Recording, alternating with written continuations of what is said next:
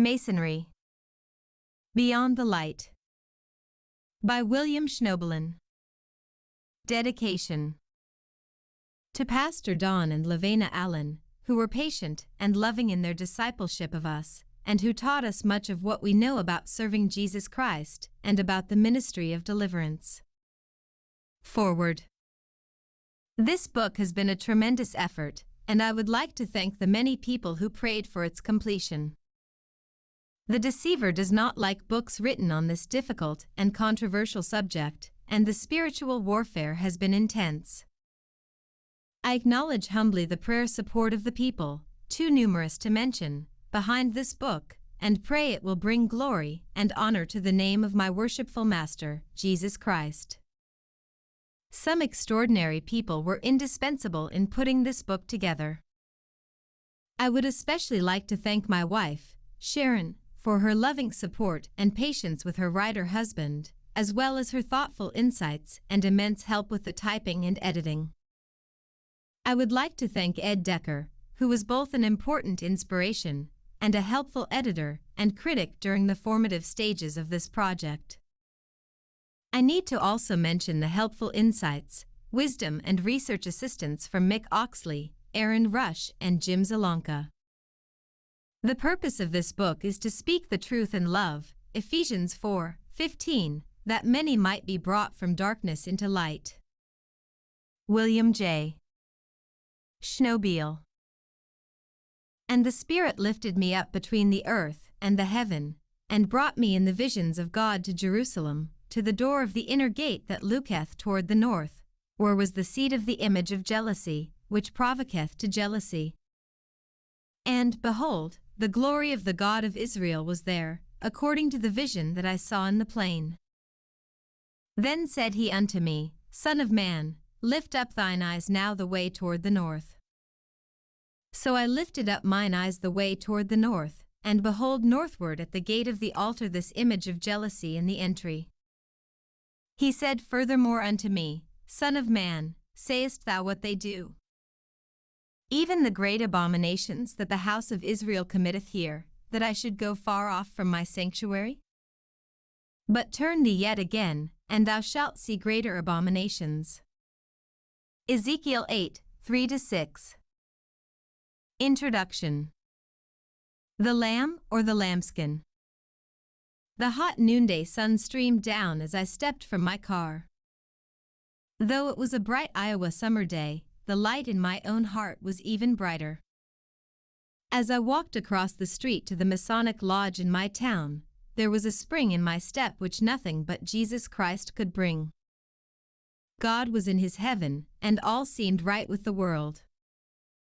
I had given my life to Jesus only days before, and felt a new lightness within, which was both exhilarating and energizing. I felt almost as though I was walking a foot above the hot, shimmering asphalt.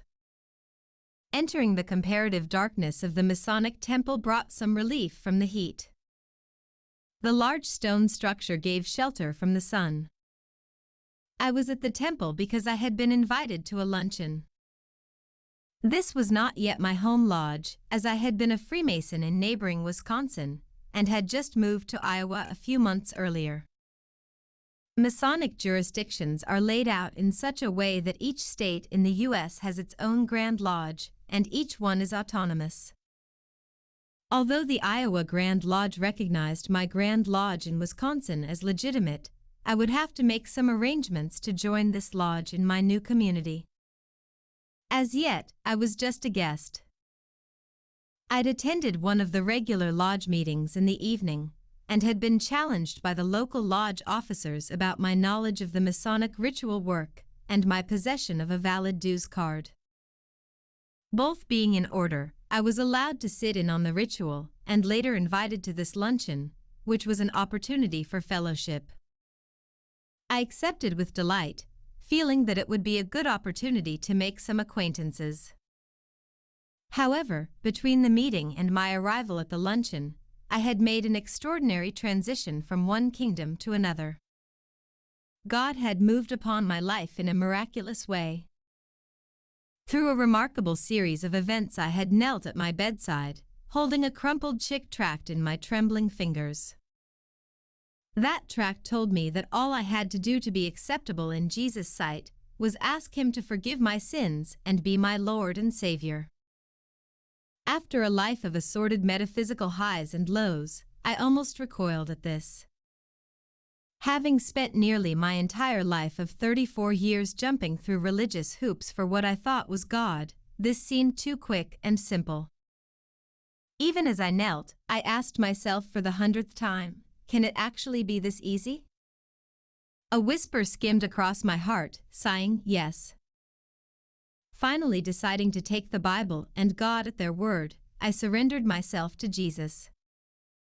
I never knew how empty I was until Jesus filled me with His Holy Spirit. It was a new, born again, infinitely improved model Bill Schnoebelen who entered this Masonic temple. As I walked down the stairs of the temple to the dining room, I was filled with anticipation. I was excited to make some new friends in this city and was therefore not prepared for what was about to happen. As I sat down at the long table richly laid out with china and food, I felt a curious dampening of the joyous quality which had so recently brightened my soul. I looked around the tables for some indication of what I was experiencing. Did anyone else sense this? About a hundred men sat around me, immersed in fraternal conviviality. Shaking hands and passing stories amidst the clatter of silverware and laughter, my brothers seemed quite unaffected. As grace was offered, my spirit seemed to darken still further. At the conclusion of the invincibly non-sectarian prayer, we all responded in the customary Masonic fashion with a so mote it be. The words felt like wormwood on my tongue. I do not believe I tasted anything that hour. My stomach felt as leaden as my soul. I could not quench the profound unease I felt. I had never experienced anything like this before at a fraternal gathering. The fellow to my right, a few years my senior, attempted to engage me in conversation. I tried to hold up my end as he told me about some special shrine club to which he belonged after he learned I was a Shriner. However, my heart was not in the conversation. By the time I listlessly began the dessert, there was little doubt about what was bothering me. Like what we Midwesterners call heat lightning at the horizon of my consciousness, the Holy Spirit was flashing the message to me through the haze of fraternal fellowship Flee this place, my son. I was bewildered by what I felt and kept glancing around to see if any of the other men were exhibiting signs of disquiet. However, the joviality was in high gear. For the first time in nearly nine years as a Freemason, I felt like an invading microbe being attacked by some sort of antibodies. This feeling, disturbing though it was, had a deeper and more familiar apprehension, guilt. For no apparent reason, I felt guilty about being where I was. It was only very gradually that I was finally able to isolate this guilt. I felt the same way I had as a child when my mother caught me doing something naughty, gentle, patient, yet unmistakable reproof. Flee this place, my son. Finally, I could abide it no longer. At the earliest moment, I made my excuses and extracted myself from the lunch. As I stepped outside once again into the clear sunlit afternoon, I felt inexplicably as if I was emerging from a cold, dank tomb. I crossed the street as quickly as I could and stopped by my car, trying to shake the clamminess which enshrouded me. I turned around and glanced back at the huge temple, feeling unexpectedly like Lot's wife in the book of Genesis. Perhaps it was my overwrought imagination, but as I looked at the white stone structure before me, shimmering in the cheerful sunlight, it seemed to settle into the earth slightly. I felt as if I was watching a lid being twisted into place on a specimen jar. I could almost hear the laughter and jokes of the men slowly turning thin and tinny as they realized the trap was tightening. I felt as if I had barely escaped with my skin intact. Shuddering in spite of the warm sun, I climbed into the car and thanked God audibly and earnestly for preserving me from whatever was going on. I still felt a spiritual chill when I arrived at my home. This was a time of considerable spiritual searching for me. I had been saved by Jesus while a member of the Church of Jesus Christ of Latter day Saints, LDS, known as the Mormons. I was still quite new in the kingdom of God and wondering if I should stay a Mormon. This led me to some intense Bible study made possible by the fact that I did not have a full time job at the time. I was desperately seeking God about whether or not I could remain in the Mormon Church and still be faithful to this wonderful new relationship with Jesus Christ. It disturbed me deeply that I had not been nearly as spiritually troubled by attending the LDS church meetings as I had been by my visit to the local Masonic temple. I had not even considered Freemasonry in my religious equation, since I had repeatedly been told by my lodge brothers back in Wisconsin that Masonry was not a religion. Being a trusting soul, I had believed them. However, my Bible studies and conversations with my Mormon leaders were convincing me that trust needed to be tempered with both biblical knowledge and discernment. I sensed in my LDS church leaders an unease with my scriptural questions, and, if not quite a spirit of deception, at least a sense of them tap dancing delicately around issues rather than dealing with them. I was learning that my leaders were not being frank with me, and so my skepticism bled over into my attitude toward what I had been told about the lodge. I finally began finding things in the Bible which brought the sin in the Masonic Lodge into stark relief.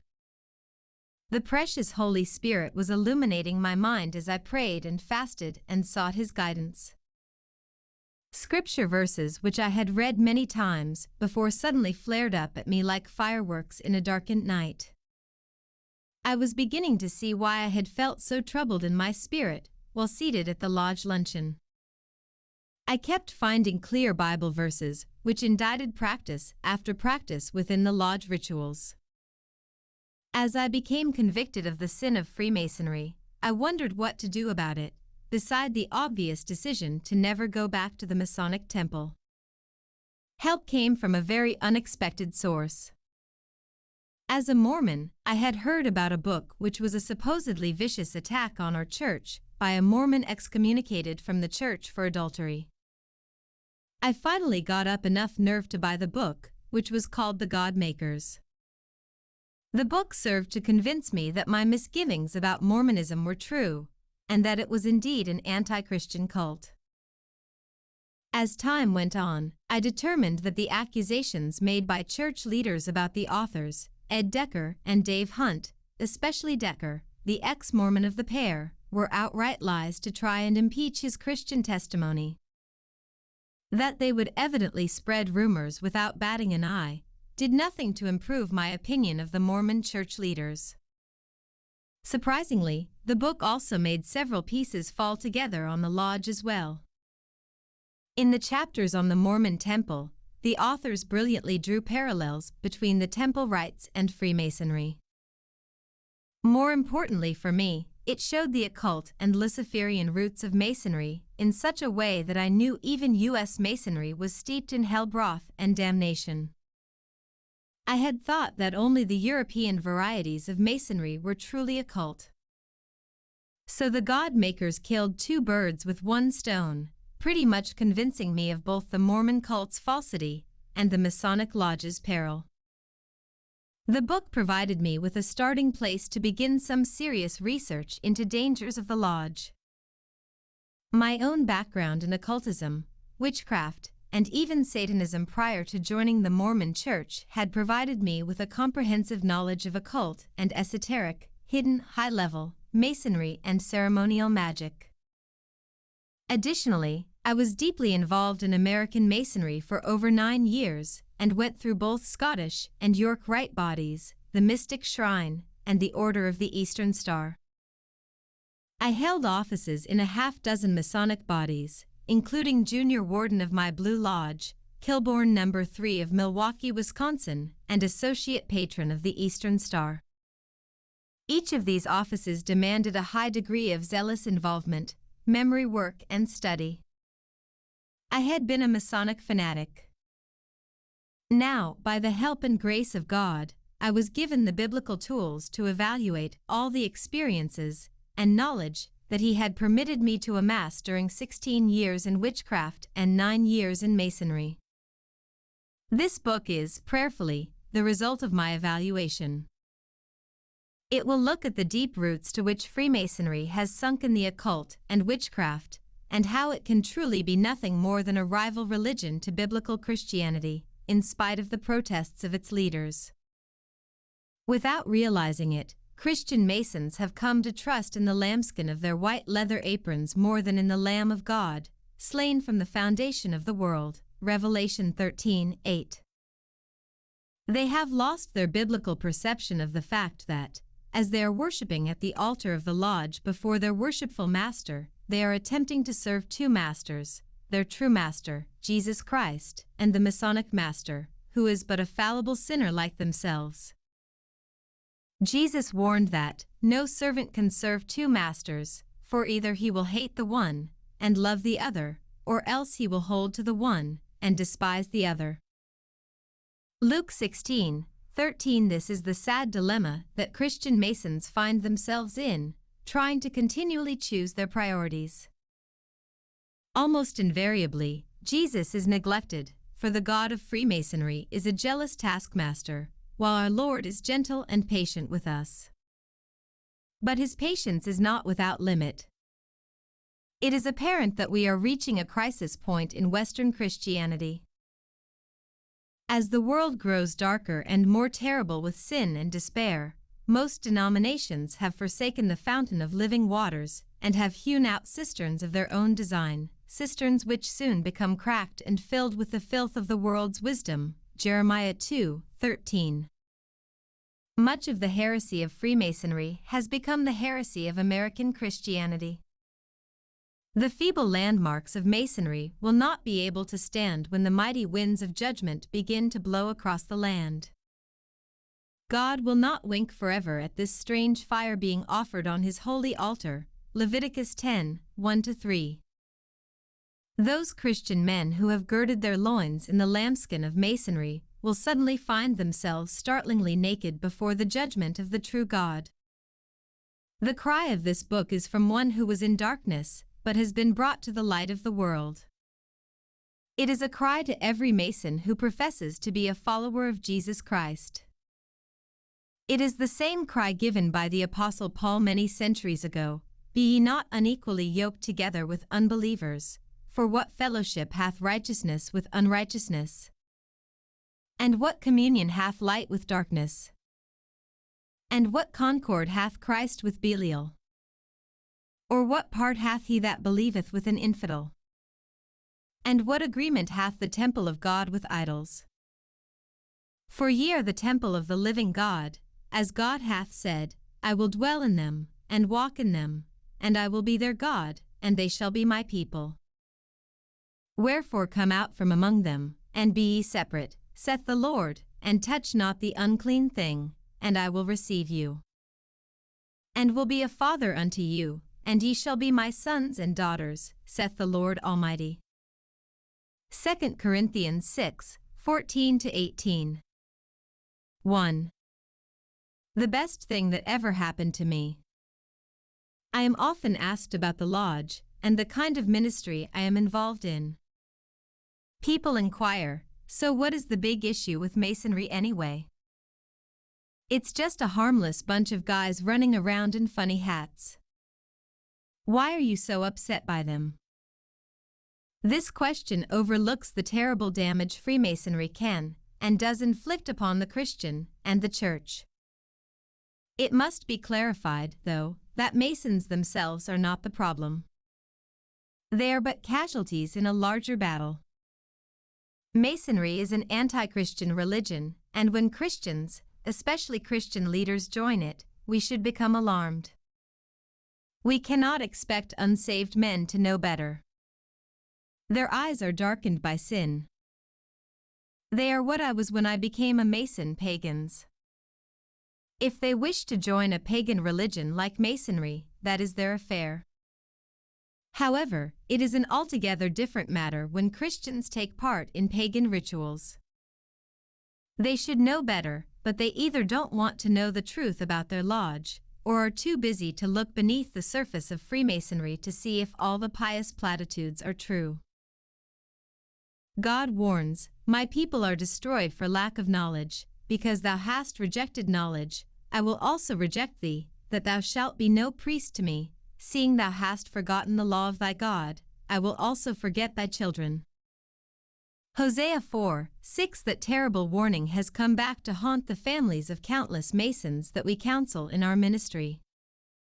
The father in the Christian home is supposed to be a priest to his family.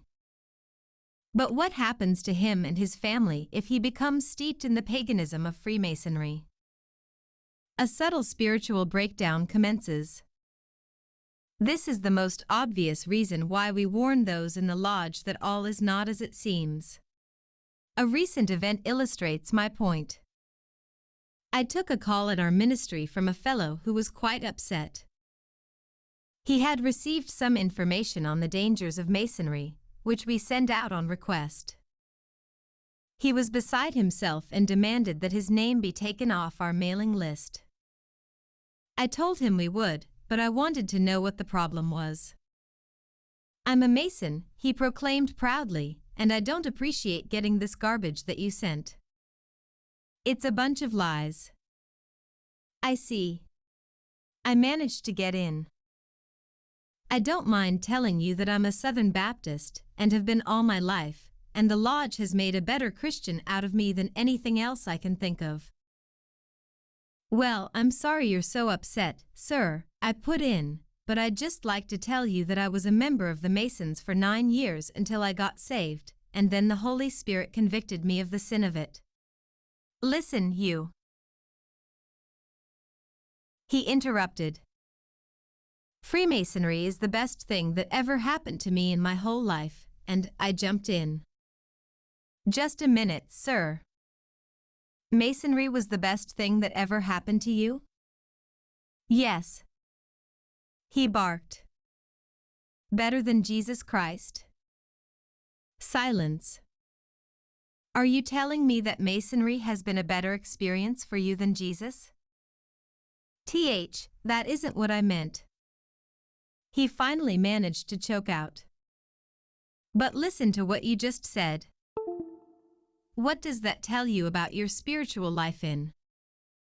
Just take my name off your mailing list. He demanded and hung up. Conviction brings anger. That response is tragically typical. Christian Masons have been delicately, oh so gradually, blinded to their first love, Jesus, Revelation 2 4. They would be the last to acknowledge it or admit it, but Freemasonry has taken the top shelf in their lives, and Jesus has been moved to second place. Then, all of a sudden, something prods their conscience, and it is like tearing the scab off an old wound. Christian Masons react with rage when someone says something against their lodge, a rage often all out of proportion to what has actually been said. They feel the convicting power of the Holy Spirit at work in their lives, perhaps for the first time in years, and it chafes them. Their consciences, so long calloused and seared, 1 Timothy 4 2, have suddenly been rubbed raw by the truth. The spiritual discernment, so long deadened, has been quickened to life. Like a foot which has fallen asleep, their sense of right and wrong struggles gradually, painfully back to life, and it hurts. Anger is all too often the result, and a retreat back into the comfortable lies of lodgery. They listen to the siren song of sin whisper its lullaby in their ears. All is well, nothing to fear. Unless these Masons are prodded patiently, lovingly, and continually by the truth, they frequently never allow the painful truth to sink in. A spiritual numbness crawls over them like a warm blanket, and they roll over and go back to sleep. A vital question why does this happen? Why do godly men, Christians who are often deacons, elders, or even pastors, get so incredibly upset about the simple preaching of gospel truth. What is the big deal about Freemasonry?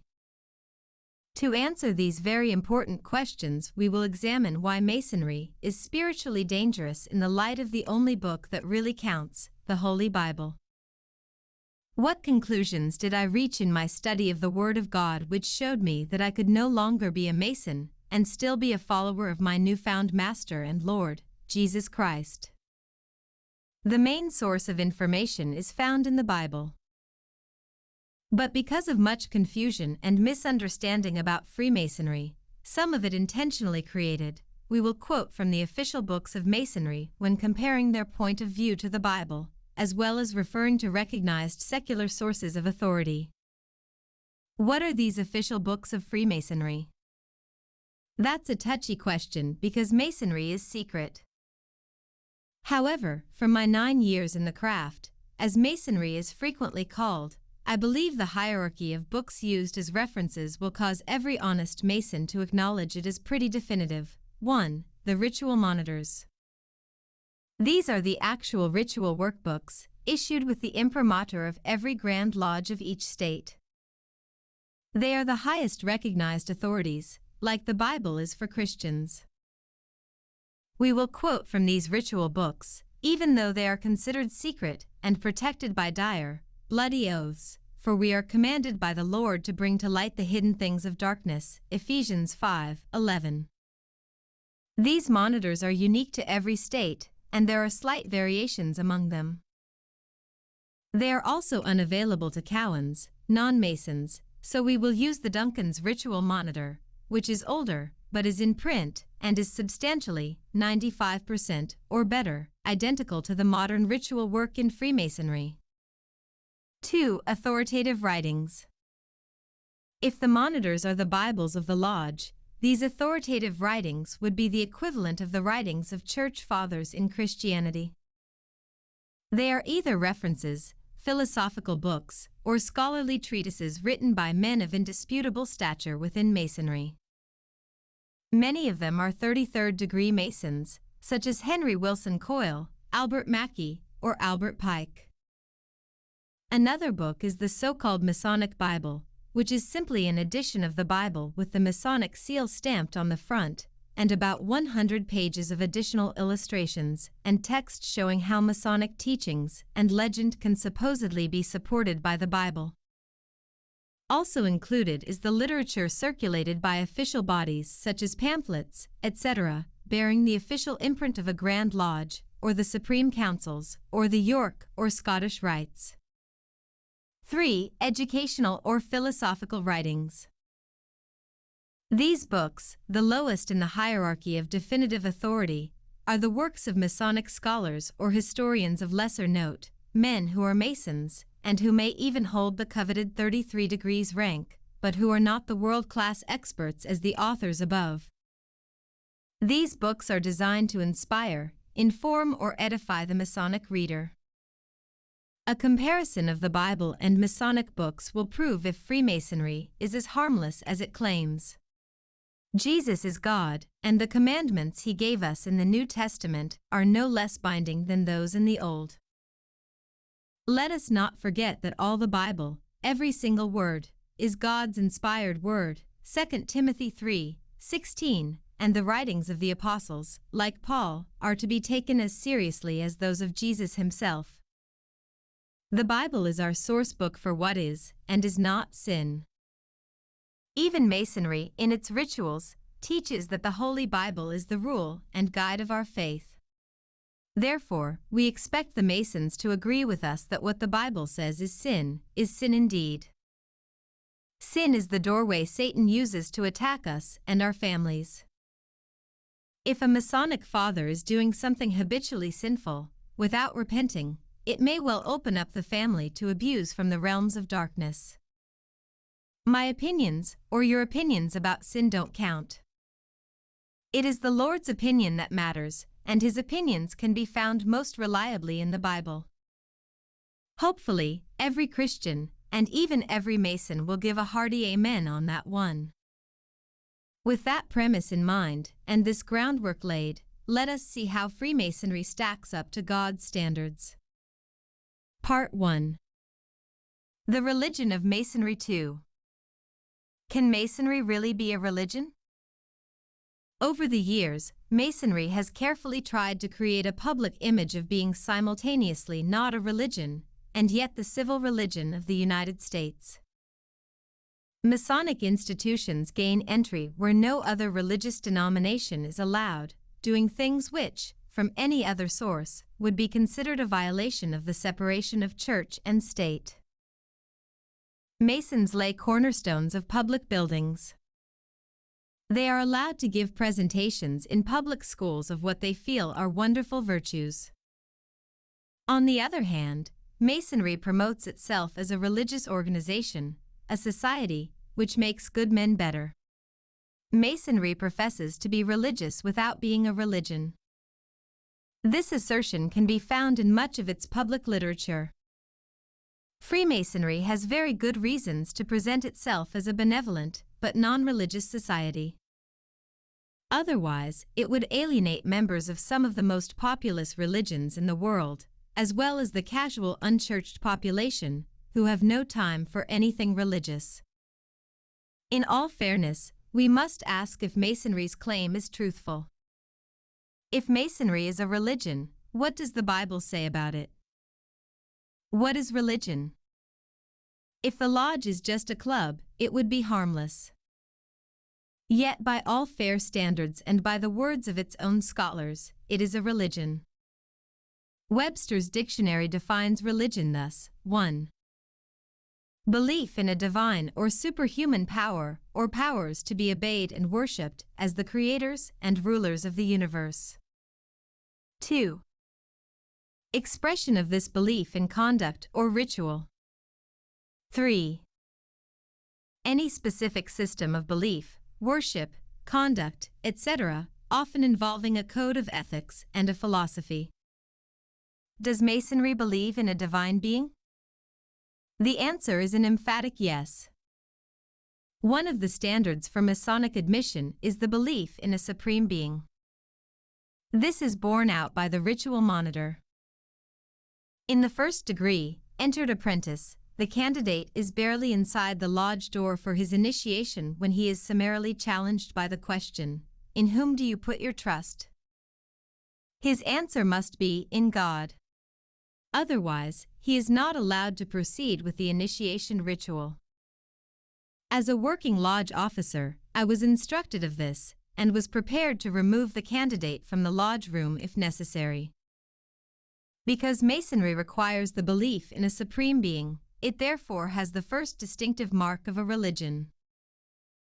The highly regarded Masonic authority, Henry Wilson Coil has written, Freemasonry certainly requires a belief in the existence of a supreme being to whom he is responsible. What can a church add to that, except to bring into fellowship those who have like feelings? That is exactly what the Lodge does. Is there a Masonic ritual? Does Masonry express this belief in conduct or ritual? The answer to this question is yes. Masonry is highly ritualized, much more than most Christian churches. Lodge ceremonies are replete with prayers, funeral rites, and initiations. A lodge officer must memorize literally hours of ritual work or lines of recitation, which must be given letter perfect at every lodge meeting. So important is the precise wording, footwork, and rod work that entire schools of instruction are provided which officers are encouraged to attend. Masonic ritual experts from the Grand Lodge observe the ritual teams in action and critique them for minor infractions of either wording or gesture. I attended such schools and can vouch for the serious discipline. Masons conduct funerals, open and close every meeting with prayer, and celebrate initiatic rites of passage to higher degrees. The Masonic author, Coil, makes an important point on this. Freemasonry has a religious service to commit the body of a deceased brother to the dust whence it came, and to speed the liberated spirit back to the great source of light. Many Freemasons make this flight with no other guarantee of a safe landing than their belief in the religion of Freemasonry. If that is a false hope, the fraternity should abandon funeral services and devote its attention to activities where it is sure of its ground and its authority. Perhaps the most we can say is that Freemasonry has not generally been regarded as a sect or denomination, though it may become so if its religious practices, creeds, tenets and dogma increase as much in the future as they have in the past. This certainly fulfills the second distinctive mark of a religion. Do Masons have a code of ethics? Does Masonry have a system of belief, conduct, or philosophy? Obviously it does, as the rites, the charities of the fraternity, and the volumes of writings make plain. Solemn norms of behavior are enjoined upon every Mason, especially one who has reached the Master Mason, or third degree. Masons are sworn to expect torturous death at the hands of their brother Masons as the immediate result of violating any of their rules. Aside from belief in a God, the Masonic belief system also includes 1. The immortality of the soul. 2. The judgment of Masons by the labors they have wrought. 3. A belief in extending charity and beneficence to all, and especially to brother Masons and their families, widows and orphans. Do Masons have a code of conduct? The answer to that is affirmative. Above all else, Masons must keep the secrets of their brother Masons inviolable. This discretion is commanded upon them in the most severe manner, and the oaths taken in the degrees are full of minute details about what may and may not be done by a Mason of a given degree. For example, a Master Mason may not have illicit carnal intercourse with a brother Master Mason's wife, sister, mother, or daughter. He may not cheat, wrong, or defraud a Mason. He must never strike a Mason in anger, except in the lawful defense of family or property. His life must exemplify the Masonic virtues of friendship, morality, and brotherly love. This is quite evidently a highly developed, if somewhat selective code of ethics.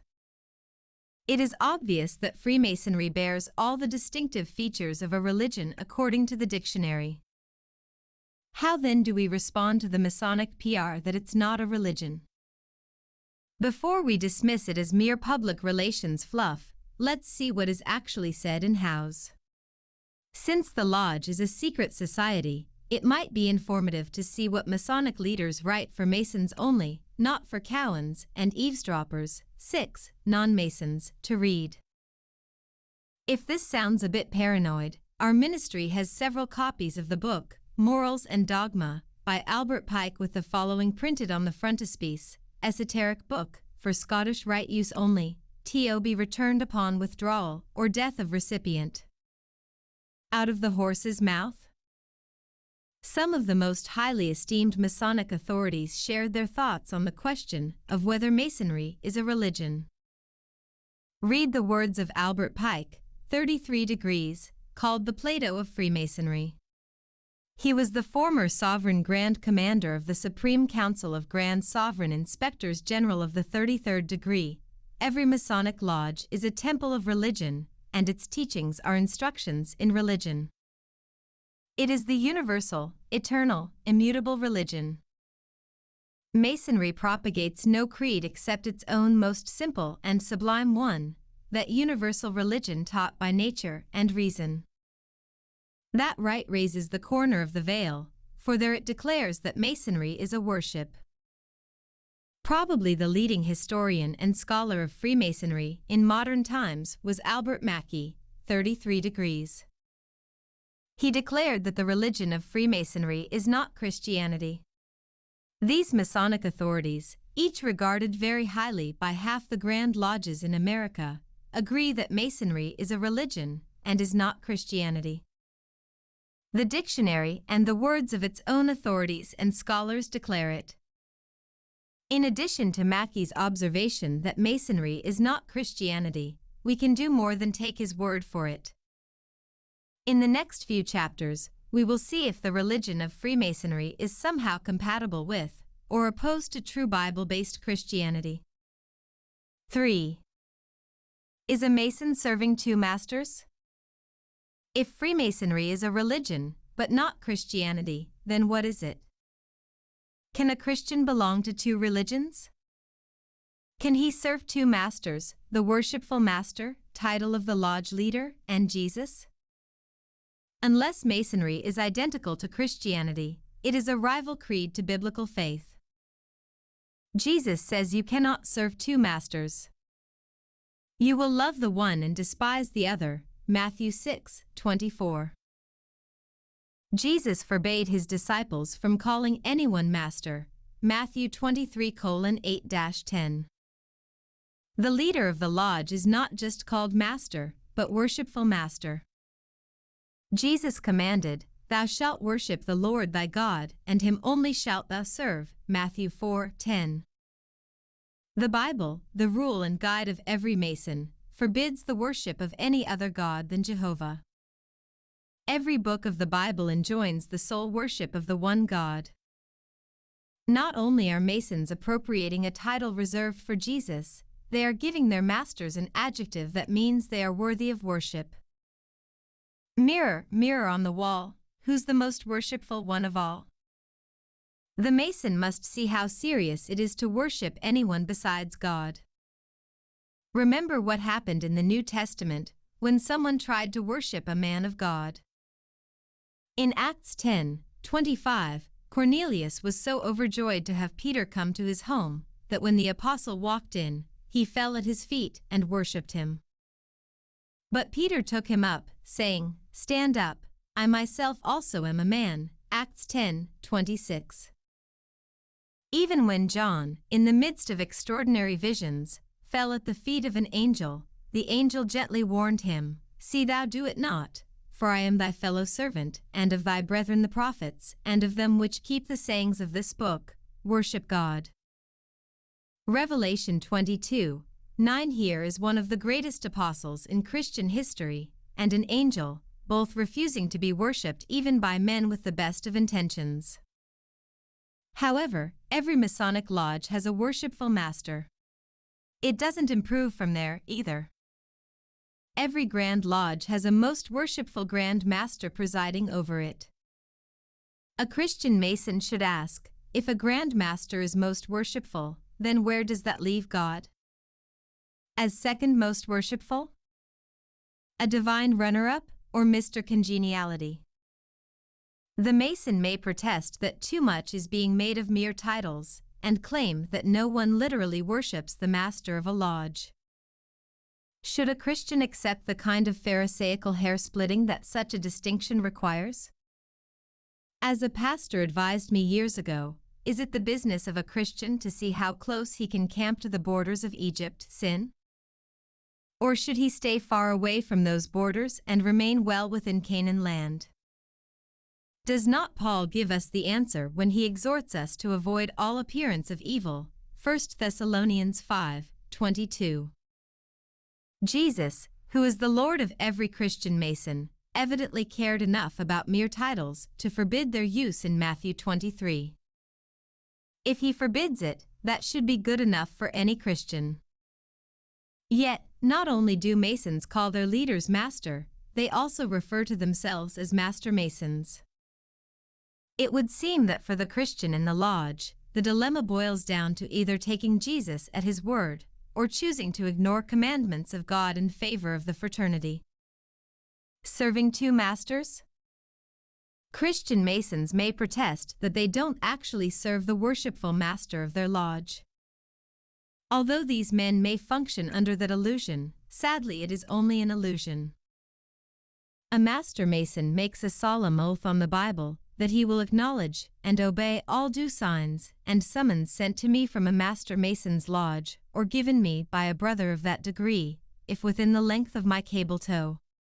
Does the master mason take this oath seriously? If he does not, he is not much of a mason. If he does, then he must take all of it seriously. He finishes the oath by saying, All this I most solemnly and sincerely promise and swear, so help me God.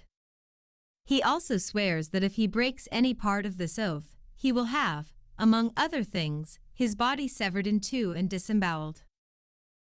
Serious enough? The mason has sworn to obey all summonses sent from his master. If that absolute obedience isn't being a servant of the master, then the language has lost all meaning. If the Christian in the lodge takes his oath in good faith, then he must indeed serve two masters, Jesus and the lodge master. Ed Decker, author of The Question of Freemasonry, and I had occasion to interview two Freemasons at a state fair booth. Both were very pleasant, anxious to wax eloquent about the good done by the lodge, and it was evident they were zealous for their craft. Towards the end of the conversation, we asked the men if they attended church regularly. Both hammed and hawed a bit. One said he had been raised a Methodist, but hadn't been to church in some time. The other said he hadn't had time for it lately. It was evident that as the zeal of these men grew for Masonry, the fires of Christianity flickered and died, if they were ever lit. As Ed and I walked away, we speculated about how unwilling those men would be to spend all day at the fair witnessing for Jesus. But there they were, promoting Freemasonry with a fervor that would shame any street preacher. Without realizing it, had they come to love the lodge and despise the Lord Jesus Christ? There is a deeper principle here, an uncomfortable Bible truth. Paul warns us, Know ye not, that to whom ye yield yourselves servants to obey, his servants ye are to whom ye obey, whether of sin unto death, or of obedience unto righteousness. Romans 6, 16 When we sin, we become servants of sin. The more we sin, the more enslaved we become. This is not news to anyone who has ever been entrapped in sin. Paul says that when ye were the servants of sin, ye were free from righteousness. Romans 6, 20. There are two possibilities here. All men are slaves, and it just depends on which master we choose to serve. We can labor in bondage to sin, or we can become bondslaves of the Lord Jesus Christ. There aren't any other choices. If Freemasonry draws you into breaking the God's commands, it has made you a servant of another master, a quite unpleasant one, whose name is Lucifer. Jesus beckons us, saying, Come unto me, all ye that labor and are heavy laden, and I will give you rest. Take my yoke upon you, and learn of me, for I am meek and lowly in heart, and ye shall find rest unto your souls. Matthew 11, 28 to 29, that is a wonderful promise to the Mason, especially since Masonic ritual puts so much emphasis on labor and wages. The ritual teaches that the reason one becomes a master mason is to work and receive master's wages. However, it is never clear what those wages are. In Romans 6, Paul offers an insight into the nature of those wages. What fruit had ye then in those things whereof ye are now ashamed? For the end of those things is death. But now being made free from sin, and become servants to God, ye have your fruit unto holiness, and the end everlasting life. For the wages of sin is death, but the gift of God is eternal life through Jesus Christ our Lord. Romans 6, 21 to 23 This is one way Christianity can be distinguished from other religions. All other masters demand that one work for wages towards rewards in the afterlife. Jesus alone offers eternal life as a gift. Obviously, if a mason is earning something, it cannot be a gift. Romans 4 4 5 says, Now to him that worketh is the reward not reckoned of grace, but of debt. But to him that worketh not, but believeth on him that justifieth the ungodly, his faith is counted for righteousness. The Christian Mason, who has already placed his trust in the finished work of Christ, now also trusts the wages of a master mason. But what are those wages?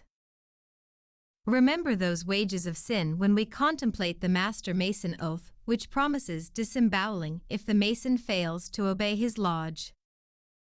Whether he knows it or not, the Mason is in bondage to a religion whose wages are death.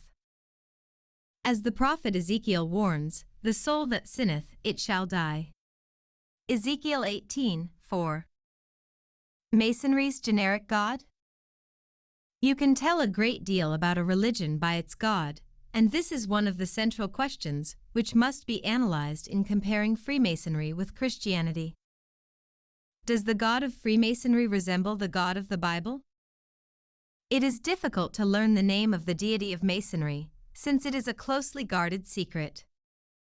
To outsiders, the God of the Lodge is usually referred to as the Great Architect of the Universe, or TGAOTU. That sounds all right, if a bit vague. This is, sadly, exactly how it is intended to sound.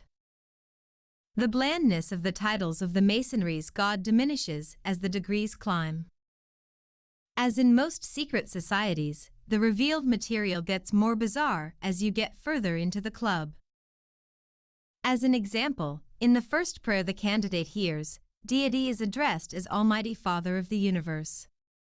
Throughout the lower degrees, the deity is addressed either as God, as when the candidate swears his oath by saying, So help me God, or as TGAOTU. As one progresses higher into the degrees, the nature of God begins to take on a less soothing quality. The closest description I can think of is generic foods in the supermarket. The God of Masonry is a generic God. His label is blank, so if you want to write in Allah or Krishna, or even Satan, you could do so and no Mason could possibly object. This is obviously God to the lowest common denominator. The Masonic authority, Albert Mackey put it this way, be assured that God is equally present with the pious Hindu in the temple, the Jew in the synagogue, the Mohammedan in the mosque, and the Christian in the church. One could just as logically add to Mackey's thought by saying that this God is equally present to the Satanist in his coven as he cuts the heart out of a child. Lest the Mason think that such a statement is absurd, let us see just how discriminating the authorities are about the nature of the God they worship. Henry W.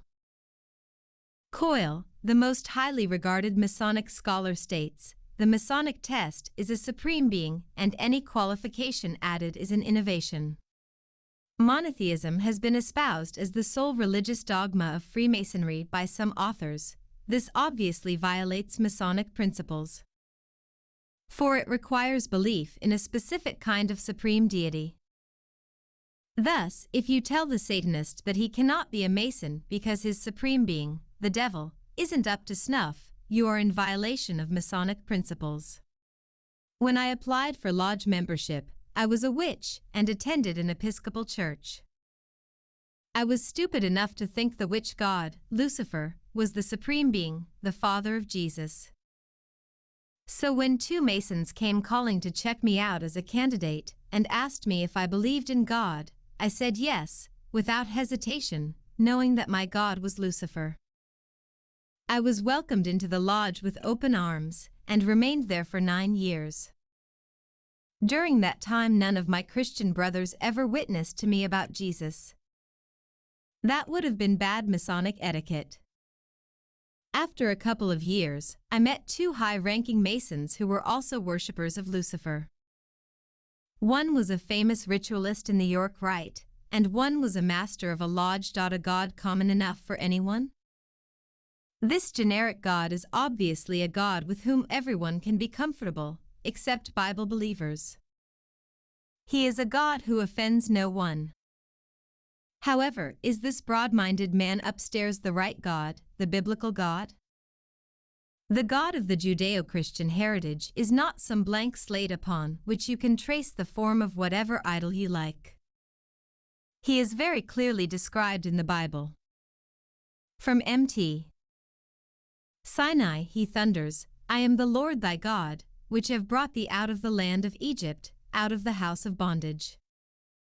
Thou shalt have no other gods before me. Exodus 20, 2 to 3 later in the Ten Commandments, he warns, Thou shalt not bow down thyself to them, other gods, nor serve them, for I the Lord thy God am a jealous God. Visiting the iniquity of the fathers upon the children unto the third and fourth generation of them that hate me. Exodus 20, 5 Imagine the colorless God of the lodge being jealous? It just doesn't wash. The God we quoted is not pleased to be identified with another God. He insists throughout the Bible that he is the only true God, and he will tolerate the worship of no other deity. Deuteronomy 6, 4, Isaiah 43, 10, 44 6 8, 1 Timothy 2, 5. A Mr. Potato Head God? What do the Masons think of such a God?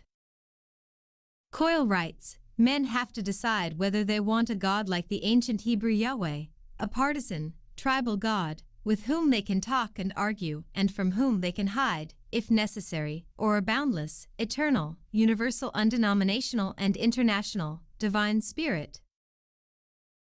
So vastly removed from the speck called man that he cannot be known, so soon as man begins to laud his God and endow him with the most perfect human attributes such as justice, mercy, beneficence, etc., the divine essence is depreciated and despoiled. Can we stop here a moment and unpack this a bit? Like much of the writing of Masons, it takes a bit of analysis to cut through the fog factor. First of all, we are told that men may decide what sort of a god they want. One has an image of the Mason passing by some celestial smorgasbord. Let's see, we like the mercy of Jehovah, so let's take it. But we like the ethics of Shiva over there, so let's choose those. We need luck, so let's choose Ganesh back here. This approach to God is blasphemous. Theologically, you end up with a crazy quilt deity, the eyes from one God, the nose from another, the ears from a third, if you will. You end up with a kind of Mr. Potato Head God. If you tire of his ears, you just pull them out and stick in a different set. This sloppy concept of God is not unique to Masons. Sadly, it has become the prevailing way of thinking of God in secular culture, and the Masonic influence in the U.S. on civil religion may have something to do with it. A Masonic consensus Coil is not alone in delineating this Masonic theology of God. Albert Pike, another highly esteemed authority, proclaimed that Masonry, around whose altars the Christian, the Hebrew, the Moslem, the Brahmin, the followers of Confucius and Zoroaster, can assemble as brethren and unite in prayer to the one God who is above all the Baalim.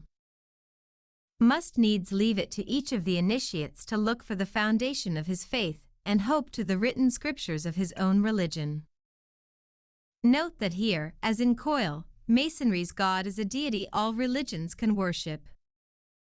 This is fascinating in itself, because the gods of most of these religions have had their followers killing each other for centuries. What possible deity can all these diverse types of people worship in common, except a God so faceless and void as to be utterly without meaning? In the preceding quote, the God of the Bible is lumped with all these other deities and referred to as part of the Baalim. Pike then says that the God of Masonry towers over them all. The term Baalim means false god. So Pike is calling the God of the Bible a false god, one who is subservient to the God of Freemasonry. Elsewhere, Pike generously wrote, Masonry reverences all the great reformers. It sees in Moses, the lawgiver of the Jews, in Confucius and Zoroaster, in Jesus of Nazareth, and in the Arabian iconoclast, great teachers of morality and eminent reformers. If no more, and allows every brother of the order to assign to each such higher, and even divine characteristics as his creed and truth require. Big of him. Especially since all the men mentioned in his broad minded statement have been dead and rotting in their graves for centuries, except for Jesus of Nazareth. But the Mason can never confess that glorious truth. Another modern Masonic writer, Manly P. Hall, 33 degrees, agrees with the above writers, the true Mason is not creed bound. He realizes with the divine illumination of his lodge that as a Mason his religion must be universal. Christ, Buddha, or Muhammad, the name means little, for he recognizes only the light, and not the bearer. He worships at every shrine, bows before every altar, whether in temple, mosque, or cathedral, realizing with his truer understanding the oneness of all spiritual truth. Notice that the Mason is not creed bound. This means that all Masons who stand in their churches and profess the Apostles' Creed, or have signed doctrinal statements to be members of a church, are either not very good Masons, or they are falsely representing their Christianity. Are not true Christians expected to be creed bound? Also consider the fact that Hall, like Pike before him, shows that somehow the Mason has a higher understanding than those who worship at Christian, Buddhist, or Islamic altars. Thus, whatever the Christian Mason may believe outside of his lodge, his beliefs within the lodge are more lofty and true. Picking out a nice God? Coil's approach turns the biblical concept of God backwards. We don't pick and choose a God like buying a new car. Jesus tells us in John 15, Ye have not chosen me, but I have chosen you, and ordained you, if ye were of the world, the world would love his own, but because ye are not of the world, but I have chosen you out of the world. John 15, 16. 19 Most of us are familiar with Matthew 20, 16, where the Lord says, Many are called, but few are chosen. We don't choose God. He chooses us. If we are willing to settle for the patchwork God Coil describes, we have substituted a creature of our own minds for the Almighty Creator. Romans 1, 22 to 23. Notice also that God is singled out by name as Yahweh. He is referred to by uncomplimentary terms like a tribal god. This makes him sound like some little idol sitting on a rock somewhere in heathendom being worshipped by ignorant louts. He is described as being a god with whom one can converse, or even argue. This much is true. But Hayes also described as a god one can hide from. Obviously, Coil never read much of the Bible, which lies in such glory upon his Masonic altar.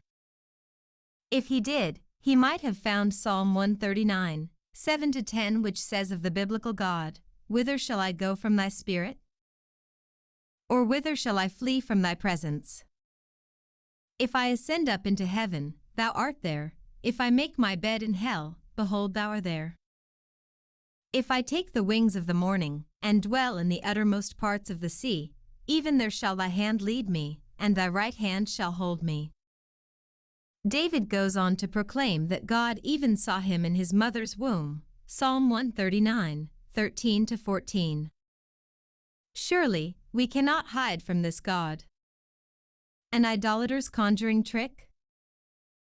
Having denigrated God, Coil then describes his deity, a boundless, eternal, universal, undenominational spirit, so far removed from men that he cannot be approached.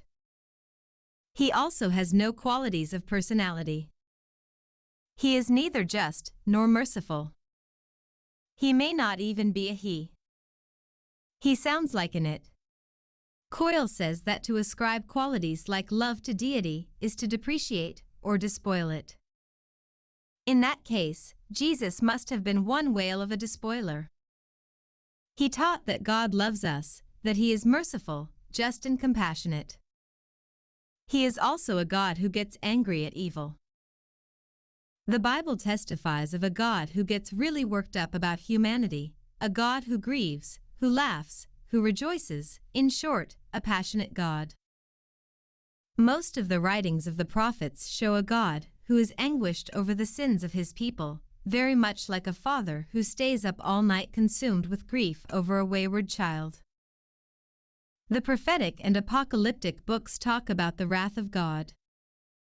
The image is one of a seething pot ready to boil over. This is not the placid, unapproachable deity which Coil extols. This is a vital, caring being who is intimately engaged in the affairs of his sinful, but beloved creatures, who is not afraid to, pardon the expression, spill his guts in passionate expressions of concern. Interestingly enough, this dispassionate, long distance deity of Coil's is very similar to the god force represented in the New Age movement. It is no coincidence that until 1990, the name of the official Scottish Rite Masonic journal was the New Age. This god is not that very different from the deity extolled in Islam as Allah or in witchcraft. Part of the reason for the resemblance is that this nebulous it is so vague that almost any deity could fit, except the God of Bible. What Coil has done is employ the old idolater's conjuring trick. First, he proclaimed a God so unknowable it becomes totally irrelevant to human beings. Then, he turns around and says, in effect, since this God is so far away and hard to understand, let me provide you with one a little closer to home which represents the faraway, inscrutable deity. Let this fill in the blank here 1. Tree 2. Rock 3. Idol 4. Letter G stand as a symbol of the unknown God, and we can worship it. This trick is as old as sin, but it is one Satan never tires of foisting upon the children of men. Create a God so vague that it is incomprehensible, then create an intermediary idol to represent the deity and receive its worship. Whether it is the mason kneeling before the square and compass on his altar, the pious Hindu praying to an idol of Brahman, or the devout Catholic praying to St. Jude for a lost keychain, the end result is the same. They have changed the glory of the uncorruptible God into an image made like to corruptible man, and to birds, and four-foot beasts, and creeping things. Wherefore God also gave them up to uncleanness through the lusts of their own hearts, to dishonor their own bodies between themselves. Romans 1 colon 23 24 Although the Masonic writers make their theology sound very philosophical, it is simply Satan's old shell game of moving God far out of sight, denying him any practical value, and then substituting an idol in his stead. There is no denying that the biblical God is far beyond human understanding, and his ways far above our own. The difference between him and this generic deity of the Lodge is that he has taken a very important initiative in humanity's direction. He bridged the gap for us. He sent his Son, very God of very God, and yet fully human, into the world to touch us, to suffer among us, and to save us. Jesus Christ is like us in all ways, except sin. Hebrews 4 15 he cared enough to come into our world and take our suffering upon his shoulders. No other God makes that claim, and no other God would dare to. 5. The true name of the God of Masonry. In advertising, there is a practice known as bait and switch. A store runs an ad for an item at a fantastic price. However, when the consumer gets to the store, he discovers the item is sold out. But the store just happens to have another item in stock which is very similar, but is not on sale. Human nature being what it is, the shopper is so geared up to buy the item he came for that he will buy the more expensive one rather than do without. In Freemasonry, this practice is carried on all the time. The only difference is that in dealing with religion, the Better Business Bureau cannot get involved. What a pity. The candidate, from the first degree on, is led to believe he will have imparted to him important secrets, secrets so earth-shattering they must be protected by solemn oaths on the Bible, and serious enough to be covered by death penalties. After swearing the oath, he learns a secret handshake and a word which is easily found in the Old Testament, Boaz. A similar set of secrets is imparted to him in the second degree. Both degrees cost money, not peanuts either. When I was going through them in the mid 70s, they cost around $50 apiece for the Blue Lodge degrees. That means the second degree Mason is out at least $100. The candidate's anticipation builds. In second degree, he learns what the liberal arts are, and that the letter G stands for God and geometry, or he thinks he learns these things. The liberal arts can be found in any encyclopedia, and it does not take a genius to figure out that geometry and God are spelled with a G. When the candidate hands over another $50 or so and learns an arduous amount of memory work, including the blood oath of second degree, which is six long paragraphs in length, he is ready for the ultimate secret of masonry, or so he thinks. Here is where the bait and switch comes along. He is taken through a bone-rattling third-degree initiation. Then after all this, is told the great secret of Masonry, the sacred name of God, which is guarded by hours of ritual and three chilling oaths, has been forever lost. He has just shelled out at least $150 and invested months to learn that the Master's word has been lost. Instead, he is given a substitute word, Mahabone, which is whispered into his ear while embracing the Master of the Lodge on the five points of fellowship. Learning the true name of God, most Masons don't really know what to expect in the way of secrets. Perhaps most aren't really disappointed, since most of them joined the lodge for more pedestrian reasons, to go on and join the shrine, where all the parties are, or to further a professional career. However, if you hang around the Blue Lodge meetings long enough, usually a couple of weeks will do, you learn there are higher degrees that the Master Mason can take. These degrees proceed in one of two fashions in American Freemasonry. Usually, one of your brother Masons will encourage you to join either the York Rite or the Scottish Rite. Here, you are told, you will learn the really valuable secrets. This is the bait and switch, since these higher degrees invariably cost more money. The cost per degree is less, but both forks in the road of Freemasonry can run the Mason into several hundred dollars over and above what he has already paid. If the new Master Mason is perceived to be a Christian, quite often he will be directed to the York Rite, since that has the Christian degrees. If the Mason is more secular, or perhaps in a bit of a hurry, he is advised to go the route of Scottish Rite, which rockets you through 29 degrees in a couple of weekends and enables you to go on and join the shrine. The shrine is even more expensive, but it is the fun part of Masonry, we are told. Men are allowed to drink booze there and ride around in funny little cars in parades, hopefully not at the same time. In these two higher bodies, the content of Masonic secrets begins to take on a more solemn tone. In the York Rite, especially, the Masonic candidate realizes he is going to acquire knowledge of a profoundly mystical nature. He will learn the true name of God. This is supposedly the Master's word which was forever lost, but is miraculously recovered four degrees and a couple of hundred dollars later. That could excite almost anyone, even the Mason who is in it only for the parties or the influence. In the Royal Arch degree, the centerpiece of the York Rite, the candidate is taken through a drama in which he supposedly enters a chamber beneath the ruins of King Solomon's temple during the time of the return of the Israelites from the Babylonian exile. Within this chamber, he and two companions discover the lost Ark of the Covenant. On top of the Ark is a golden plate upon, which is engraved the grand omnific royal arch word. This is written in an arcane cipher alphabet which the candidate cannot read. He is told it is the name of God in three languages. Under the Royal Arch, a special position involving three companions of the Royal Arch, this word is communicated as the ineffable name of God, lost with the death of the Grand Master Hiram Abiff in the third degree, but now restored in the Royal Arch degree. The name given is JHBULON.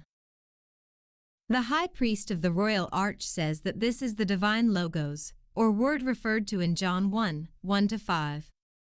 This odd name is supposedly the true name of the deity of Freemasonry, revealed at last. It is so sacred that it can only be revealed in the presence of three royal arch masons while kneeling under a royal arch formed by their intertwined hands.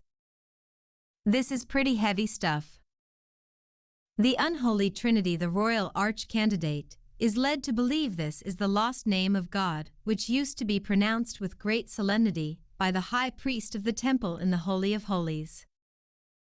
This is reflected in the fact that the senior office in a royal arch chapter is called high priest and even wears a mock-up of the Jewish high priest's regalia when ritual work is done. It is the ineffable name of God, at least the Masonic God, and is quite an awesome secret indeed. However, in our search for the God of Masonry, it is also a major clue. The analysis of the name as presented to the candidate reveals some disturbing associations for anyone concerned with biblical truth and proper reverence for the name of God. JH, the first syllable, represents the name Yahweh or Jehovah, the name of the God of Abraham, Isaac, and Jacob.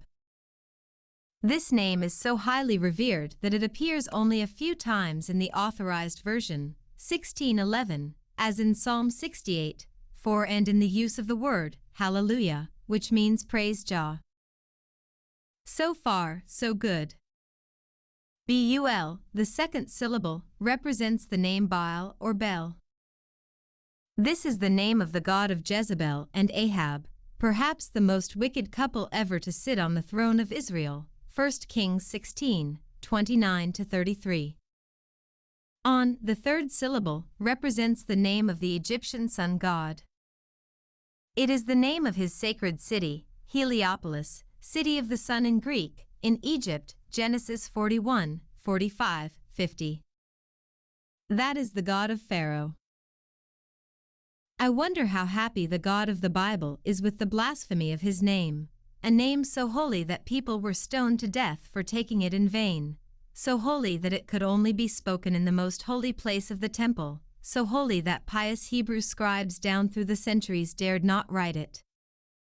Inter texts out of wondrous awe, and instead, substituted the name Adonai or Lord. This is the same name of which God said, Thou shalt not take the name of the Lord thy God in vain, for the Lord will not hold him guiltless that taketh his name in vain. Exodus 20, 7. How pleased do you think God is with this same name thrown into a metaphysical trash compactor and smashed together into a mystifying muddle with two of the most notorious idols of the Old Testament? It should not require a Bible scholar to see that the God represented by this grand omnific royal arch word is a very unholy trinity. It also represents a perfect distillation of the attitude towards God, as noted in the last chapter where it was made clear that just about any old god would do for a mason. Here that concept is given concrete reality. Remember that the ritual above identifies this Jabulon with the word of John 1. Even the most cursory reading of John 1, especially verse 14, reveals that the being discussed is Jesus Christ, not this three-headed theological monstrosity. If anything, it is more blasphemous than ever to identify Jesus, whom Freemasonry refuses to worship, with a deity that is two-thirds satanic. Obviously, this Jabulon fellow is not the God of the Bible. And if he or it is not God, he must be a false God, a mask for Satan.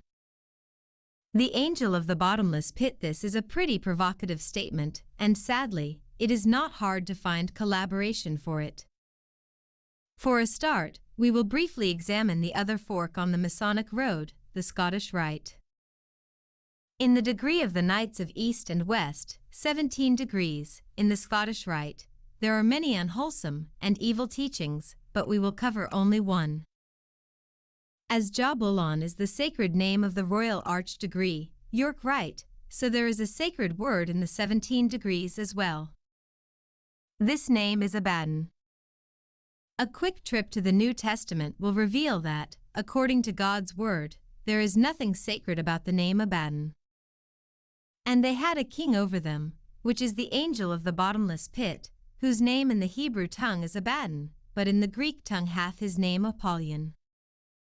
Revelation 9 11 Both these terms mean destroyer, and the angel of the bottomless pit is Abaddon, another word for Satan, whom Jesus identifies, John 10 10, as one who comes to steal, kill, and destroy. Some sacred word. This is not the only evidence for the identity of Masonry's God. Several ambiguous, and not so ambiguous, references are made in the writings of some of the Masons quoted before. Albert Pike, the highest Mason in the U.S. in his day, wrote this Lucifer, the light bearer. Strange and mysterious name to give to the spirit of darkness. Lucifer, the son of the morning. Is it he who bears the light, and with its splendors intolerable blinds feeble, sensual, or selfish souls? Doubt it not. For traditions are full of divine revelations and inspirations, and inspiration is not of one age nor one creed. Although that statement is a marvel of ambiguity, we must remember that the thing sought in every Masonic initiation is light. The question asked of the initiate at the critical moment is what he most desires. Prompted by the deacon, the candidate says light in first degree, more light in second degree, and so on. It is not without significance that this eminent Mason tells us that Lucifer is the source of that light. Elsewhere, writing of Satan, Pike teaches that he is not a person, but a force, created for good, but which may serve for evil. It is the instrument of liberty or free will. They represent this force, which presides over the physical generation, i.e., sex, under the mythologic and horned form of the god Pan. Thence came the he-goat of the Sabbat, which is festival. Brother of the ancient serpent, and the light bearer, or phosphor of which the poets have made the false Lucifer of the legend. Pike is also quoted as giving this instruction to a council of very high-level Freemasons. The Masonic religion should be, by all of us initiates of the high degree, maintained in the purity of the Luciferian doctrine. If Lucifer were not God, would Adonai, sick, whose deeds prove his cruelty, perfidy, and hatred of man, barbarism, and repulsion for science, would Adonai and his priests calumniate him? Yes, Lucifer is God, and unfortunately Adonai is also God. For the eternal law is that there is no light without shade, no beauty without ugliness, no white without black, for the Absolute can only exist as two gods, darkness being necessary for light to serve as its foil as the pedestal is necessary to the state. Thus, the doctrine of Satanism is a heresy, and the true and pure philosophical religion is the belief in Lucifer, the equal of Adonai. But Lucifer, God of light and God of good, is struggling for humanity against Adonai, the God of darkness and evil. Pike is not alone in beating the drum for Lucifer. The Masonic scholar, Manly P. Hall writes, when the Mason learns that the key to the warrior on the block is the proper application of the dynamo of living power, he has learned the mystery of his craft. The seething energies of Lucifer are in his hands, and before he may step onward and upward, he must prove his ability to properly apply this energy. Slipping off the masks Masons are on a quest for light. But it seems they have done everything they can to detour around Jesus, who said, I am the light of the world. These quotations may stun the person who thinks of Masons as a nice order of men who help crippled children. It has been amply demonstrated from authoritative sources, the ritual monitors, that Freemasonry does not worship the God of the Bible. Frankly, that only leaves one other being they can worship, whether they call him the great architect or Jahbulon. It is still Satan residing behind the masks of these other names. 6. Who is Jesus to the Lodge? This is a question that has haunted the ages. As Christians, we believe the Bible has the authoritative answer. Contrary to a century or so of liberal Christianity, secularism, and New Age twaddle, the Bible says Jesus Christ is unique. He is Almighty God come in the flesh. John 1 colon 1, 14, Colossians 1, 15, 2 colon 9, etc. With the reemergence of Masonry as a force to be reckoned with in our churches, we have seen a proliferation of different versions of Jesus. We have the Jesus of the film The Last Temptation of Christ, a deluded, weak-kneed lecher, and the rock Jesus of Jesus Christ, superstar, who dies and never rises again.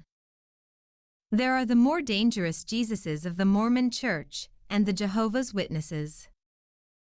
Then there is the New Age Jesus, an ascended master, who had to reincarnate many times and who needs to report back to Maitreya. Suddenly, there are more Christs out there than you can shake a stick at.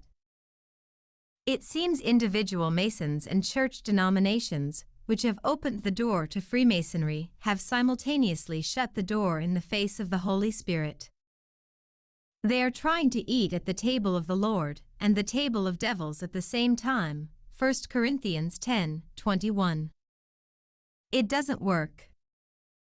We must find what the Masonic answer is to Jesus' all important question from Matthew 16 15 Whom say ye that I am?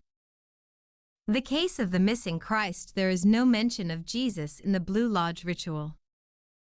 Although prayers are offered at each lodge meeting and in each initiation rite, Jesus may not be mentioned. Instead, the Masonic rites climb to a crescendo of praise to a fellow described as an example of an instance of virtue, fortitude, and integrity seldom equaled or ever excelled in the history of man. This man is said to be one of the greatest men, and perhaps the greatest Mason the world ever knew. Instead of Jesus, the central figure of the lodge is a fellow called Hiram Abiff. If you know your Bible well, you may recognize this Hiram as the temple artisan mentioned in 1 Kings 7 and 2 Chronicles 4. The real Hiram is a tiny thread in the vast warp and woof of the fabric of God's Word. For the Mason, Jesus is shunted aside in favor of Hiram, the widow's son. A Mason is not allowed to pray to or testify of Jesus in the lodge. A Christian Mason cannot even share the joy of Jesus with a brother Mason in the lodge. We need to examine why Jesus is so strangely absent from Masonic ritual. If Masonry is a religion, and it certainly is, then we must ultimately measure it by what it thinks of Jesus Christ. If the Lodge's view of Jesus conforms to the Bible, there is no problem. But to the extent that the Masonic Jesus moves towards all these other strange Christs, to that extent we have heresy. A ghetto for Jesus? I can already hear the howls of protest from Masons, saying Masonry is a Christian institution, and that there are Masonic degrees that require one to be a Christian to qualify. I received a letter recently from one of hundreds of godly wives who write our ministry seeking help in prying their husbands loose from the lodge. She had shared our tracts with him, but he said you couldn't be a Mason without being Christian. He also told her Jesus was the, the great architect. Unfortunately, both statements were incorrect. When I read letters like that, I weep. I don't know if this poor woman's husband is too spiritually dull to understand the mess he has stepped into by joining the lodge, or if he is following Masonic procedure and lying his lips off to her. I pointed out to this woman that there is a sizable difference between Jesus, as the creator of the universe, John 1 1 to 3, and Jesus as a cosmic carpenter. To create means to make something out of absolutely nothing. But a builder or architect must work with raw materials, lumber and cement. To call Jesus the great architect is to belittle his awesome power to call a universe into existence out of nothingness. There is a part of Freemasonry which requires a person to be a nominal Christian to join. This is the Commandery, the Knights Templar, KT. It is the pinnacle of the York Rite. I call this degree the Jesus Ghetto. Just as the unfortunate Jews in Europe were forced to live in cramped ghettos by persecution, and today many live in ghettos because of poverty, so the Lord Jesus is squeezed into one, measly degree out of a panoply of some 43 degrees. It is the one degree where prayers are offered in Jesus' name, and where the cross is part of the symbolism. Remember, though, this is the same York rite that worships Jabulon, and chapter officers blasphemously apply the holy name of God, I am that I am to themselves at every meeting. This is the same York rite that insists its companions take blood oaths committing themselves to have their ear sliced off, their tongue split from tip to root, their heart ripped out and placed on a dunghill to rot, or their skull smote off and their brains exposed to the rays of the noonday sun. Should they ever violate their oaths? Nice Christian values. While there is no doubt that external Christian piety oozes from the KT ritual, right down to singing the old rugged cross, it needs to be emphasized that externals do not make an institution Christian. I am a prime example. I was admitted to the commandery, though I didn't know Jesus from a doorknob. Like so many, I thought I was a Christian because I had been sprinkled with water as an infant. Nothing in the commandery ritual showed me the error of my ways. What kind of Christian institution allows a person who is not a Christian to sit in its midst for years and even assume the office of prelate, a chaplain, and never bother to find out if the person is really a believer? Trotting underfoot the Son of God? The sad fact is that the resemblances between the commandery and Christianity are just cosmetic. First of all, the extremely martial character of the order is a bit out of place for an institution supposedly following the Prince of Peace. Much of the order's ritual work consists of quasi-military drills and waving swords around. Additionally, the KT ritual clearly avoids the Christian gospel of grace, Ephesians 2, 8-9. Instead, the candidate for initiation is taken through a supposed seven-year pilgrimage as a pilgrim penitent and a pilgrim warrior. Rather than being saved by the blood of Jesus, which is barely mentioned. The candidate is taught he is saved through works of penitence, a word not even found in the Bible, and through making lengthy pilgrimages and fighting to defend the Christian religion. A sinister sacrament? The high point of the KT initiation is when the candidate is brought before a large, triangular table covered in black velvet illuminated by candles and containing 11 silver goblets and a human skull enthroned on the Bible. Skulls figure prominently throughout the initiation. This is intended to be the Last Supper. It seems but a grim mockery, though.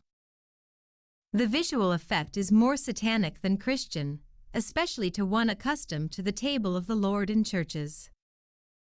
However, the ambience is the least of the problems.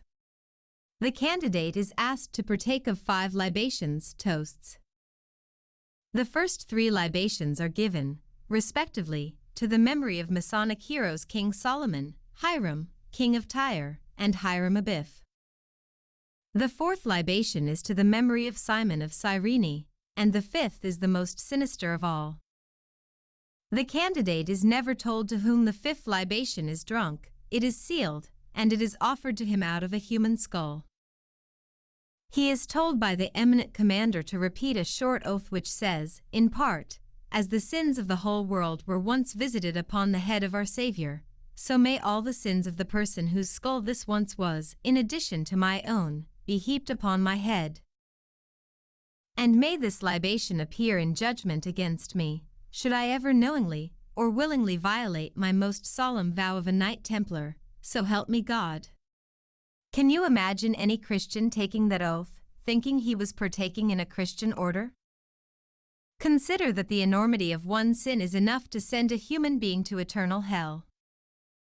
You then solemnly swear in God's name that all the sins of another person, plus the sins of your own life which were, if you are a Christian, bought and paid for by the blood of Jesus, should be reapplied to your life. The Holy Spirit has something to say about people who do such things. He that despised Moses' law died without mercy under two or three witnesses. Of how much sorer punishment, suppose ye, shall he be thought worthy, who hath trodden under foot the Son of God? And hath counted the blood of the covenant, wherewith he was sanctified, an unholy thing, and hath done despite unto the Spirit of grace. Hebrews 10, 28 to 29 to sell back to Satan, under solemn oath, sins that Jesus died for already, is an incredibly heinous slap in the face to the very Lord the Templars profess to venerate. Though most who take this oath do not understand what they have said, and think it is a light and frivolous thing to do, its spiritual consequences are devastating. This is a blasphemy on the Lord's Supper, an unholy parody almost as bad as the Satanic Mass. It is undoing the very covenant that Jesus began, Matthew 26, 28. A Christian KT who partakes of this evil communion is drinking the cup of the Lord, and the cup of devils, 1 Corinthians 10, 21. Paul warns us that, Wherefore whosoever shall eat this bread, and drink this cup of the Lord, unworthily, shall be guilty of the body, and blood of the Lord. 1 Corinthians 11, 27 All this is on top of swearing an earlier oath, that his head might be smote off, and placed on the highest spire of Christendom. This is not Christianity, but a carefully devised fraud, and a fraud which one can join only after taking Christ-denying oaths. Yet many Christian leaders are proud members of the commandery. Mickey Mouse money? An effective counterfeit bill must look as similar to real money as possible. Only a fool would spend all his time counterfeiting bills and then put Mickey Mouse's picture on them. Yet people forget this when they move into the spiritual arena. For some reason, they assume that because something resembles Christianity, it is genuine biblical faith. Nothing could be further from the truth. Whatever else Satan may be, he is no fool. He is not going to create the religious version of a Mickey Mouse dollar bill. Like the counterfeit 20s that our Treasury Department must deal with, Satan's spiritual funny money is 98% perfect. A counterfeiter will try and create the perfect plates, find the exact same colored ink, and the exact kind of paper with the same level of rag content. Why don't people assume Satan will do the same thing? Some counterfeit bills can only be detected by Treasury Department experts. To use a popular analogy, those agents know a fake bill because they have studied real money until their eyeballs pop. Similarly, true Bible-believing Christians must study the Bible thoroughly and daily to detect Satan's counterfeit. As believers, we must give Satan credit for being at least as subtle as some crook. He is not going to open a Masonic lodge and hang a sign on the door saying, First Lodge of Satan, Abandon hope all ye who enter here. He would not get many members. No, he would strive to his uttermost to make certain that his lodge looks good. Yet, because he is the devil, he will always make mistakes and leave tiny clues, chinks in his deception, so that a person who knows the Bible will detect them. Is God that picky? It is more a matter of Satan being the ultimate legalist and using any tiny hook he can to get into you. Spiritual tolerance factors can be very high. A friend of mine was taken on a tour of a huge hydroelectric plant in our state. He was shown turbines weighing hundreds of tons. The guide explained that they didn't dare touch their naked fingers to the area where the parts of the core meet the outer hull of the machine. The oil from a single fingerprint could unbalance and destroy the 100-ton turbine. The machine tolerances were that precise. God is a much better engineer than any human being, and we are the jewel of his creation. The Lord machined us with a precision that makes a Swiss watchmaker look like a fumble-fingered clod. As the psalmist said, we are fearfully and wonderfully made, Psalm 139, 14. Because of this, almost Christian doesn't cut it for the Lord. The commandery is a well-crafted counterfeit of Christianity, but that is all. The fact that it is a bright jewel of fake orthodoxy resting on a pillow of heresy is enough to make one doubt its authenticity. This little Jesus ghetto is nothing more than a token, a scrap from the vast pagan table of Freemasonry thrown to Christians. A counterfeit Christ? Pious appearances cannot be trusted. There are many cults which look Christian and put on a show of piety, i.e., the Jehovah's Witnesses. We need to see what kind of Jesus the Lodge professes, and then compare that Jesus to the biblical Messiah. Jesus is mentioned in Masonic writings amid a crowd of other great teachers or reformers. He never stands out as anyone special, above others such as Buddha or Muhammad. That is not the Jesus of the Bible.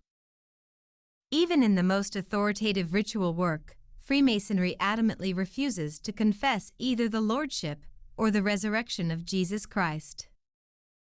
For example, in the Maundy Thursday ritual of the 18 degrees of the Scottish Rite, called the Rose Croix of Heredom, we find the following. We meet this day to commemorate the death of Jesus, not as inspired or divine, for that is not for us to decide. Masonry does not regard Jesus as either divine or risen from the dead. By taking no stand, Masonry takes a stand. Trying to offend no one, it offends the one about whom it should be most concerned. Albert Pike gave a teaching on the fraternal supper of the Scottish Rite, which is a kind of Lord's Supper for the Prince of Mercy degree. It is a ghoulish and blasphemous mockery of Christ's institution, for he teaches, thus, in the bread we eat, and in the wine we drink tonight may enter into and form part of us the identical particles that once formed parts of the material bodies called Moses, Confucius, Plato. Socrates or Jesus of Nazareth. In the truest sense, we eat and drink the bodies of the dead. Pike is teaching that we are eating parts of the dead body of Jesus.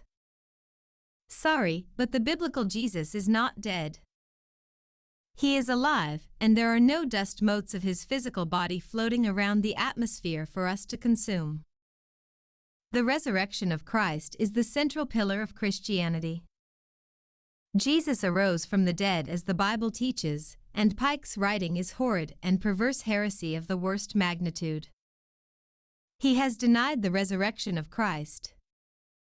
He has called the Godhead of Christianity one of the Baalim, or false gods. Masonry collectively is adamant in its refusal to bow the knee and acknowledge Jesus as Almighty God. To do so would be to forsake their insipid and murky great architect for a vital relationship with Jesus in all his power and glory. Like the New Age movement of which it is a precursor, Freemasonry denies the unique deity of Jesus so it can bestow deity upon us all. Eminent Masonic authors fall all over themselves to deny the deity of Christ. Clymer, a high level Mason, writes In deifying Jesus, the whole humanity is bereft of Christos as an eternal potency within every human soul, a latent, embryonic, Christ in every man. In thus deifying one man, i.e., Jesus, they have orphaned the whole of humanity. Similarly, Masonic authority J. D. Buck claims theologians first made a fetish of the impersonal, omnipresent divinity, and then tore the Christos from the hearts of all humanity in order to deify Jesus, that they might have a God-man peculiarly their own. Notice the meticulously chosen words, designed to convey condescension, or even contempt for Christianity, words like bereft or fetish. The latter term refers originally to a witch doctor's talisman, but has in recent years also come to mean an item found stimulating by sex perverts. It is evident that most of these Masonic authors care little for Jesus, and even less for his disciples, who insist on taking him seriously. This Masonic party line is very much in keeping with what witches like to teach about Jesus. When asked if Jesus was God, many of my witch friends would say, of course. Why should he be left out? It is not surprising that there is a curious unanimity between Freemasons, witches, and New Age devotees. It is evident from all this that Masonry at best neglects Jesus, and at worst, denies his deity and resurrection. That alone should be enough to determine the evil of this cult. But let us look at another element by which we may judge the lodge's Christian character. The Lord Jesus himself warned, Not every one that saith unto me, Lord, Lord, shall enter into the kingdom of heaven, but he that doeth the will of my Father which is in heaven. Matthew 7 2 How well does the lodge measure up to those standards? 7. Keeping God's commandments. Freemasonry does a lot of promoting about how noble and godly it is, and many sincere people honestly believe it is a Christian organization. In the lodge of which I was a member, we did many nice things, including giving scholarships at high schools. Whenever we did, we always made certain the papers knew about it. It was good public relations. Masonry makes good men better, I used to tell my friends, and actually got a couple to join the lodge. However, none of these noble deeds actually qualify the lodge to be a Christian institution. Good deeds do not make an organization Christian, any more than they make an individual Christian. Ephesians 2 8 9. Let's all join the mafia.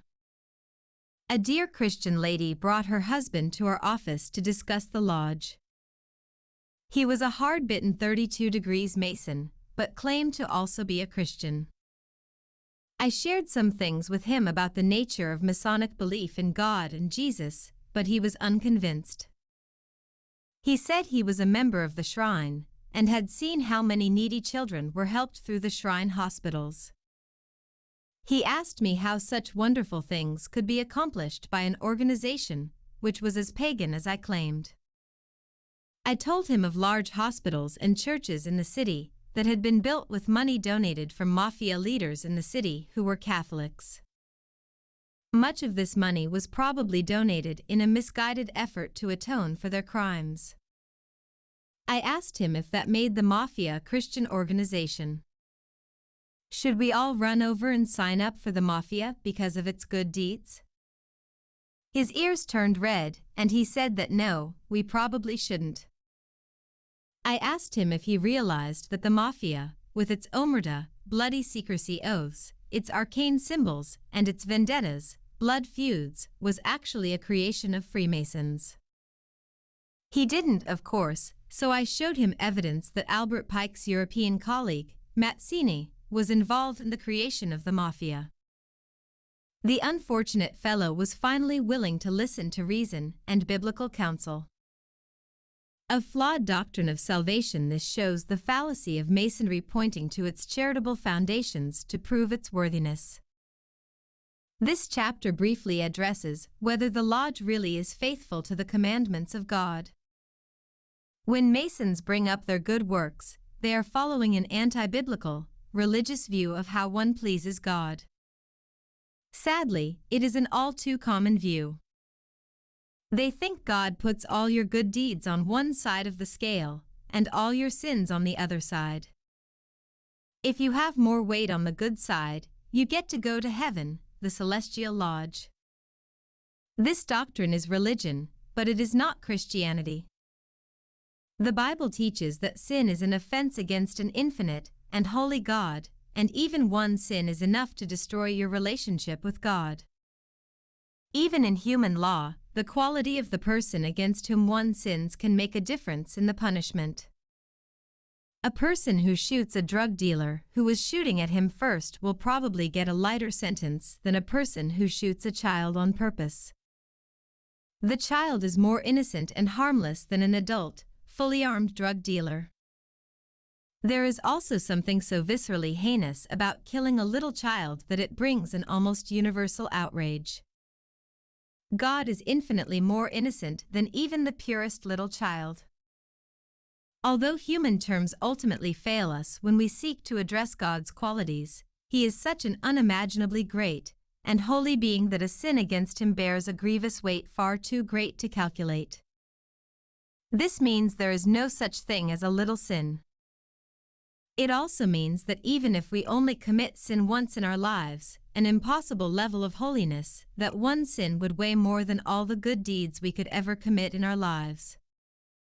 God's law is perfect and integral. Psalm 19, 7 8. Therefore, if we sin against one part of it, we sin against the entire law. If you shoot a person in the foot, you're charged with assault. Even though you shot only a relatively minor part of a human body, you are still charged with assault against the entire person. You are not given a lesser sentence for toe assault. The Bible teaches that, whosoever shall keep the whole law, and yet offend in one point, he is guilty of all. James 2 10 This is why all the good deeds, all the hospitals, or scholarships in the world cannot make up for one sin. Isaiah declares, But we are all as an unclean thing, and all our righteousnesses are as filthy rags, and we all do fade as a leaf, and our iniquities, like the wind, have taken us away. Isaiah 64, 6 Therefore, we cannot rely on a good outweighs bad approach. We must, in being true to the Scriptures, conclude that there is none righteous, no not one, Romans 3, 10, and that all have sinned and come short of the glory of God, Romans 3, 23. Therefore, in looking at Masonry, we must carefully, but reluctantly, set aside all their charities. These are all filthy rags in God's sight. Blowing your own horn at our ministry to Masons, we get a lot of mail from Masons who have been given our literature and are offended by it. One fellow wrote and enclosed a wad of news clippings from his local paper.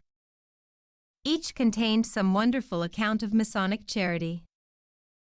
There was about a dozen pictures of a lodge master shaking hands with some person as he presented a check. I wrote back to the fellow and asked if he realized how far his lodge is from the commandments of Jesus Christ. He taught his disciples, Take heed that ye do not your alms before men, to be seen of them, otherwise ye have no reward of your Father which is in heaven. Therefore when thou doest thine alms, do not sound a trumpet before thee, as the hypocrites do in the synagogues, and in the streets, that they may have glory of men. Verily I say unto you, they have their reward. But when thou doest alms, let not thy left hand know what thy right hand doeth, that thine alms may be in secret, and thy Father which seeth in secret himself shall reward thee openly. Matthew 6, 1 4 This is not a description of Masonic bodies. They make certain that everyone knows the great charitable deeds of the Lodge. In his Sermon on the Mount, the Lord taught about doing good deeds. Let your light so shine before men, that they may see your good works and glorify your Father which is in heaven. Matthew 5, 16 Freemasonry is definitely blowing its own trumpet, contrary to these two teachings of Jesus. It doesn't glorify Jesus by what it does. It only glorifies itself. The Masons let their light shine only to attract members and diffuse criticism. No doubt, some Masons are giving their money for the best reasons. However, we must question their judgment. In giving money to an organization which refuses to glorify Jesus, they are pouring their resources down a rat hole. Their sacrifice is genuine, but they need to remember, behold, to obey is better than sacrifice, and to hearken than the fat of rams. For rebellion is as the sin of witchcraft, and stubbornness is as iniquity and idolatry. 1 Samuel 15, 22 to 23 Remember these verses, for they will come back to haunt the Christian Mason who remains in his lodge. God is neither pleased nor honored by sacrifice, which is offered in a disobedient or rebellious fashion, no matter how great it might be. Masonry breaks the commandments of Jesus Christ in its attitude towards giving. And this is the least of its collective sins. The great omission Jesus commanded his disciples All power is given unto me in heaven and in earth. Go ye therefore, and teach all nations, baptizing them in the name of the Father, and of the Son, and of the Holy Ghost, teaching them to observe all things whatsoever I have commanded you. Matthew 28, 18 to 20 Christians are commanded to testify about Jesus to all nations. This means winning souls to the kingdom. Masonry prohibits this practice within the lodge, thereby forbidding what Jesus commands. Is this hard for the Christian Mason to believe? Let him try to witness Jesus to another Mason and see how far he gets before he is reprimanded for it.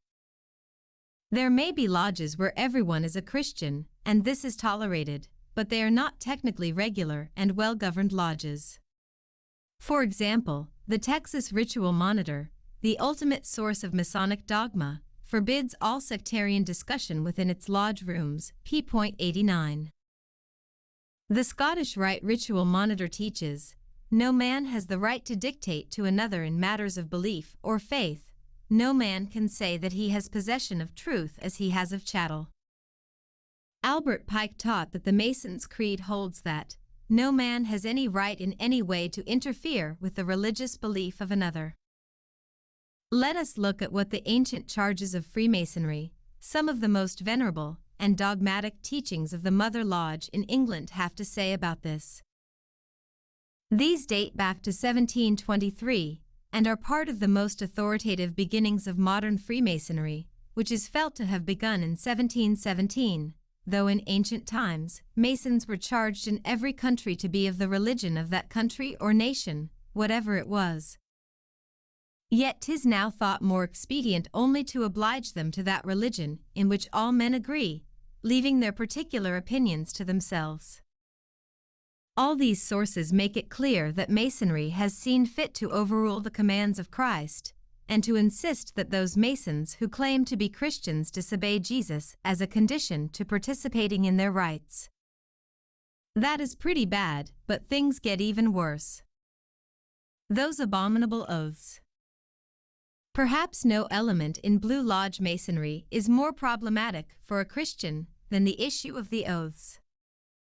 Bible believing Christians find two problems with these oaths. The first is that they exist.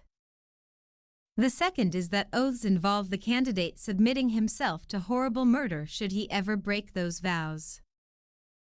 We must let the Bible interpret itself rather than allowing men to interpret it for us. 2 Peter 1 20. Although many Christians have weakened their stand on this point, Jesus clearly taught we are not to swear oaths of any sort. In fact, Jesus was so laboriously clear on this that he spends five verses on this commandment during the Sermon on the Mount. Again, ye have heard that it hath been said by them of old time, Thou shalt not forswear thyself, but shalt perform unto the Lord thine oaths. But I say unto you, Swear not at all, but let your communication be, Yea, yea, nay, nay, for whatsoever is more than these cometh of evil. Matthew 5, 33 to 37 This should cover the subject, but amazingly, countless Christian men swear oaths when they join the lodge, totally oblivious. Lest they miss the commandment in Matthew, it is repeated, but above all things, my brethren, swear not, neither by heaven, neither by the earth, neither by any other oath, but let your yea be yea, and your nay, nay, lest ye fall into condemnation. James 5, 12 Again, a pretty clear commandment against any kind of oath. James even prefaces it by saying, above all things. That is pretty strong language. The Masonic order solemnly demands what Jesus forbids, just as it forbids what he commands. How can such an order possibly be Christian when it is continually at loggerheads with the founder of the Christian faith? A pig in the poke. Suppose I ask you to buy a house from me, sight unseen. I assure you that it is a wonderful house, with thousands of square feet and all the trimmings. All I want for it is a million dollars cash. I also want you to give me the money up front without ever seeing the house, or even knowing that it exists, or that I own it in the first place. Obviously, you would be foolish to take me up on such an offer and give me the money. No adult would buy a home without seeing it or determining that it was mine to sell. That would be buying a pig in a poke. However, many men who might otherwise be astute businessmen and would never buy a set of golf clubs, much less a house, without thoroughly checking them out, are willing to gamble their eternal destiny on the spiritual equivalent of a pig in the poke, the lodge. You see, the Mason enters the lodge supposedly in utter ignorance of what he is about to experience. A candidate's dilemma The Christian candidate for Masonic initiation is asked to strip off all his clothes and any metal on him.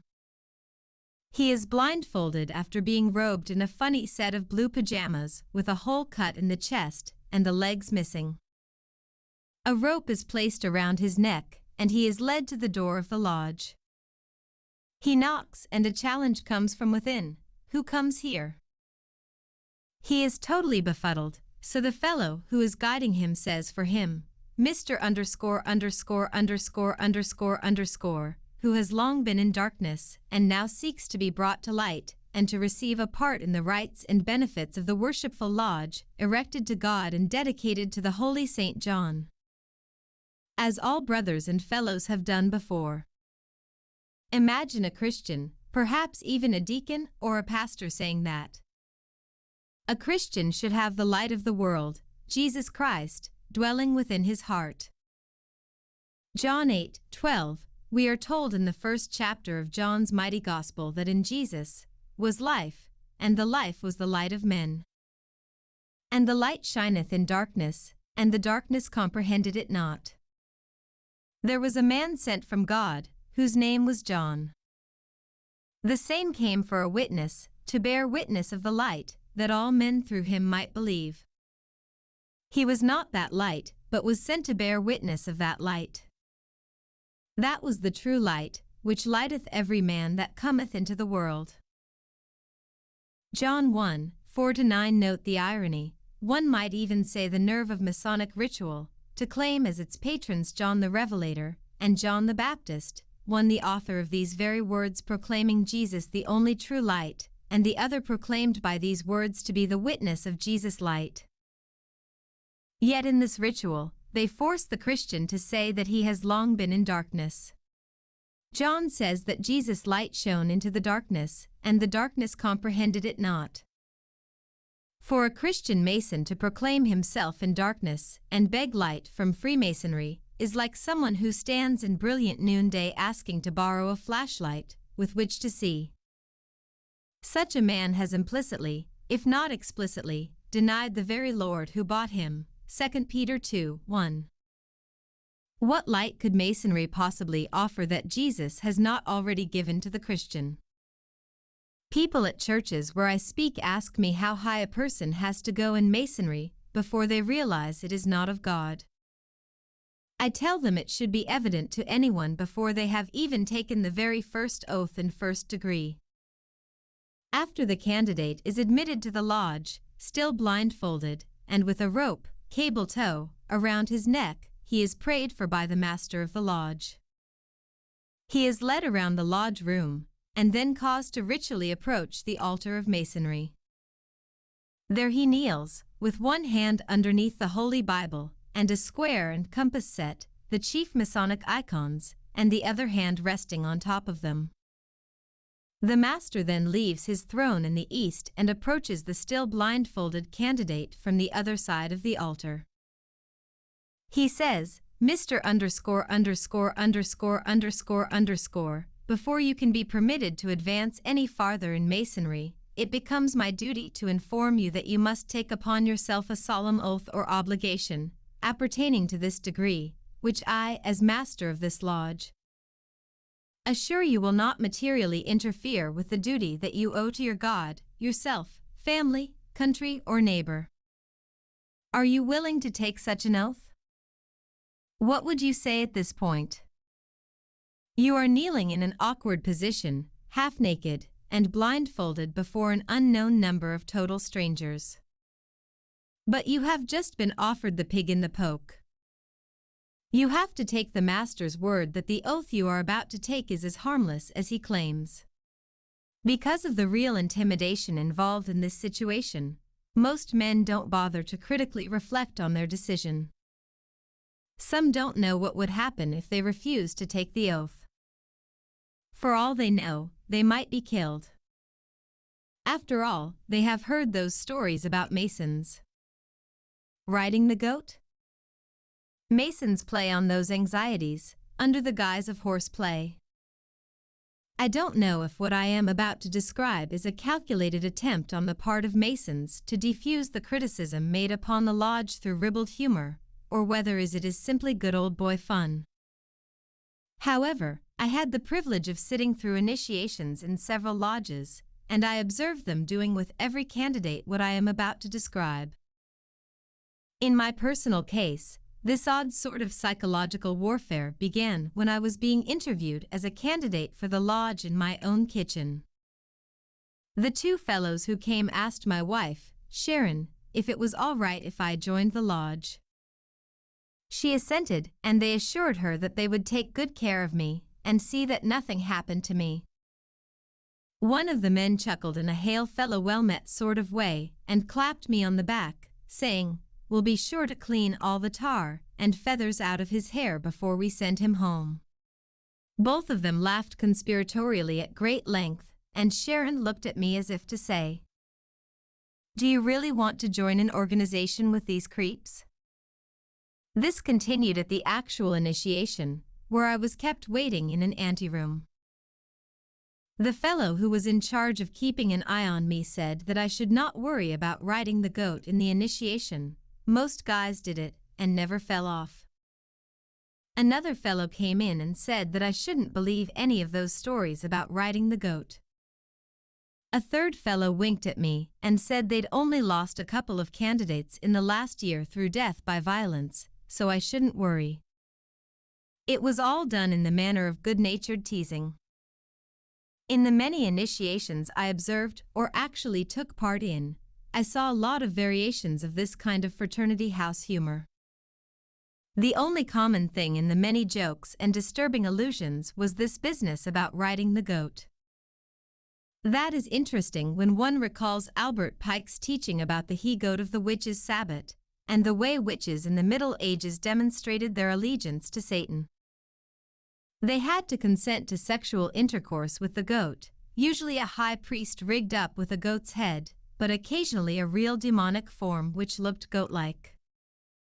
Or they had to perform the so-called osculum infimum, obscene kiss, which involved kissing the goat's backside to show their fealty to Satan.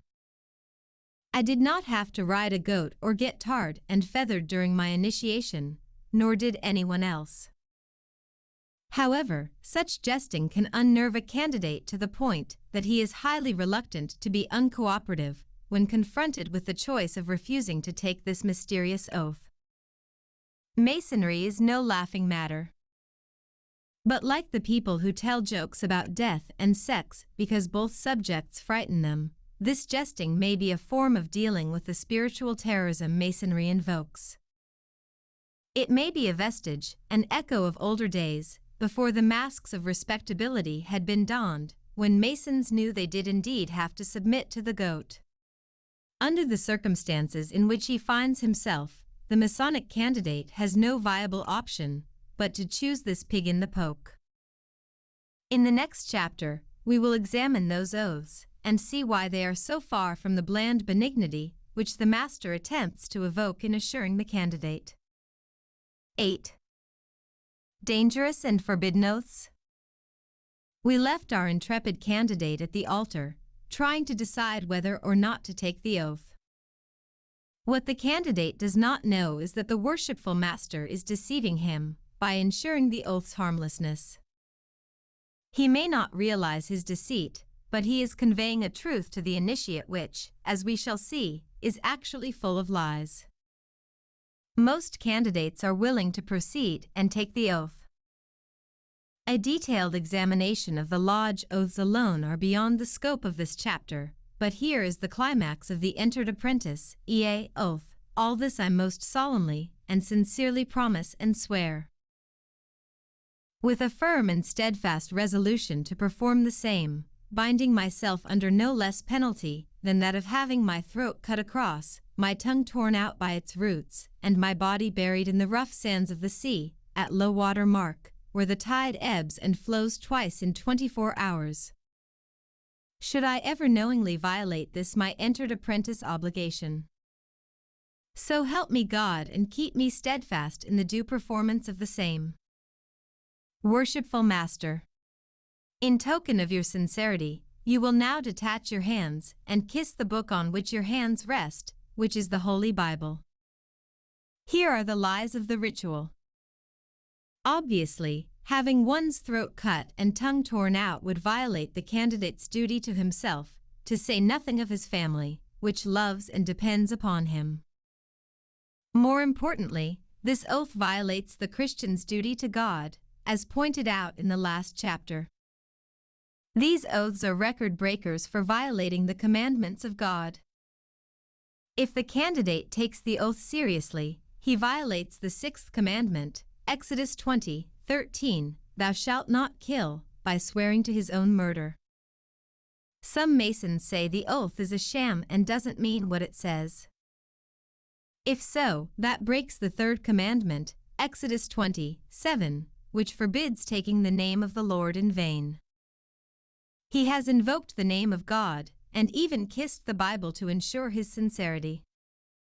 If he didn't take the oath seriously, he took the name of the Lord in vain. By swearing on the square and compasses, he has broken the second commandment against idolatry, Exodus 20, 4, since those objects are given the position of graven images. They repose upon an altar of worship and are treated with extreme reverence by Masons. As we shall see from the mouths of Masonic authorities themselves, they are actually forms of the oldest idols in history. As shown earlier, the God of Freemasonry is not the biblical God, and by participating in the oath-swearing ceremony, the candidate has violated the first commandment, Exodus 20, 2-3, to have no other gods besides the Lord God. That is four of the Ten Commandments broken in one fell swoop. Your duty to country The Masonic oaths definitely interfere with the Mason's duty to this country. For example, in the third degree ritual, the candidate swears, I will keep a worthy brother Master Mason's secrets inviolable, when communicated to or received by me as such, murder and treason accepted. In the Royal Arch degree of the York Rite, even that small qualification is summarily removed. The candidate swears that, I will keep all the secrets of a companion royal archmason, when communicated to me as such, or I knowing them to be such, without exceptions. At this degree, the candidate also swears that, I will not speak evil of a companion royal archmason, behind his back nor before his face, but will appraise him of all approaching danger, if in my power. Finally, in the royal arch degree, the candidate promises to Employ a companion royal archmason in preference to any other person of equal qualifications. These oaths can interfere with the Mason's duty to his nation. I heard several Masons boasting that during World War II, German Freemasons gave special treatment to U.S. POWs who were Masons. A few were even permitted to escape. That is nice for us Americans in retrospect, but those German Masons committed high treason. Would we have wanted U.S. Masons doing the same thing to German Masons? I dare say not. Not only that, but the oaths mentioned above would also require some of the following very problematic scenarios. 1. An officer of the court who knew of an arrest warrant sworn out against a brother Mason would have to warn him immediately so he could flee the jurisdiction. 2. A Mason who was told of a brother Mason's crimes, even including rape, robbery, or child abuse, would have to keep his knowledge of those crimes a secret, even in a court of law. 3. A Royal Arch Mason who knew of a companion Mason's being a murderer or a traitor would have to keep his knowledge a secret. 4. A Royal Arch Mason would be obligated to hire a companion Mason, even for sensitive or skilled professions, even if he didn't have nearly the qualifications required. Additionally, though not mentioned in the oaths, many times Masons get a fair trial in courts where a Masonic judge presides. A sizable majority of judges are Masons, and many attorneys are Masons as well. If a mason appears in court against a non-mason, all he has to do is give any number of obscure gestures or words to the judge, and the judge will be obliged to rule in his favor.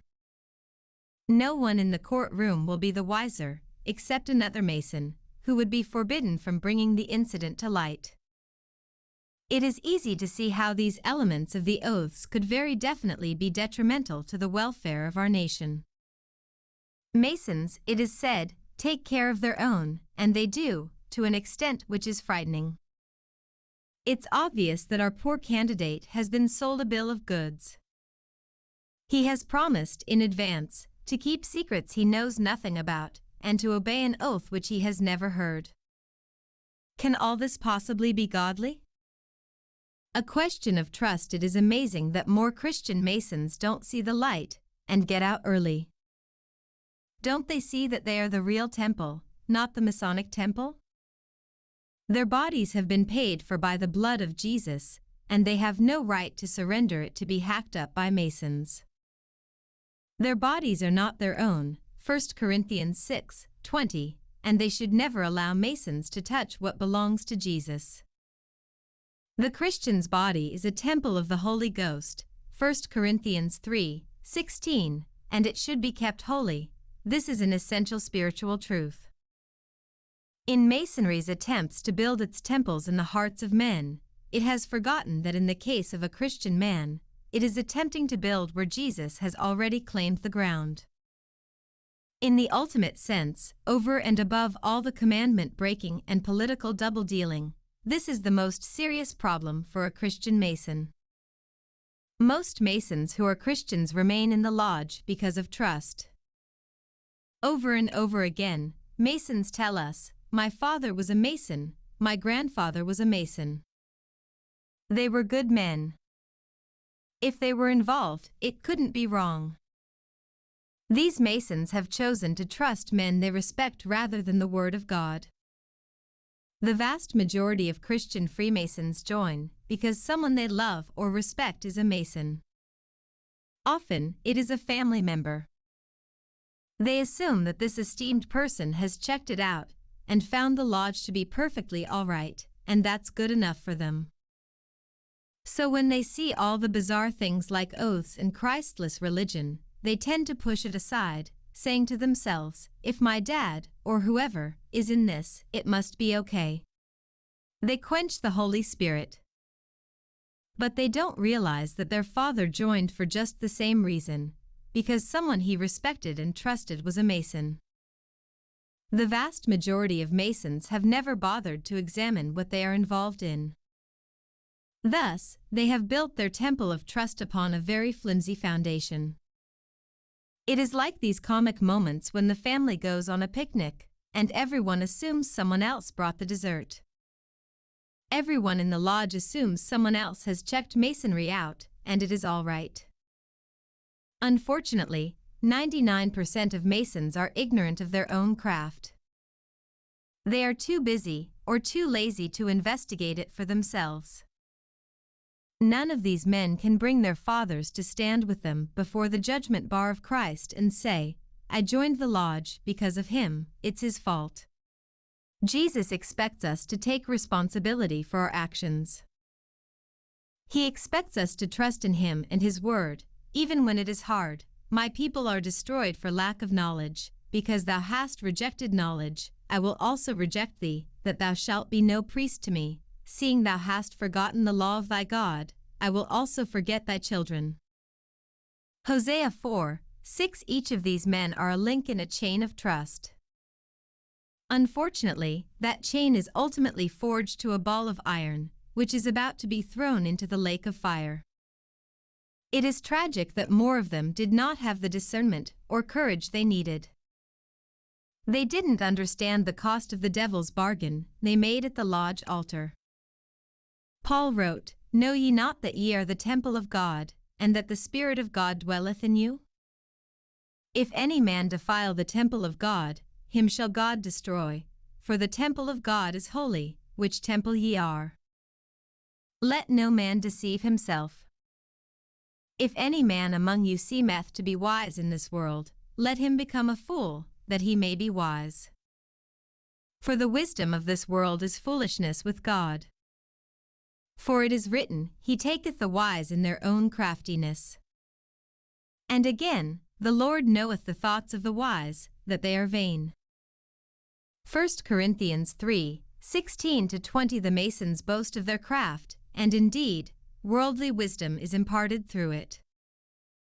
However, is not swearing an oath to permit the destruction of a Christian's body, the temple of the Holy Spirit, one of the ultimate forms of defilement.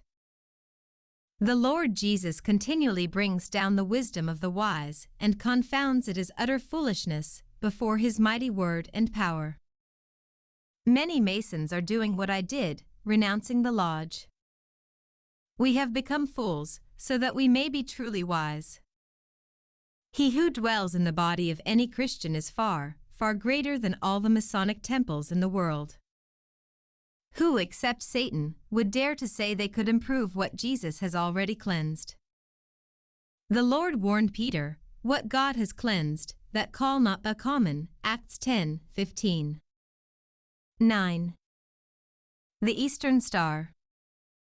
Next to Freemasonry itself, our ministry is most questioned about the Order of the Eastern Star, OES, so we will cover some background dealing specifically with the star, as it is fondly called. The Order of the Eastern Star was founded in 1868 as a women's auxiliary for the lodge. It is open to all female relatives of Masons and functions under the authority of the lodge. A Master Mason, called the Worthy Patron, must be present at all star meetings. There is also another Mason, an Associate Patron, usually present. Otherwise, all the offices are held by women. To ask what the star does is a bit like asking what a lodge does. The easy answer is, not much. However, the star does what little it does with a tremendous amount of pomp and ceremony. Star meetings, like lodge meetings, consist of opening the meeting, with much waving of rods and banners and the singing of hymns. The officers ritually declare their stations and functions and Grand Chapter officers are introduced and honored with tedious predictability. This can easily kill a half hour to 45 minutes. Then, minutes are read, sick members are mentioned, and any items of mundane business transacted, much like any other club. If members are to be initiated, that is done, and that can take at least an hour. Then the chapter is solemnly closed, with a lot more ceremonial adieu, followed by a social hour. Ultimately, the chief function of a star chapter, like a lodge, is to make more members. Everything else is secondary to that. What makes the star unique is its feminine character and its use of a large five-pointed star and five women Bible characters as key ritual features while the initiate is led through its labyrinth. These five heroines of the Bible are Jephthah's daughter, Ruth, Esther, Martha, and Electa. As the candidate is led through the labyrinth, each point officer teaches them a pious lesson based on the life of the woman they represent. In light of the huge amount of oath swearing in Masonry, it is instructive to note that of the many biblical heroines, the rather odd character of Jephthah's daughter is the first introduced. Someone who put this thing together had a grisly sense of humor, since she is featured in the Bible as an innocent daughter who was literally sacrificed because of her father's fidelity to a rash vow. Judges 11, 29 40. That is a perfect metaphor of what happens spiritually to women in Masonic families. The Star is regarded by Masonic women as a fine Christian institution within Masonry. I was an associate patron in a chapter and can see how this might be assumed. Classics like How Great Thou Art are sung. The motto of the chapter is right out of the Bible. We have seen his star in the east and are come to worship him. Matthew 2 2. Two of the points of the star are from the New Testament. For all this piety, the star is actually one of the most blatant examples of satanic gall in all Masonry. The symbol of the star is an inverted, five-pointed star, known in witchcraft as a pentagram. 1. The pentagram is regarded as a very powerful magical device and is perhaps the best known symbol of witchcraft. Its association with witchcraft is undeniable and is the most common symbol of Satanism in the world today. The inverted pentagram is the official symbol of the two largest satanic churches, the Church of Satan and the Temple of Set. This inverted star, with the goat's head within it, called Baphomet, is on the cover of the Satanic Bible. You can see it in satanic graffiti and ritual sites. It is also found on the albums of satanic rock groups like Venom's Black Metal or Slayer's album, Hell Awaits. The association of the pentagram, especially inverted, with witches, magic, and evil, is much more ancient than the Eastern Star. The pentagram has appeared in magic texts for centuries and may predate the time of Christ. Why does a supposedly Christian organization have the ultimate symbol of devil worship as its logo?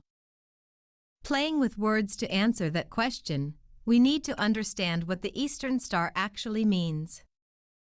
Sadly, one of the key strategies a cult uses is to play upon the common interpretation of words.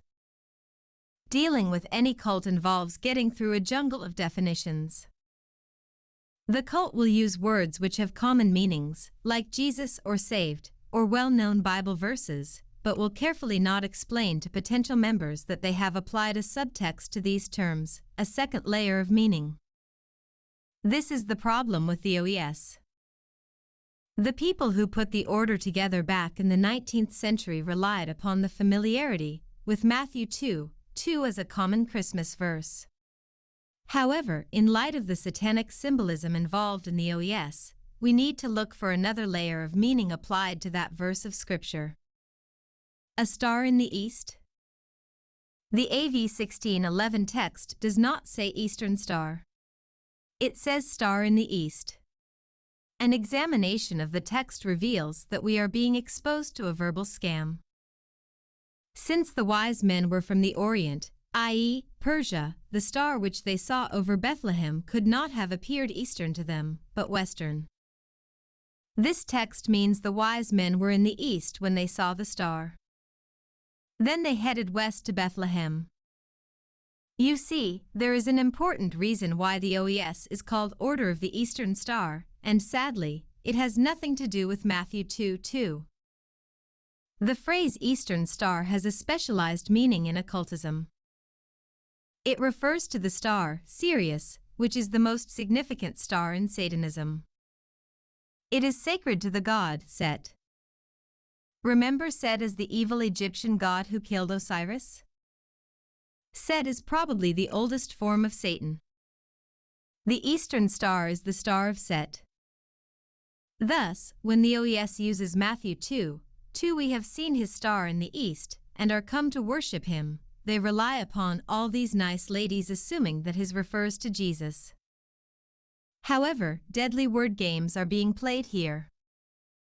Though most women involved in the OES doubtlessly assume they are worshipping Jesus as they kneel around a huge satanic pentagram, it is obvious that the his actually refers to Set's star, not Jesus' star. The heritage of Sirius is so central to Satanism that we need to examine its place in Masonry. This subject alone should be enough to expose the satanic roots of the Lodge. The blazing star is it a coincidence that the inverted pentagram is used as the signet of the OES? From its monitors and authorities we learn about the profound reverence due the pentagram in Masonry. For example, in the first degree, we learn about Masonic ornaments. The new Mason is taught that the ornaments of a lodge are the mosaic pavement, the indented tessel, and the blazing star. Divine providence is hieroglyphically represented by the blazing star in the center. The center of the lodge is a blazing star which supposedly symbolizes divine providence. The illustration on the next page shows the prominent place given the pentagram in the lodge room. However, we can dig yet deeper into the meaning of the star. In Albert Pike's commentary on this degree, we find the usual duplicity found elsewhere in the Lodge. He explains, to find in the blazing star of five points an allusion to divine providence is fanciful, and to make it commemorative of the star that is said to have guided the Magi is to give it a meaning comparatively modern. Originally, it represented Sirius, or the dog star, the forerunner of the inundation of the Nile. Then it became the image of Horus, the son of Osiris, himself symbolized also by the sun, the author of the seasons and the god of time. It became the sacred and potent sign or character of the Magi. The Pentalpha Pike readily casts aside the bland lie of the degree and confirms that the blazing star is neither divine providence nor is it Jesus' star in the east.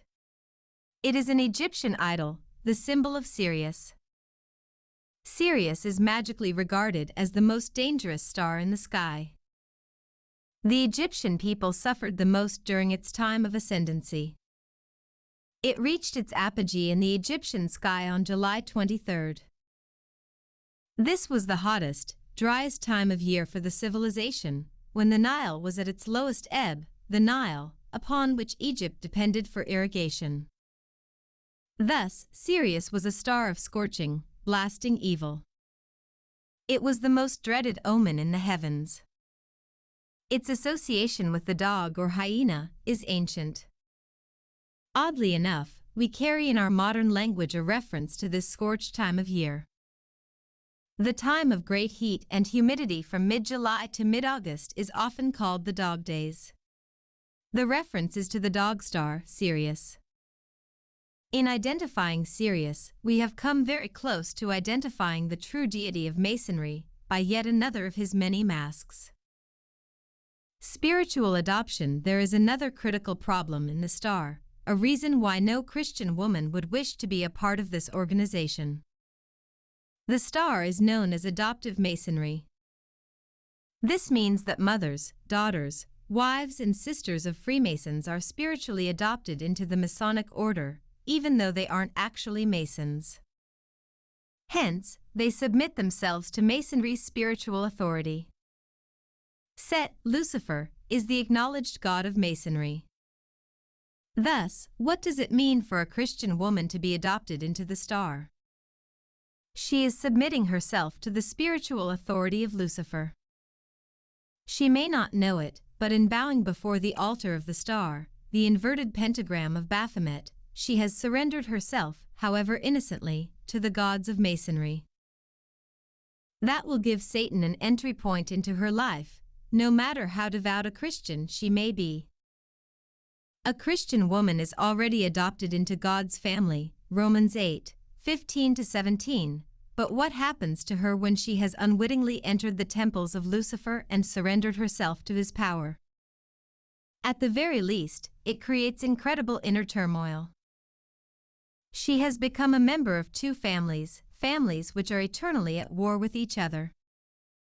If she is a very strong Christian, she may be able to weather such an internal civil war, but she must understand that this conflict will be passed on down to her much more vulnerable children. Exodus 20, 5. Think about it, ladies. Look at the spiritual and moral consequences of the involvement of thousands of good, Protestant women in the star between the end of World War II and today. The children raised by those women, those born into the baby boom generation, have given themselves over to occultism, immorality, and evil on a scale unprecedented in this nation's history. Why? Why have men and women born in good, Christian homes between 1945 and the present been given so many evils? Abortion runs rampant, the hippie drug culture almost wasted an entire generation, occultism and witchcraft are now in every bookstore. All these horrible things can be traced, I believe at least in part, to the fact that the women who raised this generation were the first women to give themselves with any degree of enthusiasm to the star. With the star, Lucifer has driven a dagger right into the heart of American motherhood. He has taken women who would never be caught dead doing anything witchy or immoral, and has beguiled them with a pious sounding cult into worshipping the gods of child sacrifice and sexual promiscuity. Their children are reaping the grim harvest of Lucifer, or Set, on those very sinful practices. And Ipsissimus speaks what does the Eastern Star's God actually represent? Dr. Michael Aquino is the leader of the Temple of Set, an elite satanic church. Aquino calls himself an Ipsissimus, a term taken from the Golden Dawn, an influential Masonic slash Rosicrucian society which served as the incubator for some of the premier magicians of this century, including S. L. Mathers, Dr. Wynn Westcott, Aleister Crowley, and Arthur E. Waite. All these men were also high-level Freemasons. The title, Ipsissimus, is the highest to which one may attain, and it implies that you are a god on earth. Few people take the title, even within the egomaniacal world of Satanism. Aquino did, and has emerged as the most articulate spokesman for the satanic movement today. Aquino claims to have had visions of Set, and to have been anointed as a kind of prophet to continue the path begun by Aleister Crowley prior to the latter's death in 1947. Giving this man's credentials was necessary to show his authority to speak on the subject of Set. Aquino has written that Set is the oldest formulation of the being now called Satan, the embodiment of the sense of alienation and loneliness which man feels from the universe. Man, Aquino claims, is in a unique state of separateness from the rest of creation and feels terribly alone. Set represents that reality of man's fractured relationship with his universe. That is a limited, but workable secular definition of sin. This is what the blazing star at the heart of every Masonic lodge represents, the dog star, Sirius, the symbol of Set. It represents the profound breach between man and God. In other words, it represents sin. Though Aquino may not believe in sin, he has put a name to sin's pain, and that name is Set. This is why the pentagram, the symbol of witchcraft, is also a prominent part of Masonry and the Order of the Eastern Star. They have the same god, Satan, or Set. 10. Kindergartens for Satanism? Having seen the peril of Freemasonry, the question immediately arises, what about the youth orders of Masonry? Are they that dangerous? The main ones are the Order of Demolay for boys and the Orders of the Rainbow Girls and Job's Daughters for young women. In some respects, these organizations are like the Boy or Girl Scouts and they provide allegedly innocent fun and fellowship. However, parents who send their son or daughter to one of these Masonic youth groups assuming they will be exposed to only wholesome influences are sadly mistaken. The Demolays are an order in which the central ritual drama revolves around the trial of Jacques de Molay, the last Grand Master of the Knights Templar. The ritual is intended to teach loyalty, honor and fidelity to promises or obligations. The Job's daughters use the biblical characters of Job and his daughters to teach similar pious virtues, but of a more maidenly character. Rainbow is even more bland than the Job's daughters, and little seems to be out of place in them. However, their very innocuous qualities should send up a warning flag, as they are so closely associated to the adult Masonic orders. Spiritual authority that very close tie is the most critical concern because it boils down to a question of spiritual authority. Hopefully no Christian parent needs to be reminded of the responsibility they have for the precious young souls that God has entrusted to them. Deuteronomy 6, 4-7, Ephesians 6, 4. Additionally, Jesus himself warned about those who lead their children into error, that, it were better for him that a millstone were hanged about his neck, and that he were drowned in the depth of the sea. Matthew 18 Six parents have spiritual authority over their children, and if they are Christians, the Lord has placed a special hedge of protection about the family. Job 1 10. Only a few things can break that barrier down, and allow Satan access. One of them is the parents' involvement in idolatry, permitting their children to worship at strange altars. This is a spiritual principle which has little to do with the appearances of these youth groups. Most of them, except the Demolays, are quite harmless aside from teaching a kind of salvation through good deeds, which runs through all of Masonry. However, all these groups are chartered under Masonic authority. None is allowed to meet or function without the presence of a Master Mason. No one can join unless related to a Master Mason. These groups are feeder programs designed to draw young people into the adult Masonic orders. They are technically called adoptive Masonry, and the youth who joins is spiritually adopted into the Masonic family, even though not actually a Mason.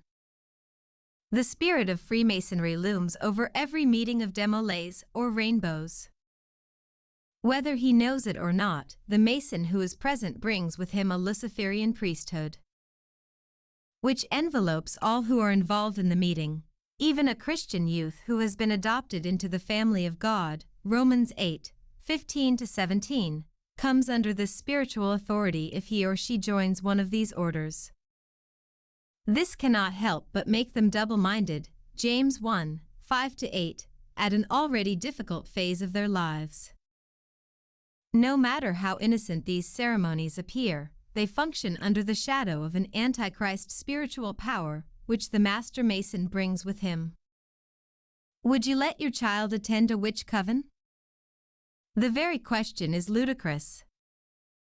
Yet, a witch coven meeting might be less dangerous than a rainbow meeting. At least the Christian girl would be on her guard if she knew she was at a witch's sabbat.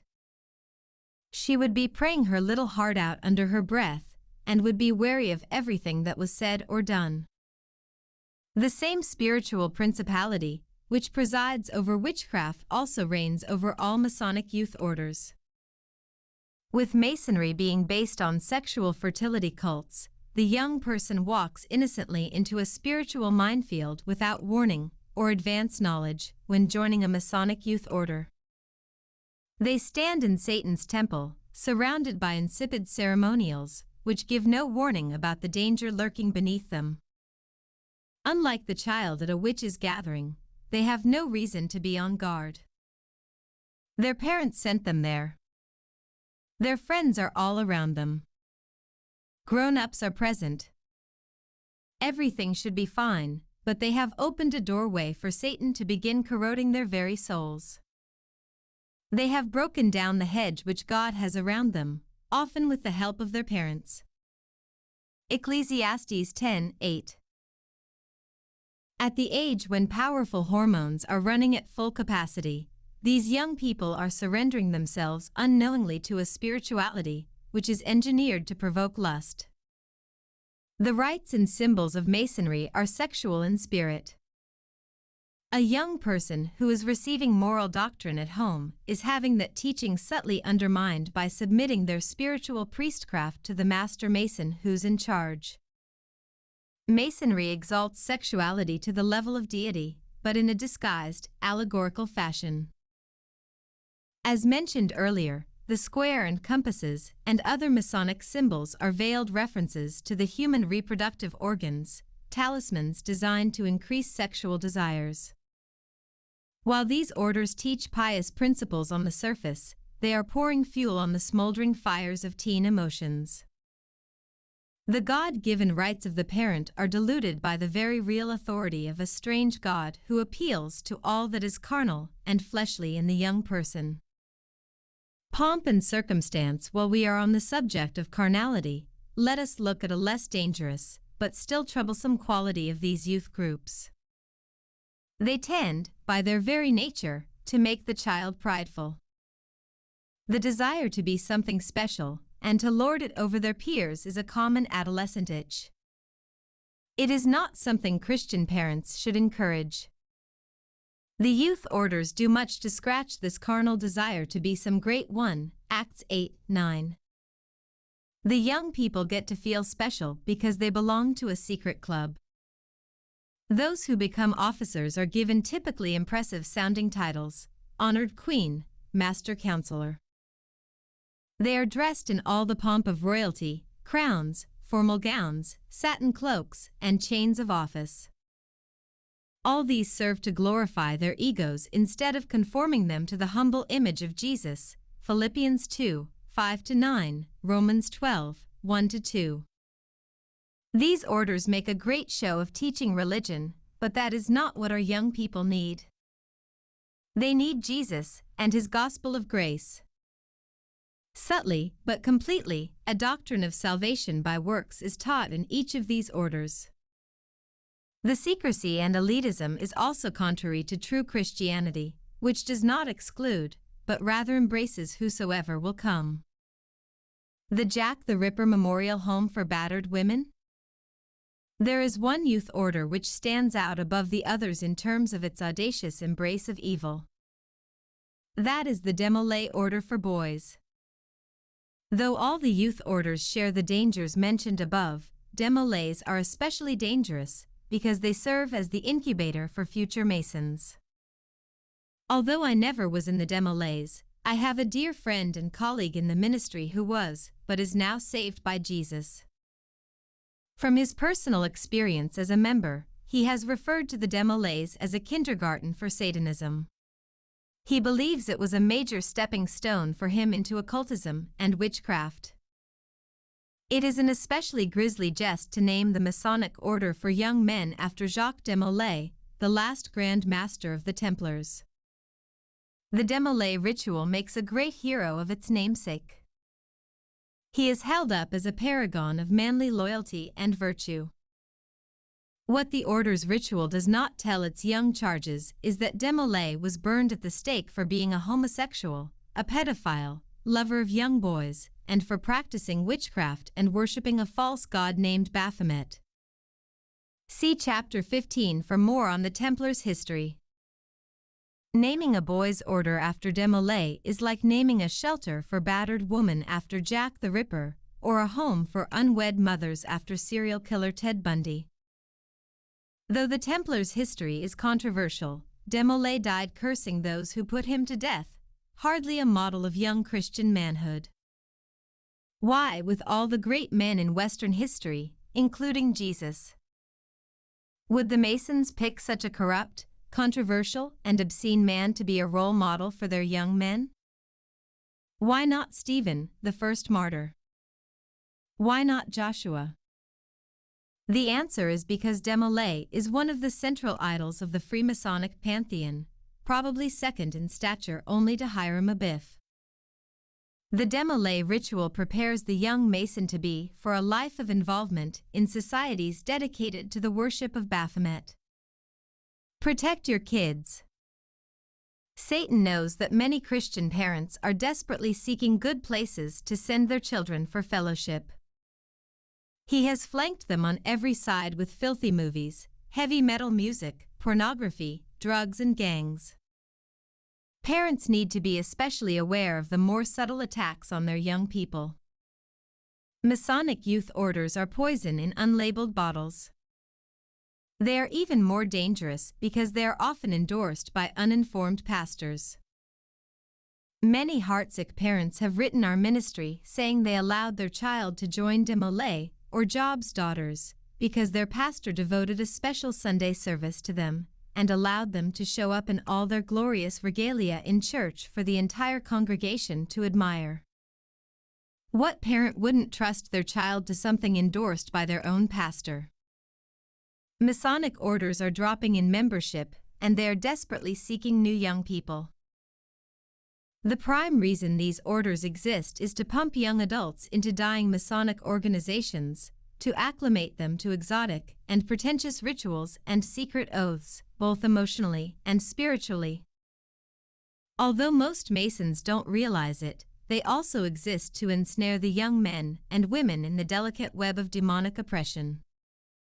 Not all kids who join these youth groups become drooling demoniacs, any more than all children who smoke a joint end up crack addicts. However, not an insignificant number of them do go on to dabble in occultism or witchcraft. They are being exposed unnecessarily to serious spiritual danger in joining such groups. If your child has friends whose folks are Masons, be on the lookout for attempts to draw them into these orders. Their social activities seem harmless, but are used to draw kids into their web. Watch for your own peripheral relatives, cousins, etc.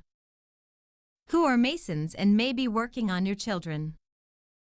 In communities or churches where the lodge is very strong, peer pressure is a real factor also. Everyone who is anyone in high school will be in Demolay or Rainbow.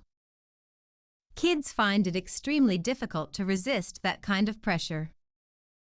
A child cannot join these groups without the parents' express permission, in most states, so you must take a firm stand. If your child asks about joining, take time to discuss it openly. Treat it as if that child were thinking of joining the Mormons or the Moonies. Communicate with them.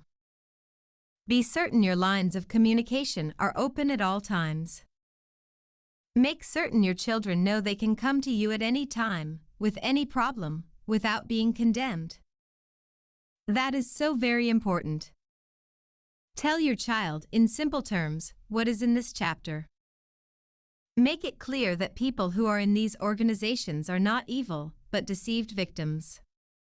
Help them understand the danger is no less real, just because it is invisible. Help them see that Masonry itself is a huge and dangerous cult, but that its members are victims.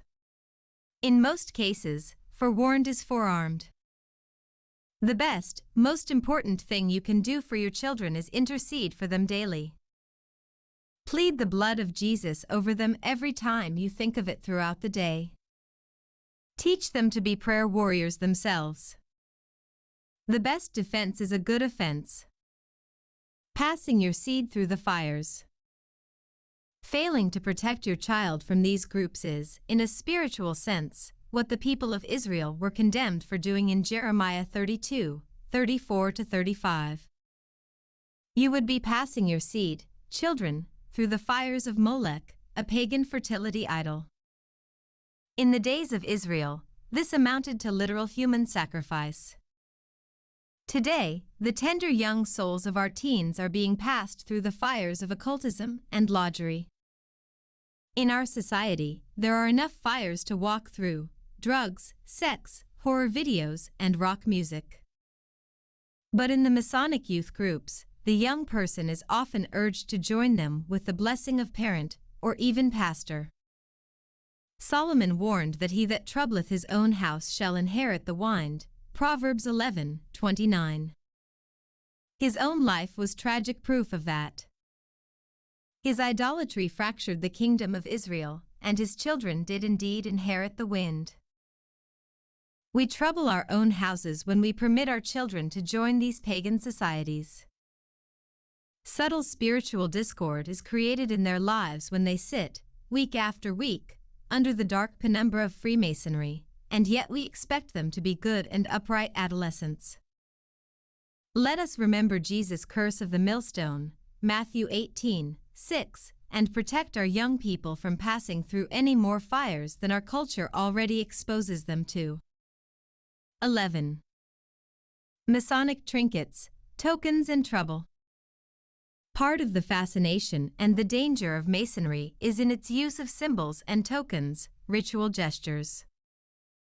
The danger comes first from the fact that many of these things are occult, and secondly, they are used to perpetuate a good old boy system of favoritism in business and government.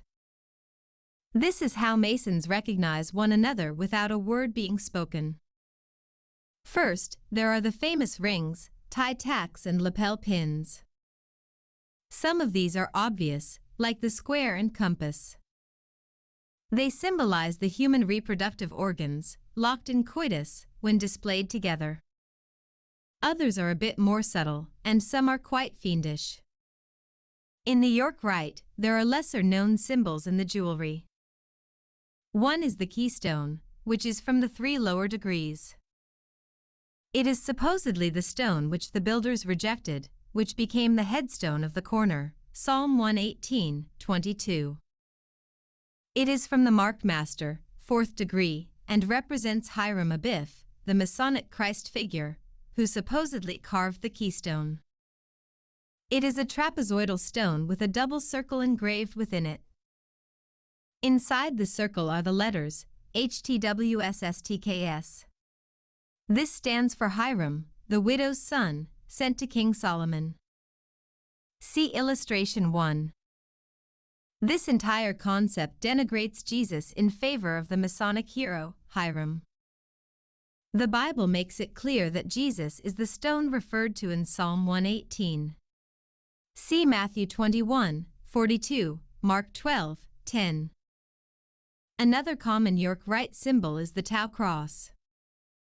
See illustration 2. This distinctive cross, which often looks like the letter T, is actually the symbol of the pagan slain and risen God, Tammuz, Ezekiel 8, 13-14. It is a symbol for just another counterfeit Masonic Christ. The other York Rite jewelry you may see is the Templar symbol. See illustration 3. It is a large Maltese cross with a circle in the center.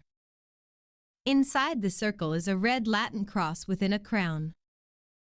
Around the arms of the cross is the commandery motto, in hoc signo vinces. In this sign, conquer.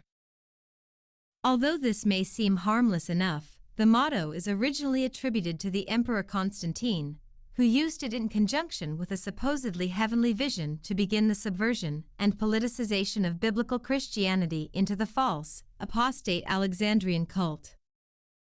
3. Templar symbol A similar shell game is played with the word sign, as in the Eastern Star with the phrase, his star in the East. The sign Constantine referred to was not a Christian cross, but a kind of X which had both Christian and pagan associations. In modern magic, it is the sign of the slain and risen Egyptian god, Osiris, another version of the slain and risen Hiram Abiff. Again Masonry has downgraded Jesus and replaced him with its own Christ.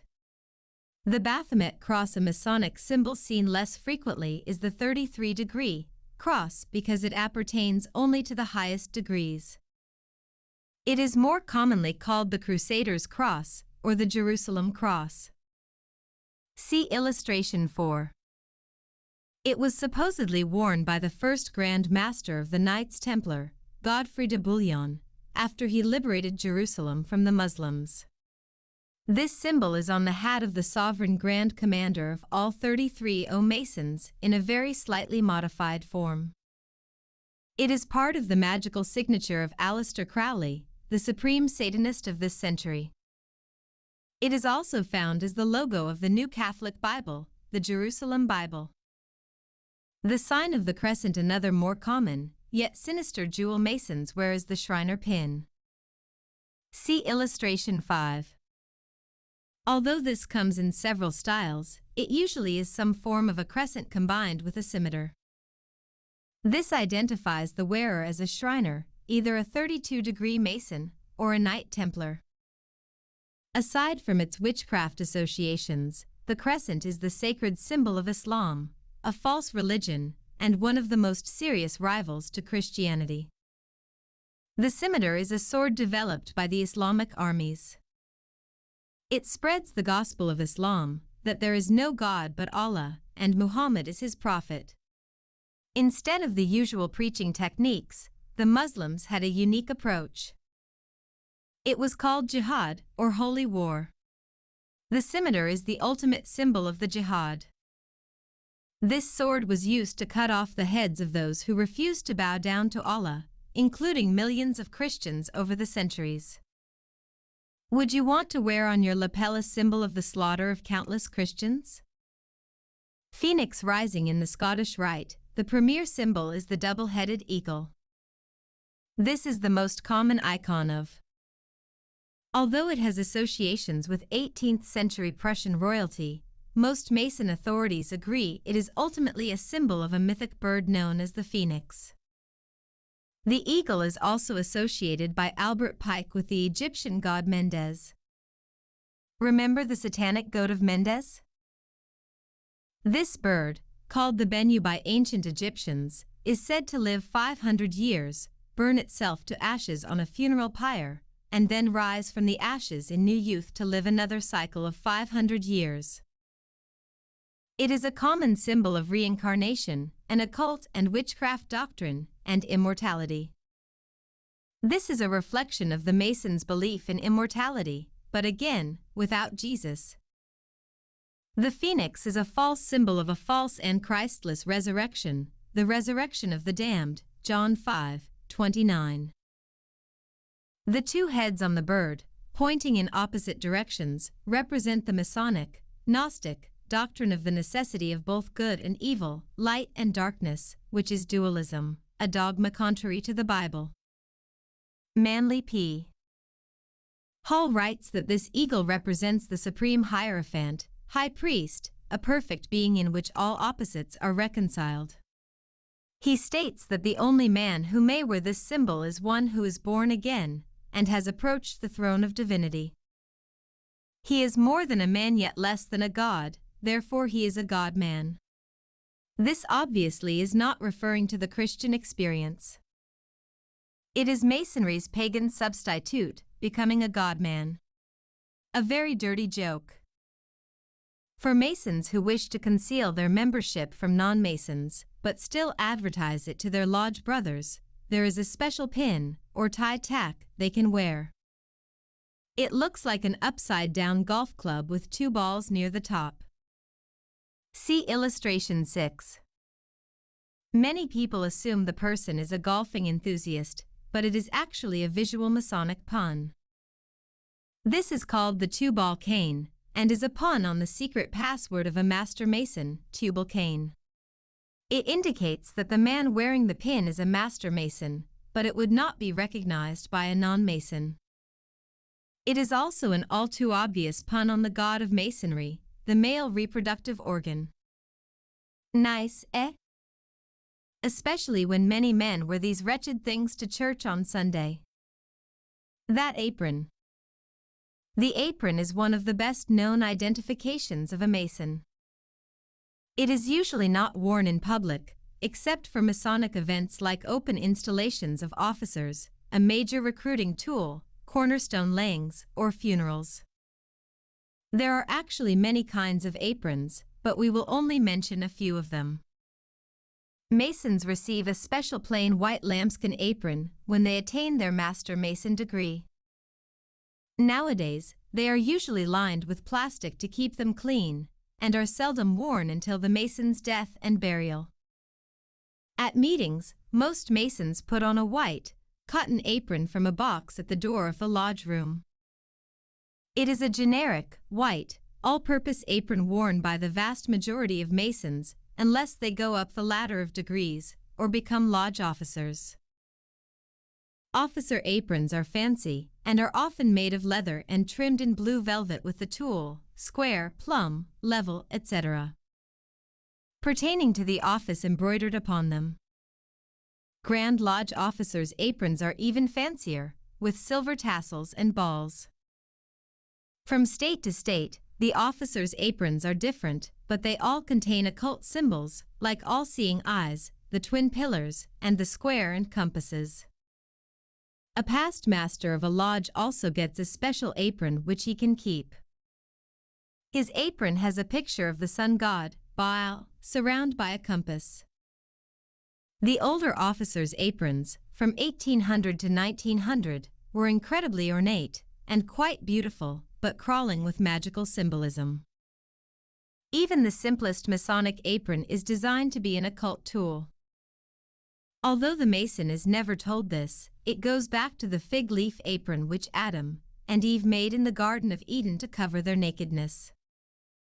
God cast aside those aprons, Genesis 3, 21, because they were symbols of man's attempt to make restitution for his own sins. Instead, God killed an animal, thus shedding blood, and made them coats of skin. He was teaching Adam and Eve that without the shedding of blood there is no covering for sin. The Masonic apron, just like its fig leaf ancestor, is an attempt to walk around that important spiritual reality. Actually, in Temple Mormonism, Satanism, and ceremonial magic, aprons are the symbols of the priesthood of Lucifer. Satan has masons wearing the skin of the lamb and trusting in it, instead of trusting in the blood of the lamb. What mockery! Signs and tokens Masons may identify themselves through cryptic words or gestures that are too numerous to catalog completely. However, it may be helpful to know some basic ones. First, Masons usually identify themselves by shaking hands. A pressure with the thumb on the space between the second and third knuckle of the other person's hand usually is sufficient to identify oneself as a Master Mason. When a handshake is not possible, as in a courtroom, a Mason might approach the bench by the three upright regular steps, stepping off with your left foot one full step, and bring the heel of your right to the hollow of your left foot. Now step off with your right foot.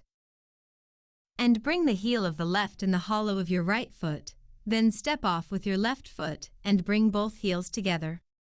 It sounds complicated, but any Masonic officer has done it a thousand times, and can make it look as natural as can be. Another way is through phrases, either simple or complex, depending on the circumstances. For example, a Masonic defendant in court might say, I was hoping to get a square deal, Your Honor, with just a shade of emphasis on the word square. He could also say he is on the level. These phrases are part of normal conversation, but with the right inflection, the other Mason understands.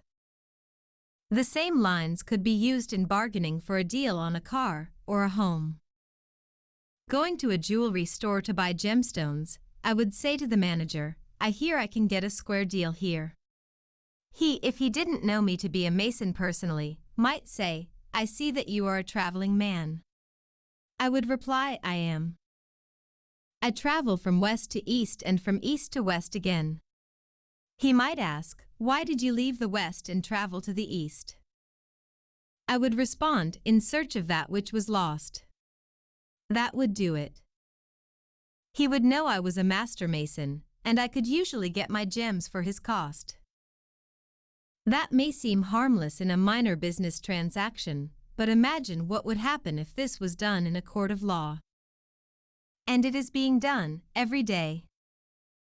Another phrase, or gesture, which is only to be used in extreme situations, is the Grand Masonic hailing sign of distress.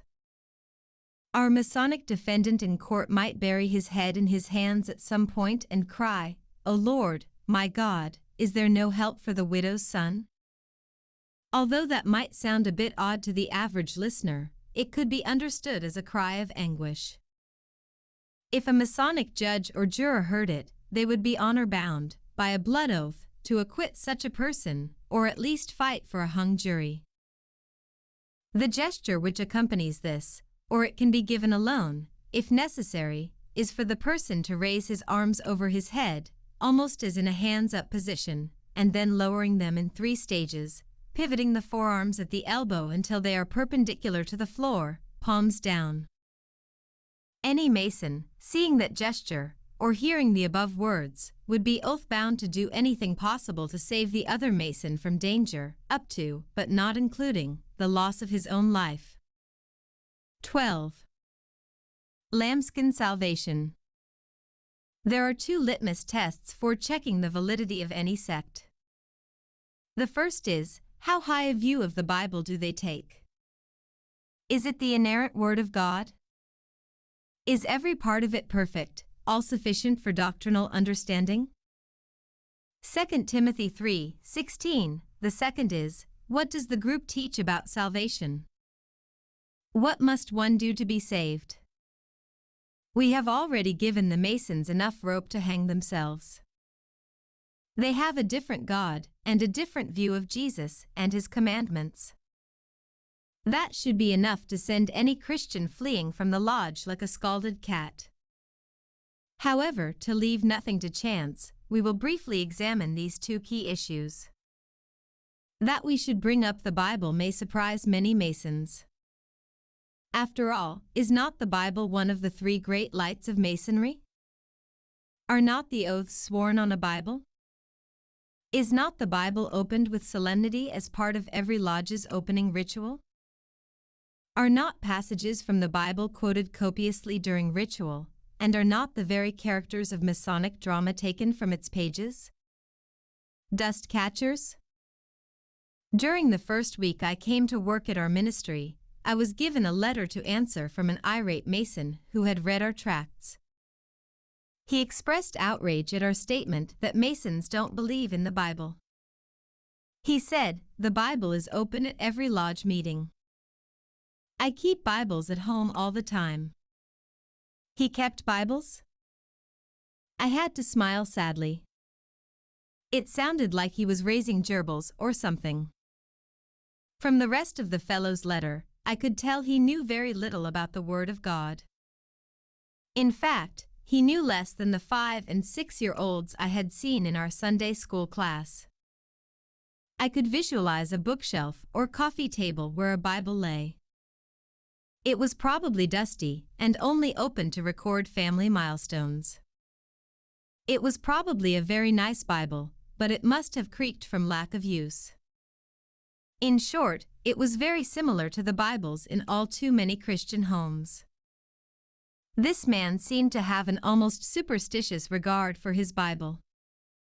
It was like garlic being used to repel vampires. He assumed that as long as somehow, somewhere, a Bible was present, everything would be Christian. The Bible on the altar of the lodge I attended was never read. I, as the senior deacon, a lodge officer, was forbidden to open it past Malachi. It had to stay in the Old Testament. So, what does the Lodge really teach about the Bible? Is it the inerrant Word of God, or is it just a dust catcher? The authorities speak Masons think that theirs is a Bible based institution because biblical themes are pervasive. It must be remembered, however, that the essence of a counterfeit is that it looks very much like the original. Therefore, we must examine closely the statements of Masonic ritual and authorities. Albert Pike, for example, wrote this about the Bible the teachers, even of Christianity, are, in general, the most ignorant of the true meaning of that which they teach. There is no book of which so little is known as the Bible. To most who read it, it is as incomprehensible as the Zohar.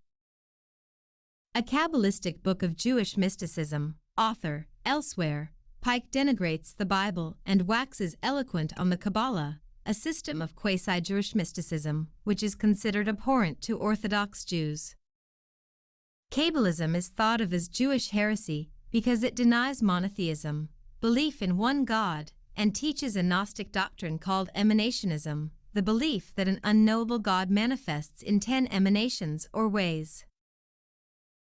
Pike chooses to scuttle 4,000 years of Judeo Christian orthodoxy.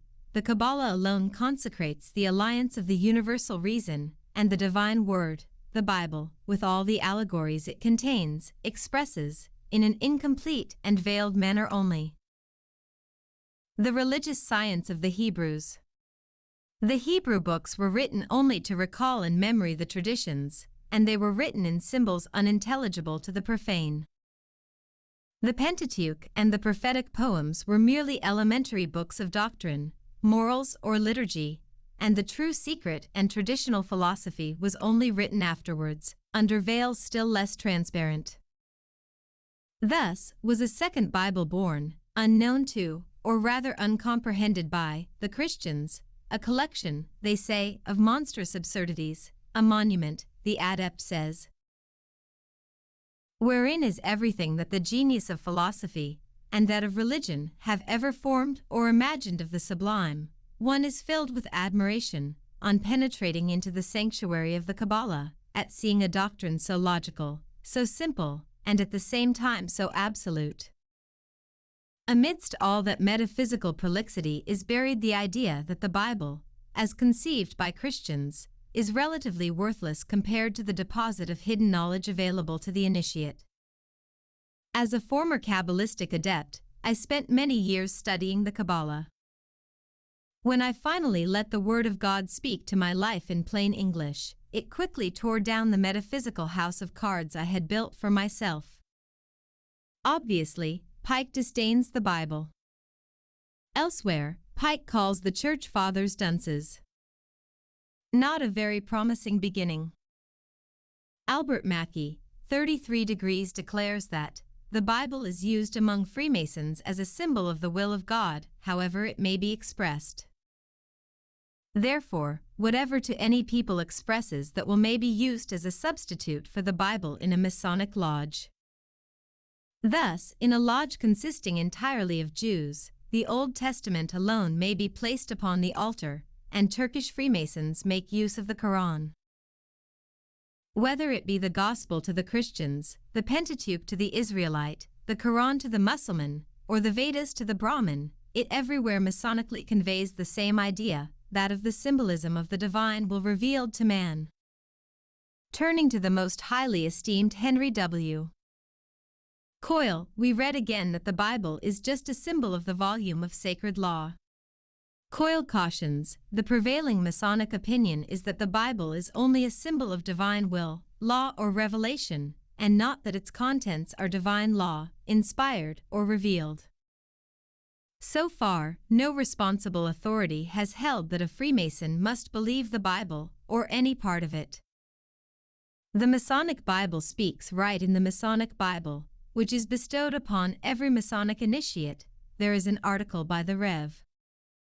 Joseph Fort Newton entitled, The Bible in Masonry. In this article, which must be pretty authoritative to be given to each and every Mason at so solemn a moment, we find the following. Like everything else in Masonry, the Bible, so rich in symbolism, is itself a symbol, that is, a part taken for the whole. It is a sovereign symbol of the Book of Faith, the will of God as man has learned it in the midst of the years, that perpetual revelation of himself which God is making mankind in every land and every age.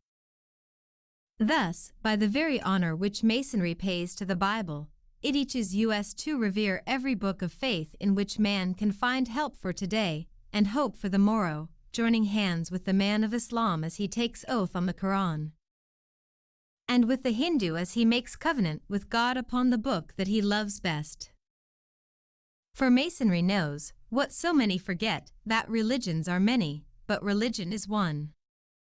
Therefore, it invites to its altar men of all faiths, knowing that, if they use different names for the nameless one of a hundred names they are yet praying to the one God and Father of all, knowing also that while they read different volumes, they are in fact reading the same vast book of faith of man as revealed in the struggle and sorrow of the race in its quest for God. So that, great and noble as the Bible is, Masonry sees it as a symbol of that eternal book of the will of God. Oliver Day Street, another scholar of the lodge, tells us this no lodge with us should be opened without its, the Bible's, presence. Still, it is but a symbol, it represents divine truth in every form. But the shadow must not be mistaken for the substance. There is nothing sacred or holy in the mere book. It is only ordinary paper, it is what it typifies that renders it sacred to us. Any other book having the same signification would do just as well. In fact, that book should be used which to the individual in question most fully represents divine truth.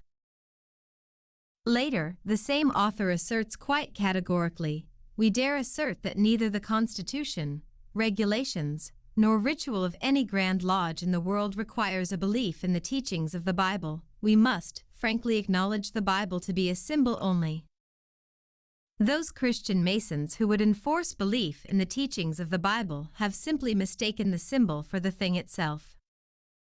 Where does that leave the sincere, Bible believing Christian? Evidently, mistaken. How could a Christian align himself to such teaching? This doctrine is obviously worlds apart from the Bible. Just as Masonry has a generic God, so it also has a generic Bible of sorts.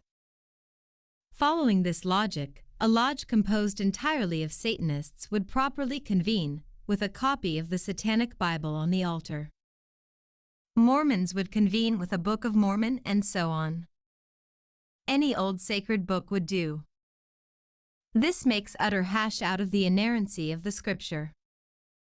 Freemasonry's devotion to the Bible is superficial at best, arrogant at the worst. Such an institution cannot be of God. What must I do to be saved? That one question, so vital and essential, has reverberated down through the ages. The Bible's answer is simple believe on the Lord Jesus Christ, and thou shalt be saved. Acts 16 31. Freemasonry's answer, perhaps predictably, is not so simple. Since Masonry will not honor Jesus as Lord, it obviously cannot point to him as the only way to salvation. Like every other cult, Masonry offers salvation by works. Many Christian Masons are astounded to hear that charge, as they are convinced that the Lodge nestles comfortably in the bosom of Protestantism. To those who need convincing, let us examine first the most authoritative level of Masonry, the Ritual Monitor. In the third degree lectures, we read the following instruction that all seeing eye, whom the sun, moon, and stars obey, and under whose watchful care even comets perform their stupendous revolutions, beholds the inmost recesses of the human heart, and will reward us according to our works. That is quite plain, and totally contrary to the Bible, which teaches that, For by grace are ye saved through faith, and that not of yourselves, it is the gift of God, not of works, lest any man should boast. Ephesians 2 8 9 This means that the system of salvation operating in Freemasonry is not biblical. In the same lecture, the Masonic symbol of the sword pointing to the human heart is said to remind the Mason that God will reward us according to what we do in this life. The culmination of third degree is a charge which is read to the new Master Mason and the Lodge. In part, they are exhorted, thus, when dissolution draws nigh, and the cold winds of death come sighing around us, with joy shall we obey the summons of the Grand Warden of Heaven, and go from our labors on earth to the paradise of God. Then, by the benefit of the pass, a pure and blameless life, with a firm reliance on divine providence, shall we gain ready admission into that celestial lodge above, where the Supreme Grand Warden forever presides, when placed at his right hand. He will be pleased to pronounce us just and upright Masons. You see? Nowhere is Jesus mentioned, or the fact that no one is righteous. It is all salvation by works. Trusting in the lambskin? Though there is no reference to Jesus Christ, the Lamb of God, in their rites, Masons are exhorted to trust in something besides their good deeds. This is their lambskin or white leather apron, an emblem of innocence and the badge of a Mason. This is the apron seen often when Masons appear in public in their regalia. It is given in the first degree and essentially remains with them throughout all rituals. Listen to what the EA ritual says about this strange little apron. In all ages the lamb has been deemed an emblem of innocence. He, therefore, who wears the lambskin as a badge of masonry is continually reminded of that purity of life and conduct which is necessary to obtain admittance into the celestial lodge above, where the supreme architect of the universe presides. This teaches that we gain admission to heaven through works. It is not biblical salvation, but another gospel, Galatians 1 8. Elsewhere, the third degree ritual continues to harp on this lambskin apron. May the record of your whole life and actions be as pure and spotless as the fair emblem I have placed in your hands tonight. And when at that last great day your poor trembling soul stands naked and alone before the great white throne, may it be your portion to hear from him who sitteth as the Judge Supreme the welcome words, Well done, good and faithful servant. Enter thou into the joy of thy Lord. The mason who may have turned his back on the Lamb of God is asked to trust his good works, symbolized by a lambskin. There is a new key element in this ritual presentation. We still have salvation by purity of life and rectitude of conduct, though God's word says there is none righteous, no, not one. Romans 3:10. The Mason is herein promised that he will appear before the great white throne judgment mentioned in the book of Revelation. The only problem with that teaching, and here we see the vile subtlety of Satan, is that, according to Revelation 20 11 12, the great white throne is the place of the judgment of the damned. And I saw a great white throne, and him that sat on it, from whose face the earth and the heaven fled away, and there was found no place for them. And I saw the dead, small and great, stand before God, and the books were opened, and another book was opened, which is the book of life, and the dead were judged out of those things which were written in the books, according to their works. And the sea gave up the dead which were in it, and death and hell delivered up the dead which were in them, and they were judged every man according to their works. And death and hell were cast into the lake of fire. This is the second death. And whosoever was not found written in the book of life was cast into the lake of fire. The white throne judgment is where men are judged by their works and then cast into the lake of fire, because their works cannot save them. The clues are in the ritual for anyone to see. If they knew the Bible, they would see that all Masonry is promising them is the lake of fire.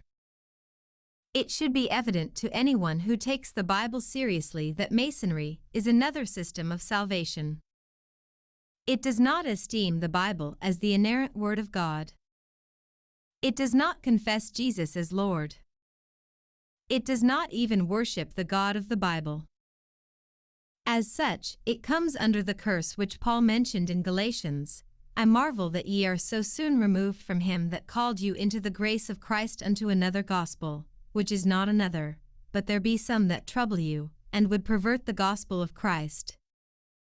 But though we, or an angel from heaven, preach any other gospel unto you than that which we have preached unto you, let him be accursed.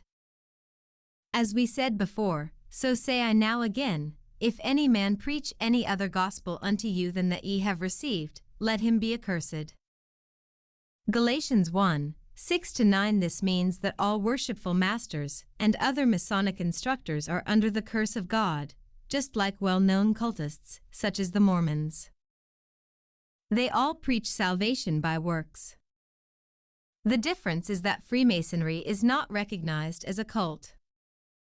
Former worshipful master now Christian author, Jack Harris calls it, the invisible cult in our midst. We may hear sermons on other cults, but few pastors or evangelists are willing to call Masonry a sin. Thus far, we have examined the surface of Masonry and let its rites and authors speak for themselves. However, as with any hidden thing of darkness, there is a lot more beneath the surface. Nothing this well crafted could have just sprung up by happenstance. Freemasonry may well be Satan's counterfeit, par excellence. What are the origins of Masonry, and how did it come to be so evil? What is it about the lodge that makes otherwise strong pastors tremble? How has it managed to capture some of the oldest denominations in Protestantism? In many cases, those churches have been transformed by Freemasonry into ecclesiastical toothless tigers fleeing from Satan on the spiritual battlefield. In the second part of this book, we will go beneath the surface and explore the underbelly of Freemasonry. As cursed as its surface is, the concealed parts are even more abominable. We shall see how the Brotherhood, as it is called, has roots sunk deep into the blackest pits of hell Satanism, and Witchcraft. Part 2 The History of Masonry 13.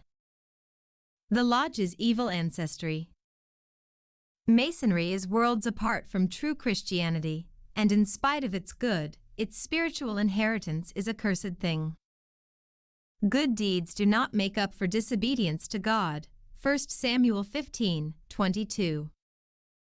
By way of warning, it is my intention to establish what I have learned from years of experience in both the occult and Freemasonry, that the Lodge is part of a huge network of worldwide witchcraft organizations. It could be said, with poetic license, that Freemasonry is the world's largest coven of witches. This statement would doubtless astound most Masons. However, appearances can be deceiving, and Masonry, like any secret society, has layers within layers. It is a Chinese puzzle box of evil. Each box unveils a stronger increment of iniquity. Yet these boxes remain shut to Masons who do not advance to higher levels. Since most Masons do not rise higher than the 32 degrees in the Scottish Rite or the Knight Templar in the York Rite, they get no more than glimpses behind the veil. Those glimpses should be enough to cause any Christian to flee from the lodge. These Masons are being deliberately deceived by their leaders. Albert Pike remarks, the blue degrees are but the outer court, or portico of the temple. Part of the symbols are displayed there to the initiate, but he is intentionally misled by false interpretations. It is not intended that he shall understand them, but it is intended that he shall imagine he understands them. The Blue Lodge is the outer court. This shows how deceptive Masonry is. The third degree candidate is informed that the Lodge of Master Masons meets in a place representing the unfinished Sanctum Sanctorum, or Holy of Holies of King Solomon's Temple. The impression given was that the lodge represented the inner sanctum of the temple. Now Pike tells us that we are, at that point, only at the outer portal. This is typical of secret societies. Just when you think you have been told everything, a new box opens, and a new level of secrets awaits you. It is the old bait and switch again. Hiding the real truths? The odd secrets of low-level masonry, handshakes and words, are just red herrings, designed to make the rubes happy. They are not the real secrets of masonry.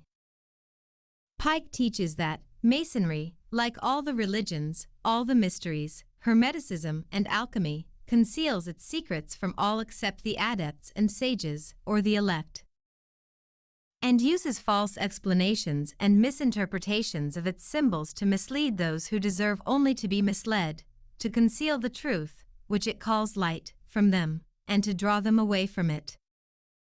Truth is not for those who are unworthy or unable to receive it, or would pervert it. With statements like that on the record for anyone to read, how can the honest Mason know what to believe? All sorts of benign meanings are assigned to the working tools of the Mason in the lower degrees. For example, he is told in first degree that the meaning of the square and compasses is the square, to square our actions, the compasses, to circumscribe and keep us within bounds of all mankind, but more especially with a brother Mason. However, should the candidate take the time to read some of the books in his lodge library, he would find more disturbing meanings. Here the square and compasses are related to the point within the circle. The deeper level of symbolism is revealed by Albert Mackey, 33 degrees. The point within the circle is an important symbol in Freemasonry. But it has been debased in the interpretation of it in the modern lectures, given in lodges, that the sooner that interpretation is forgotten by the Masonic student, the better will it be. The symbol is really a beautiful, but somewhat abstruse allusion to the old sun worship, and introduces us for the first time to that modification of it, known among the ancients as the worship of the phallus. In his definitive encyclopedia, the same author writes, the phallus was a sculptured representation of the male organ of generation, and the worship of it is said to have originated in Egypt. In the Mysteries, we find the remote origin of the point within a circle, an ancient symbol which was first adopted by the old sun worshippers and incorporated into the symbolism of Freemasonry. Now we see that the central symbols of Freemasonry actually represent the human reproductive organs. In what is called esoteric Freemasonry, we learn that the square is the symbol of the lingam, or god force in witchcraft, and the compasses are the symbol of the female organs, called the yoni or shakti, goddess force, by occultists. So here's the Christian Mason, attending lodge and worshipping at an altar with symbols of the male and female organs entwined over an open Bible. What blasphemy! Talk about being destroyed for lack of knowledge. Hosea 4 6. Foul roots? Let us see the actual soil from which Masonry springs, from the words of its ritual and its teachers. According to the third degree, the first Freemason was Tubal Cain. In the Bible, we find that Tubal Cain is descended from the accursed line of Cain, Genesis 4 17 22. Interestingly, in light of the Masonic obsession with murder, we find that Tubal Cain's father, Lamech, is the first person to boast about murder, Genesis 4 23 24. What a nice home for the founder of Freemasonry to be raised in. The next Masonic saint spoken of is Nimrod, who is described by Mackey as one of the founders of Masonry. In Genesis 10 8 9, Nimrod is called a mighty one in the earth and a mighty hunter before the Lord. Expositors generally identify Nimrod as the founder of Babylon and architect of the Tower of Babel. That certainly qualifies him as a Mason, but it doesn't do much for his reputation. The builders of the Tower of Babel, in Genesis 11, 4 to 5, 7 to 8 present a proud and astonishingly modern Masonic mentality. Go to, let us build us a city and a tower, whose top may reach unto heaven, and let us make us a name, lest we be scattered abroad upon the face of the whole earth. And the Lord came down to see the city and the tower, which the children of men builded. Go to, let us go down, and there confound their language, that they may not understand one another's speech. So the Lord scattered them abroad from thence upon the face of all the earth, and they left off to build the city. It is obvious the Lord did not approve of Nimrod's plans. This was the first attempt at what today we call globalism, an attempt to unify all people under one common religio-political system. In the Bible, Babylon stood for evil against Jerusalem, the city of God. Nimrod helped found the fountainhead of all cults. The religion which sprang up around him and his queen, Semiramis, became the prototype for virtually all cults. The rites of the slain and risen God, or rite of the divine king form one of the core rituals of witchcraft and all fertility cults. Nimrod was slain and cut into pieces by his great-uncle, Shem. He and Semiramis became the first of a long line of mother goddess and father god pairs. Her son, little Nimrod, Jr., also called Tammuz or Baal, was the supposedly resurrected father god. We see various trinities down through the centuries, Isis, Osiris, and Horus, and sadly enough the cult of the Madonna, and child from Catholicism. The idea of a slain God who is raised from the dead is one of the central themes of all mystery cults. Amazingly, it is the ritual core of Freemasonry as well. Nimrod is probably one of the two or three most evil men in the entire Old Testament, and to identify him as a Masonic leader does little to enhance the spiritual wholesomeness of the lodge. The Temple of Solomon and the widow's son the next significant milestone in Masonic history is the time of the building of King Solomon's Temple. This event provides the backdrop for a large percentage of the ritual in the lodge.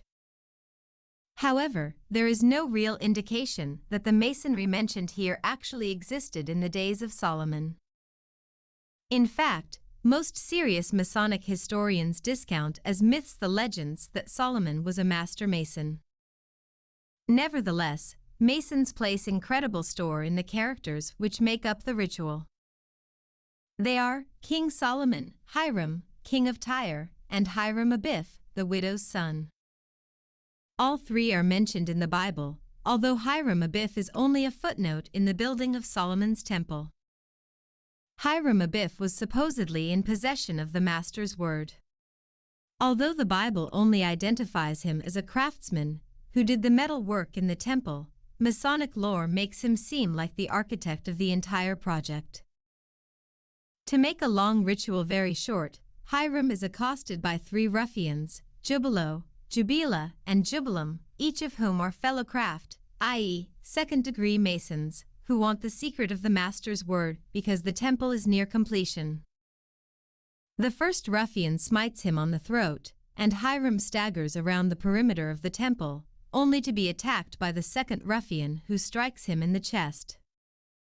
He reels a bit further, and then is brained with a setting maul by the third ruffian and falls dead.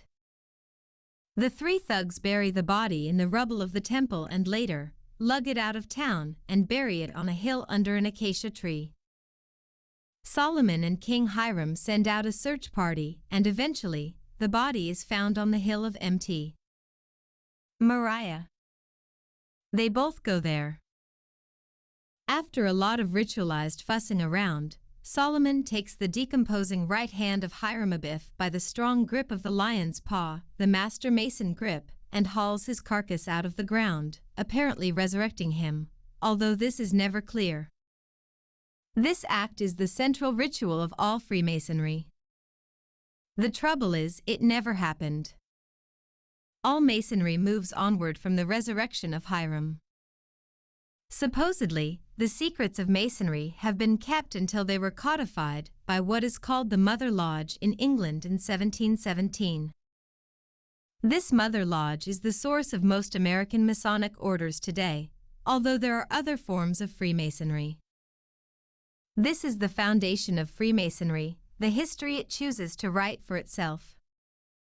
As you can see, it is built upon either vile characters from the Bible or upon a tissue of myth woven around certain noble Bible heroes. It is not a very auspicious beginning. 14. No help for the widow's son? Masonry's attempts to anchor itself into biblical history and doctrine run aground on the rocks of reality. But why should we be surprised? We already know that the material taught in the Blue Lodge degrees is designed to deceive the Mason.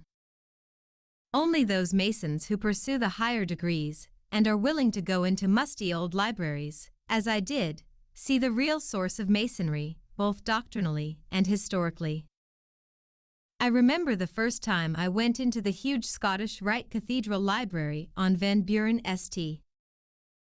in Milwaukee. It was a sunny afternoon, and the beautifully appointed place gleamed with tones of old wood and rich carpeting.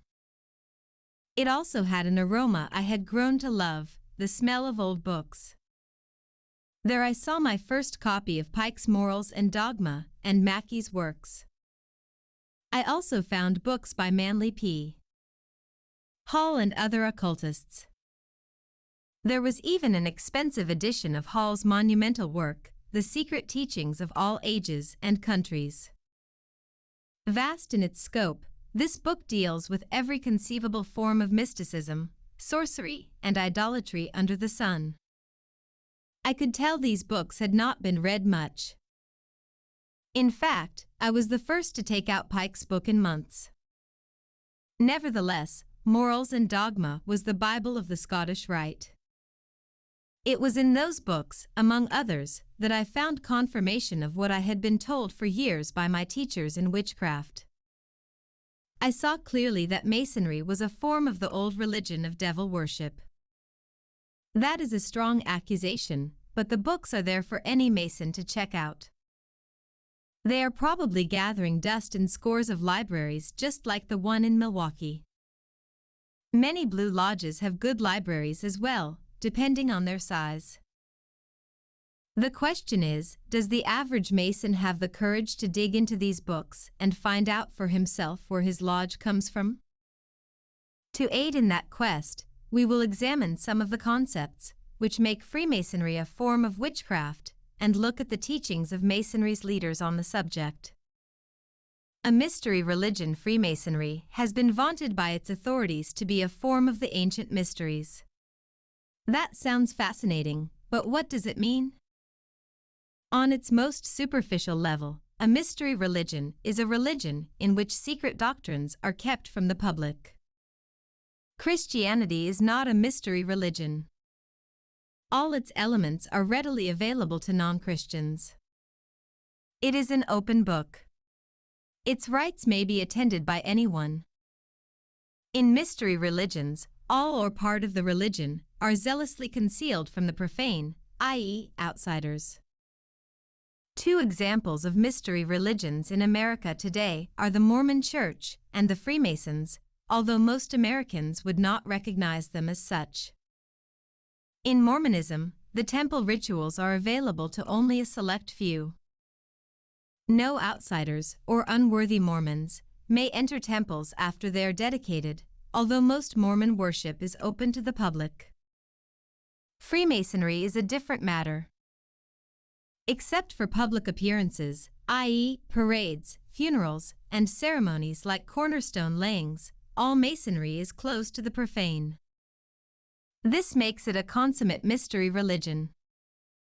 But what are the Mysteries?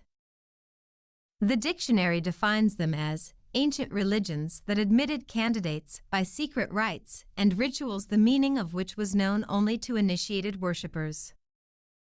Virtually all ancient cultures, whether Roman, Celtic, or Egyptian, had some sort of mystery religion.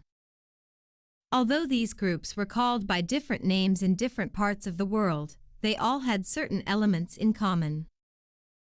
Two worldviews the basic features of this pagan mystery religion, Revelation 17, 5, are 1. Polytheism, a belief in many gods or goddesses, or pantheism, a belief that God is the universe, and that is all he is.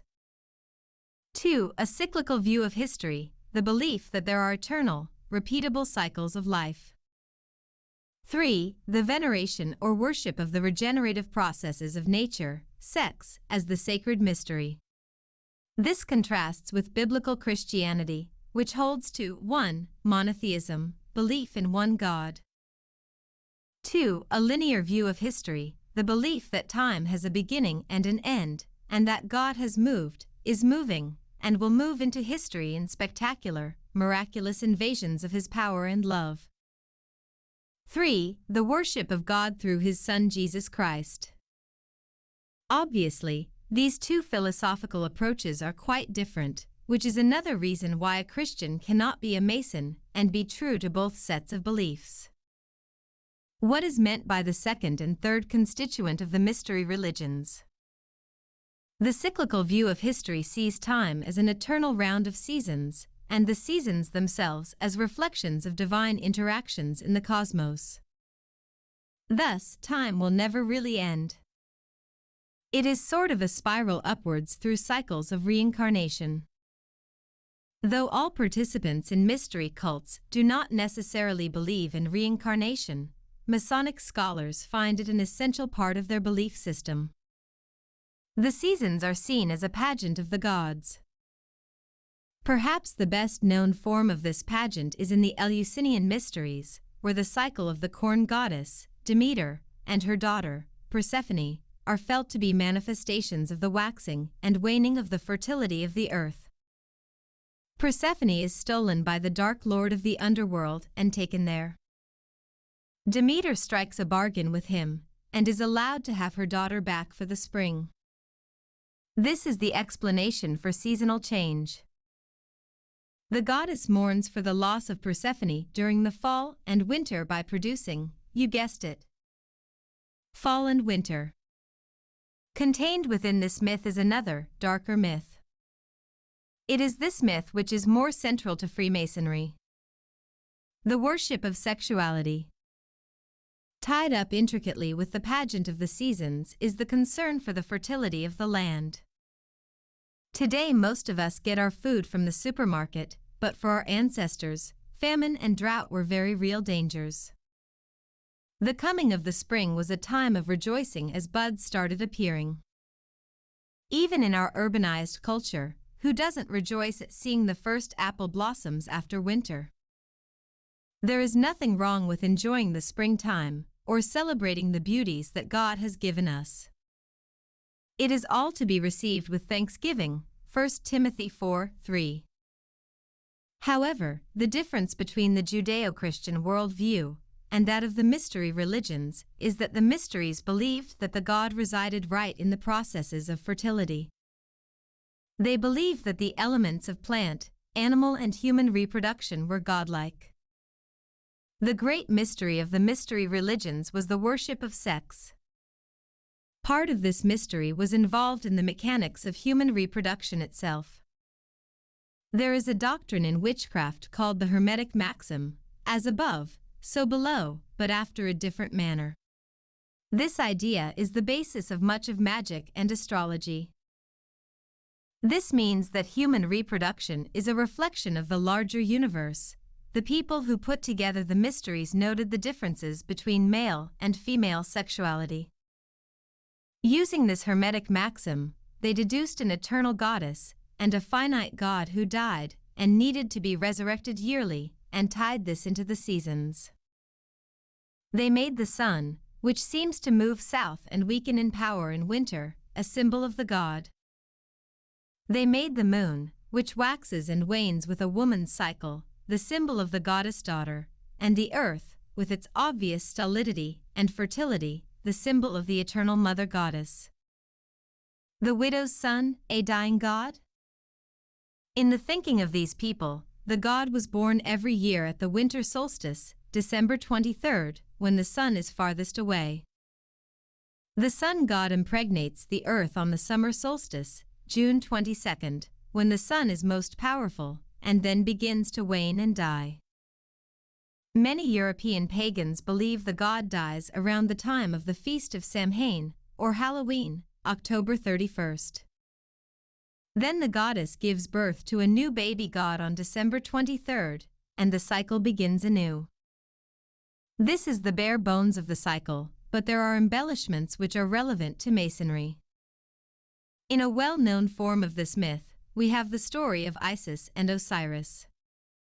Isis is the key goddess of Egypt. Isis was the sister, lover, wife and possibly even the mother of Osiris.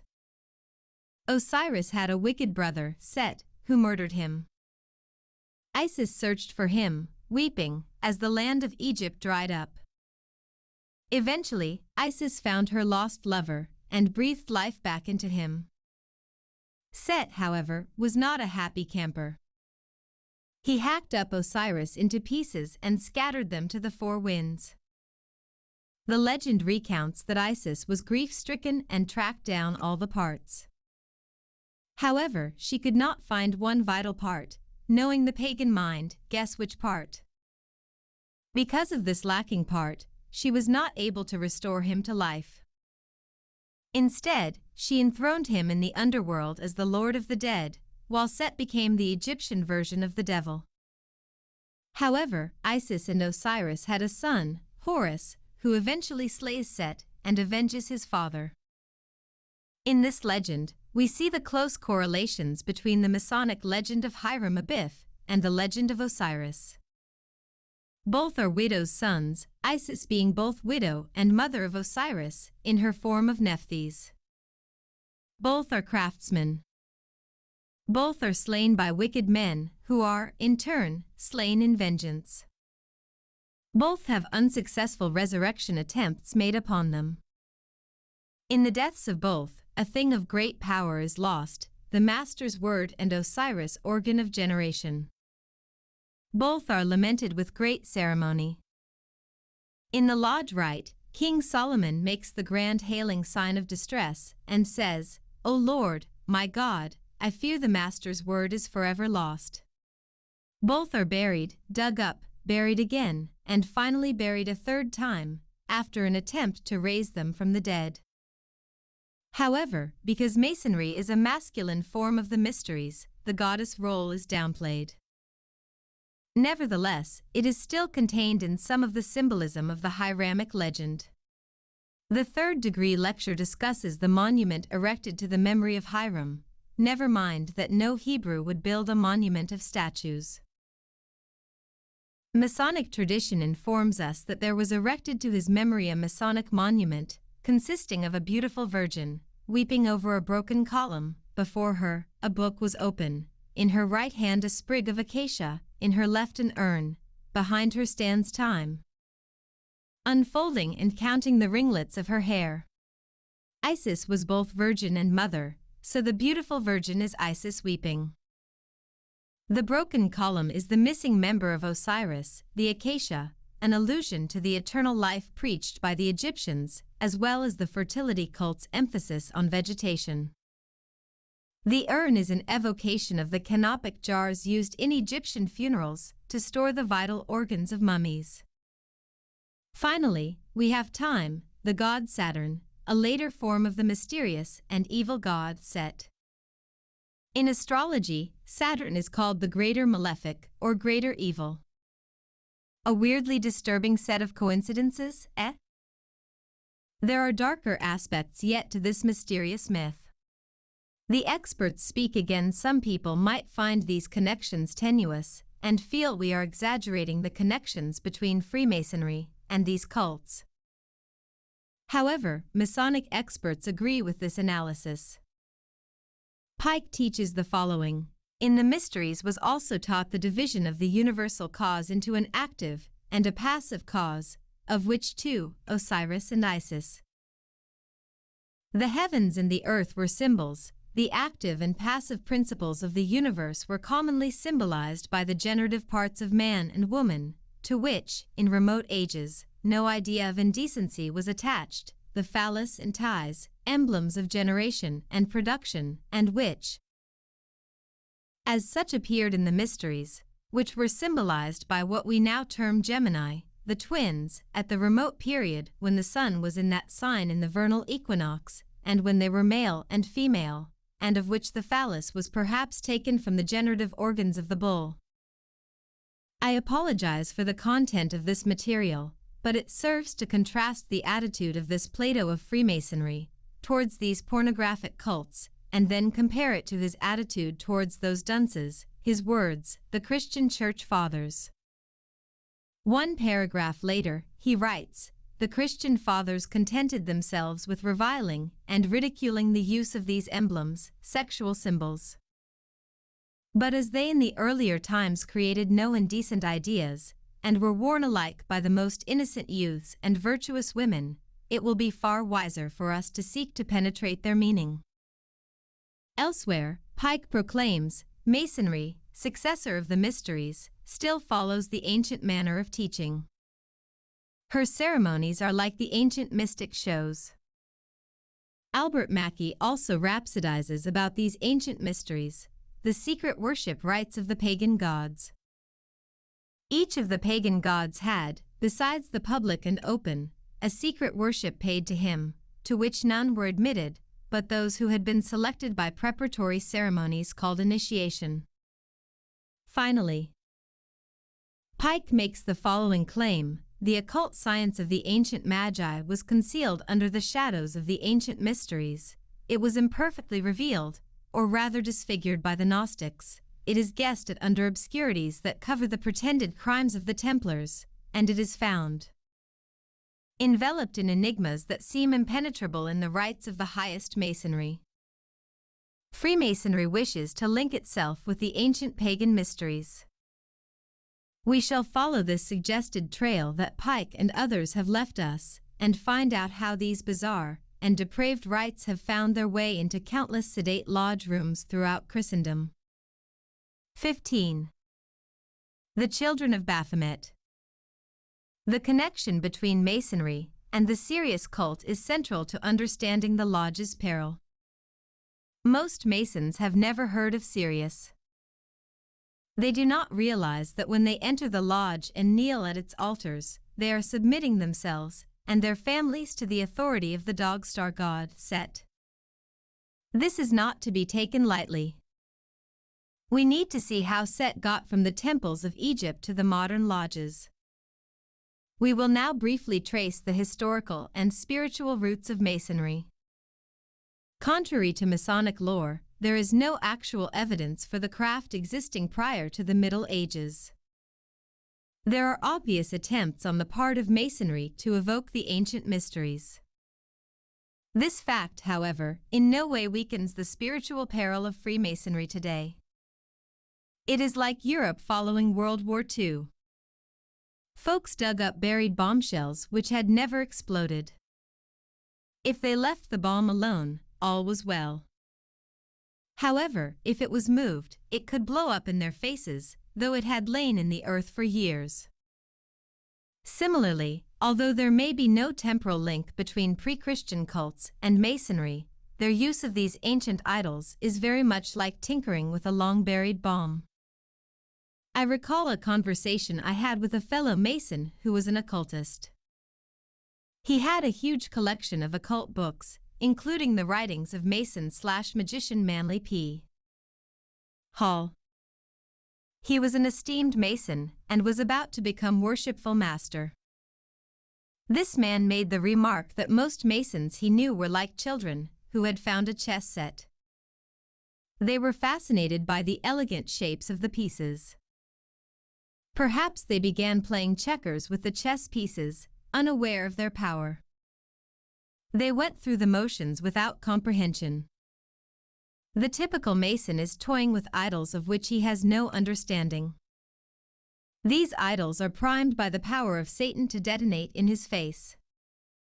The symbols themselves need have no intrinsic power, but the sin that is involved in their use will open the door to demonic access for the Mason and his family.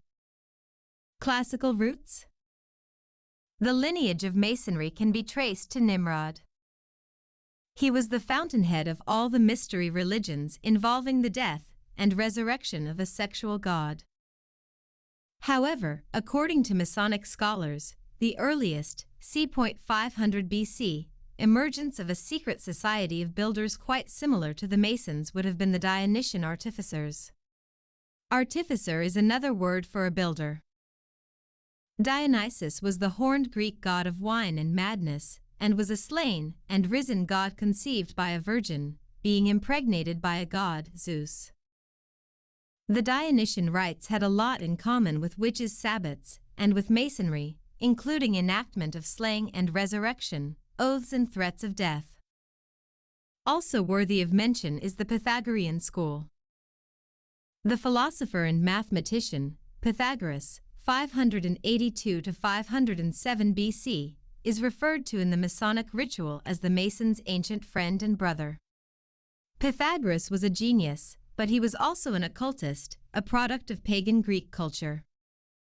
He was the founder of a brotherhood that believed in reincarnation. The throne of the peacock, another source of masonry, can be traced to the Middle East near the site of Nineveh and modern Baghdad. A group called the Yetzidis worshipped the peacock angel and, like the Masons, had layer-soft secrets within their faith.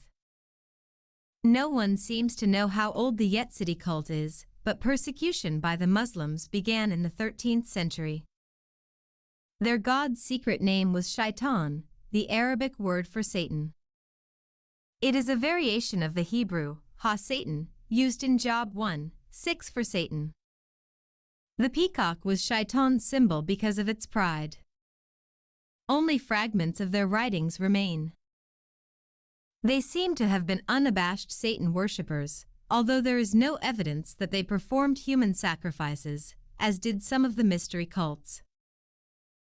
Some speculate that the Yetzidis may have been somehow involved with the next link in this bizarre chain, the cult of Hassan I Sabah.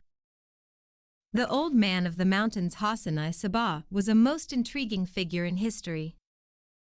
Called the Old Man of the Mountains, he was a leader in the Islamic heresy called Ishmaelianism. Islam was bursting with fanaticism, and to be a heretic was to court death by the sword. Hassan was cunning and realized that he was outnumbered by the more orthodox Muslims. He knew the only way he could win was by subversion.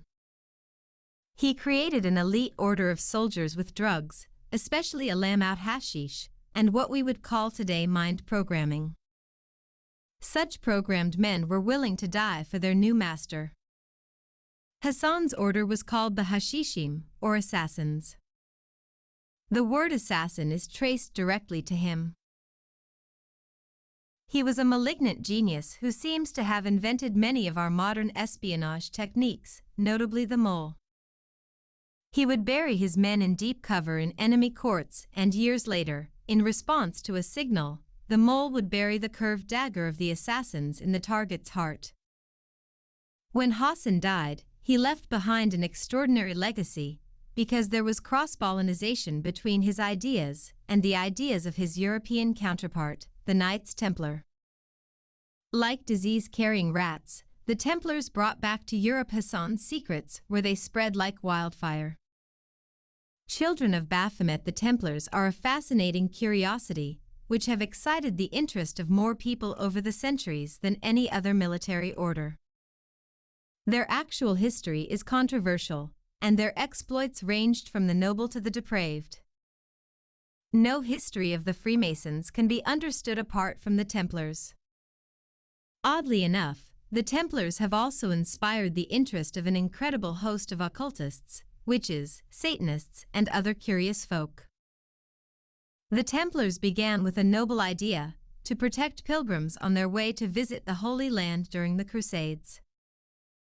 The poor Knights of the Temple of Solomon, as they were known, began in 1118 as an order of warrior monks. Their first Grand Master, note that title, was Hugues de Payens. Unlike other knightly orders, the Templars were monks and required vows. They represented the first time in history that soldiers would live as monks. Part of the reason for their name was that they built their headquarters at the site believed to be the place of the temple in Jerusalem, a key place in Masonic legend. However, things went sour. The order grew quite rich and corrupt. The Templars established themselves as the most powerful institution in Christendom, easily the mightiest institution in all of Europe, equaled, but not surpassed by the papacy. Then, in 1291, disaster struck. The Crusaders were routed and the Templars were driven out. A royal plot the Templars were fighting men, with no battles to fight. They returned apparently vanquished from a long, unpopular war in a distant land. Their morale was not very high, but they returned to Europe with an incredible fortune and a system of garrisons and the finest fleets in the world, they aroused the wrath of Philippe IV of France, one of the most powerful kings in Europe. He had succeeded in murdering one pope, poisoning a second, and installing a hand-picked successor, Clement V. He then took the papacy, lock, stock and papal tiara out of Rome and plunked it down in Avignon, France.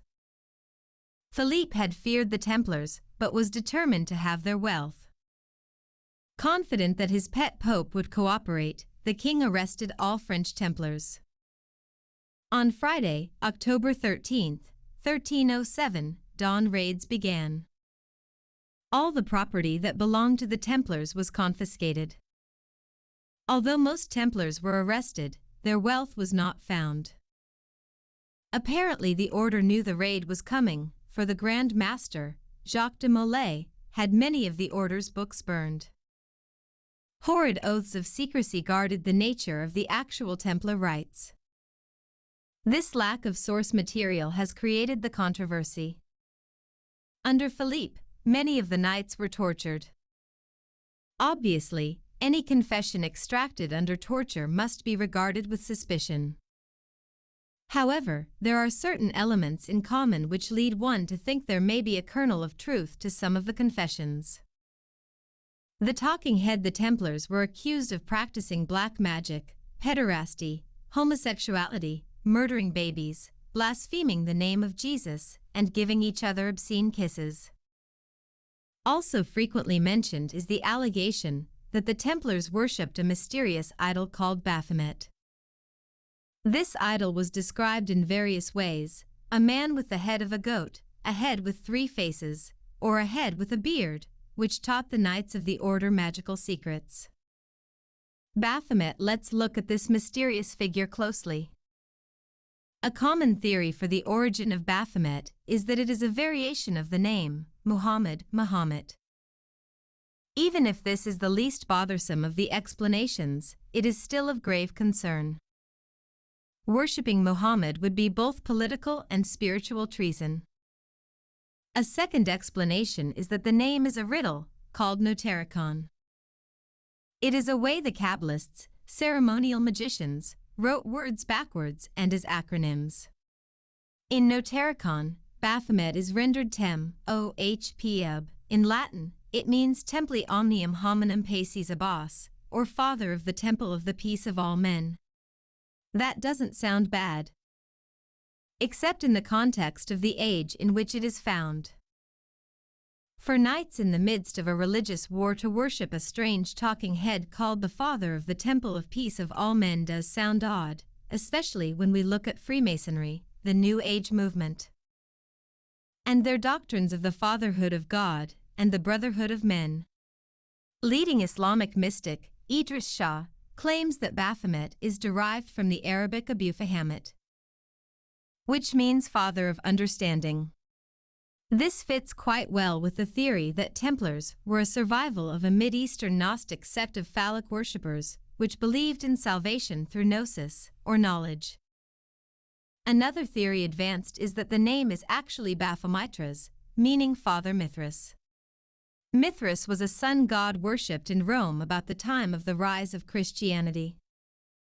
He was regarded as a rival to Jesus, and his birthday was December 25th.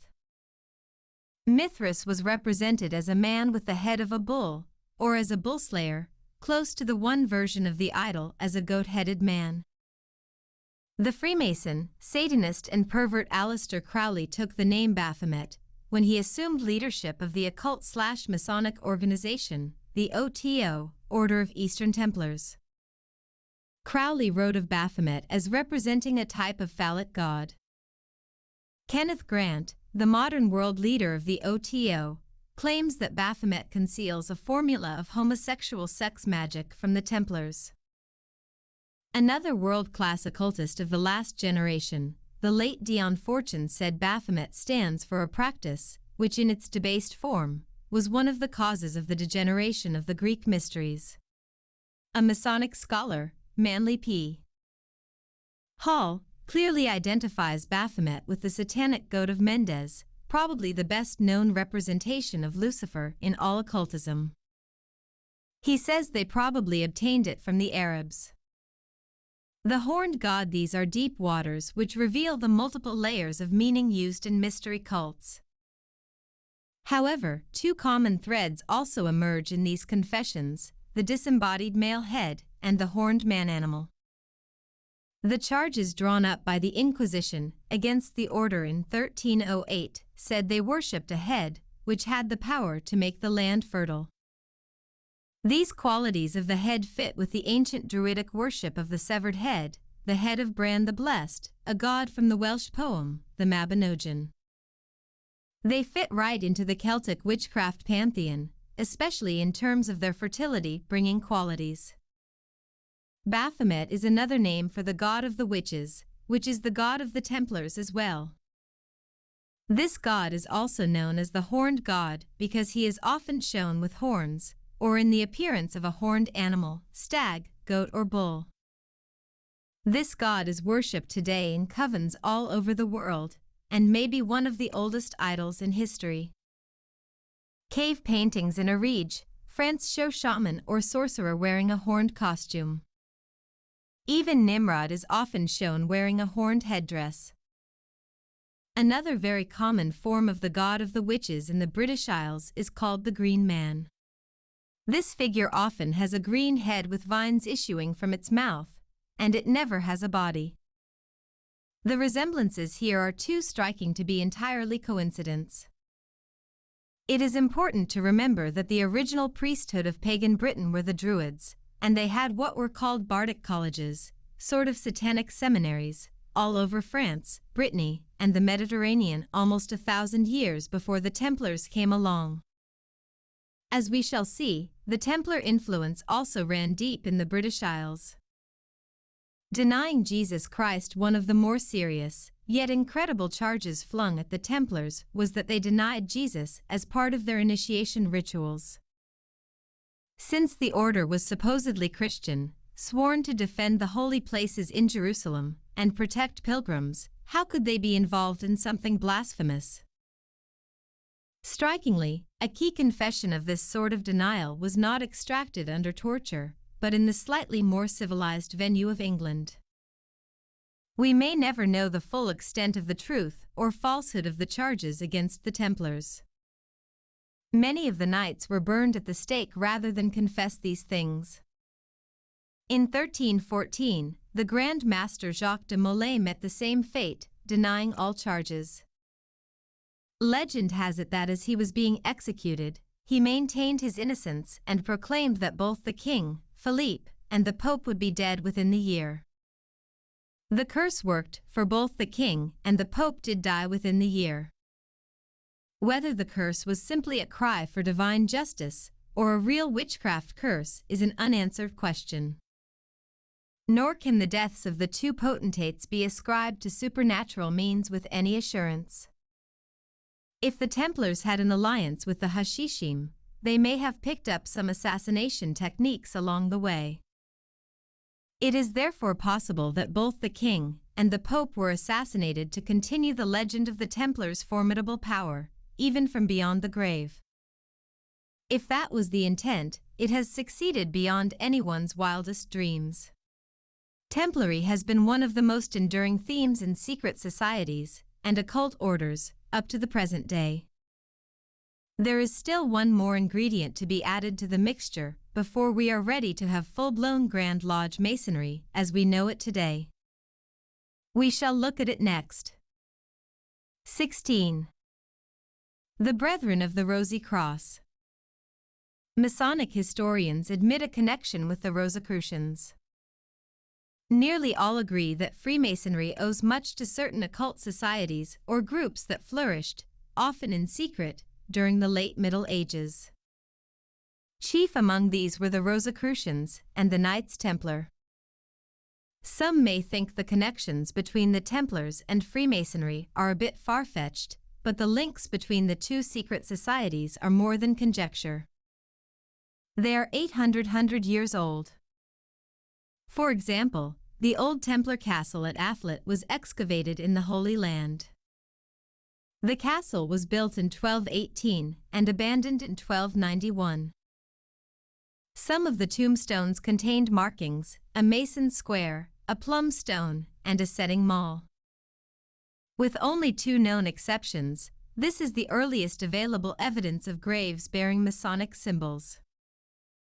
No institution as powerful as the Templars could just evaporate. Some authors speculate that some of the Templars ended up in Scotland, where their traditions became an integral part of the development of so-called Scottish Rite Masonry. Imitators of the Templars arose quickly. The most notable of them was the Order of the Garter. In 1348, just a few years after the fall of the Templars, Edward III of England created this order, which still exists today. There is a legend behind the founding of the Order of the Garter by Edward. Supposedly, the king had been dancing with a lady in the presence of his court. Suddenly the lady's garter dropped to the floor. The incident shocked the court, and all the dancing ceased. Edward gallantly knelt and placed the garter on his own leg saying, Honi soit mal y which means, shame be to him who thinks evil of it. In honor of the occasion, the king started the Order of the Garter, and the phrase he spoke became its motto. He created the order with 26 knights, 13 times 2. This rather strange event becomes even stranger when one realizes that in the 14th century people were not shocked by ladies' undergarments. This was boisterous semi-pagan England, and that garter caused shock for an entirely different reason. The garter was, and still is, the symbol of a witch high priestess. When a high priestess becomes a witch queen, that is, when her coven of witches splits off a daughter coven with its own priestess, she acquires a silver, crescent moon-shaped buckle on her garter. For each coven created after that, a new buckle is added. Some historians speculate that the lady with whom Edward was dancing was a witch queen. Dropping her garter in a court that was nominally Christian could have been an occasion for the woman to be arrested. By expressing approval, Edward gave the lady and her religion his blessing. He may have meant, shame be to him who thinks evil of witchcraft, which is borne out by the king's choice of two groups of 13 knights, 13 being both the size of a coven and the number of moon feasts, esbats, in a given year. To this day, the monarch of England is the head of the Order of the Garter, as well as a patron of masonry, and when invested with all the regalia of the order wears a mantle with 168 garters on it, plus one actually worn on his or her leg. This equals 169, 13 times 13. The Queen of England may knowingly or unknowingly be the witch queen of her nation. What happened to the inner teachings of the Templar order in the midst of all these copies? Where did this strange blend of Christianity, the Hashishim, and the Yetzidis end up? The Fama Fraternitatis tracking a thread throughout history, which is woven into the warp and woof of Masonry, its strands have two common ideas. 1. Incorporation of elements from the mystery religions, especially the idea of a hero god who is slain and resurrected by occult power. And 2. The idea of a hidden fraternity with secrets from antiquity. Membership in this fraternity was obtainable only through a perilous initiation. In terms of both history and occult lore, the clearest immediate successor to the Templars' true heritage is a fraternity begun by a mysterious, mythical man known as Christian Rosenkreutz, known as CRC. The first trace of this fraternity was three centuries after the dissolution of the Templars. In 1614, a tract appeared called Fama Fraternitatis, the Declaration of the Worthy Order of the Rosy Cross. This tract tells the story of how Rosenkreutz, a German nobleman, founded the order in the 14th century after journeying and studying occultism in the Middle East.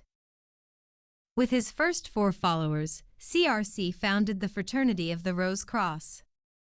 They built a headquarters called the House of the Holy Spirit, where all the members gathered annually. The vault of Christian Rosenkreutz CRC died at the ripe old age of 150 because he wished to. Before his death, he fashioned his occult wisdom into a secret organization, which would exist down through the centuries to save mankind. This society was secret because it had power to heal. He was entombed in a vault in the house of the Holy Spirit. The tract's account claims that one of CRC's disciples discovered his tomb in 1604 and found strange inscriptions and a manuscript written in gold letters. Upon the door of the vault was an inscription, which was interpreted as in 120 years I shall come forth. Within the vault they found entombed a perfectly preserved body robed in the Rosicrucian vestments. The discovery of CRC's tomb supposedly heralded a new era. The members of this secret fraternity were called Rosicrucians. They claimed they never felt hunger, they had occult power, and they also had access to lost secrets of science and medicine. This is the nucleus of the Rosicrucian myth, much as the Hiramic legend is the kernel of Masonic legend. After this tract appeared, a fad of Rosicrucian literature began throughout Europe. Much of it was fraudulent. However, one item deserves our attention. In 1616, a book called The Chemical Marriage of Christian Rosenkreutz appeared.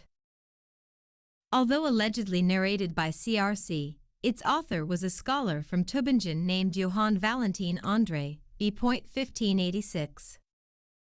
The book is an occult allegory of a wedding in which some of the guests are killed and then brought back to life through alchemy. One of the key characters is a mysterious woman named Virgo Lucifera. Her name means Virgin of Lucifer. The document is both an initiation and an allegory of alchemical transformation. Alchemy is central to understanding the depths of evil to which Freemasonry descends. Though alchemy is a complex subject, all we need to know for our purposes is that for both Rosicrucians and Masons, alchemy was the means to produce the philosopher's stone which gave them immortality. It would enable them to live forever. To alchemists, the eternal life they sought was actual physical immortality, a blasphemous parody of the eternal life Jesus offers. The matrix of Masonry, though the Rosicrucian fever died down, some still believed they were part of a fraternity of unknown philosophers known as the Invisible College. Modern Rosicrucians have claimed Michael Maier, Sir Francis Bacon, Dr. John Dee, Wolfgang Amadeus Mozart, Benjamin Franklin, Thomas Jefferson and Sir Isaac Newton as alleged members. Since the essence of being a Rosicrucian was total secrecy, the fact that some of these great men never gave any substantial evidence of membership in the fraternity proved little. Whether such claims are true or false, the idea of a hidden college of wise men with extraordinary powers behind the scenes has remained a compelling fantasy. Like most such fantasies, it has a dark side and an element of truth. There were prominent leaders and thinkers who were professed advocates of Rosicrucianism. The resemblances between Rosicrucianism and Masonry are evident. Both have there legends of masters entombed with secrets, and both promise immortality to members of their fraternity who labor diligently at their craft. Obviously, the matrix or mold into which modern masonry was poured and shaped was the Rosicrucian order. As Albert Pike explained the process, resorting to masonry, the alchemists their invented degrees, and partly unveiled their doctrine to the initiates, by oral instruction afterward, for their rituals, to one who has not the key, are but incomprehensible and absurd jargon. When the occult wisdom of the Rosicrucians was joined to the stone mason guilds of the 16th and 17th centuries, that was the beginning of the modern cult of Freemasonry. One of the very earliest references to Masonry in English links the lodge directly to witchcraft, for we be brethren of the rosy cross, we have the Mason word and second sight. Things for to come we can foretell aright.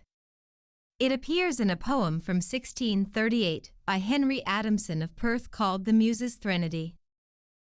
As most people know, witches claim to possess the second sight. As we shall see in the next chapter, most of the early Masons were indeed Rosicrucians. And that is only the beginning. 17. The Mother Lodge and the Illuminati. Such well-known Rosicrucians as Robert Fludd and Elias Ashmole were among the earliest and most prominent speculative Freemasons. Ashmole was maintaining contacts with the Invisible College, which met at Oxford, and included intellectual leaders such as Christopher Wren, the architect of St. Paul's Cathedral. Ashmole possessed five manuscripts of Dr. John Dee, the celebrated sorcerer, who brought through the Enochian system of magic which now forms the bulwark of satanic ritual and demonic evocation. Ashmole edited one of those manuscripts and became well known as an occultist. He was initiated into the Masons in 1646. Guerrilla artisans The original Freemasons were stonemasons who formed a guild to serve as a form of trade union. The increase in building cathedrals in Europe by the Church in the Middle Ages created a real market for skilled stoneworkers. The guilds provided assurance that its craftsmen were qualified. In those days, virtually everyone was illiterate, so union cards would have been worthless. However, since many masons traveled from city to city to work on cathedrals, it is speculated that the tokens of masonry were used as ways of determining the level of the proficiency of a craftsman.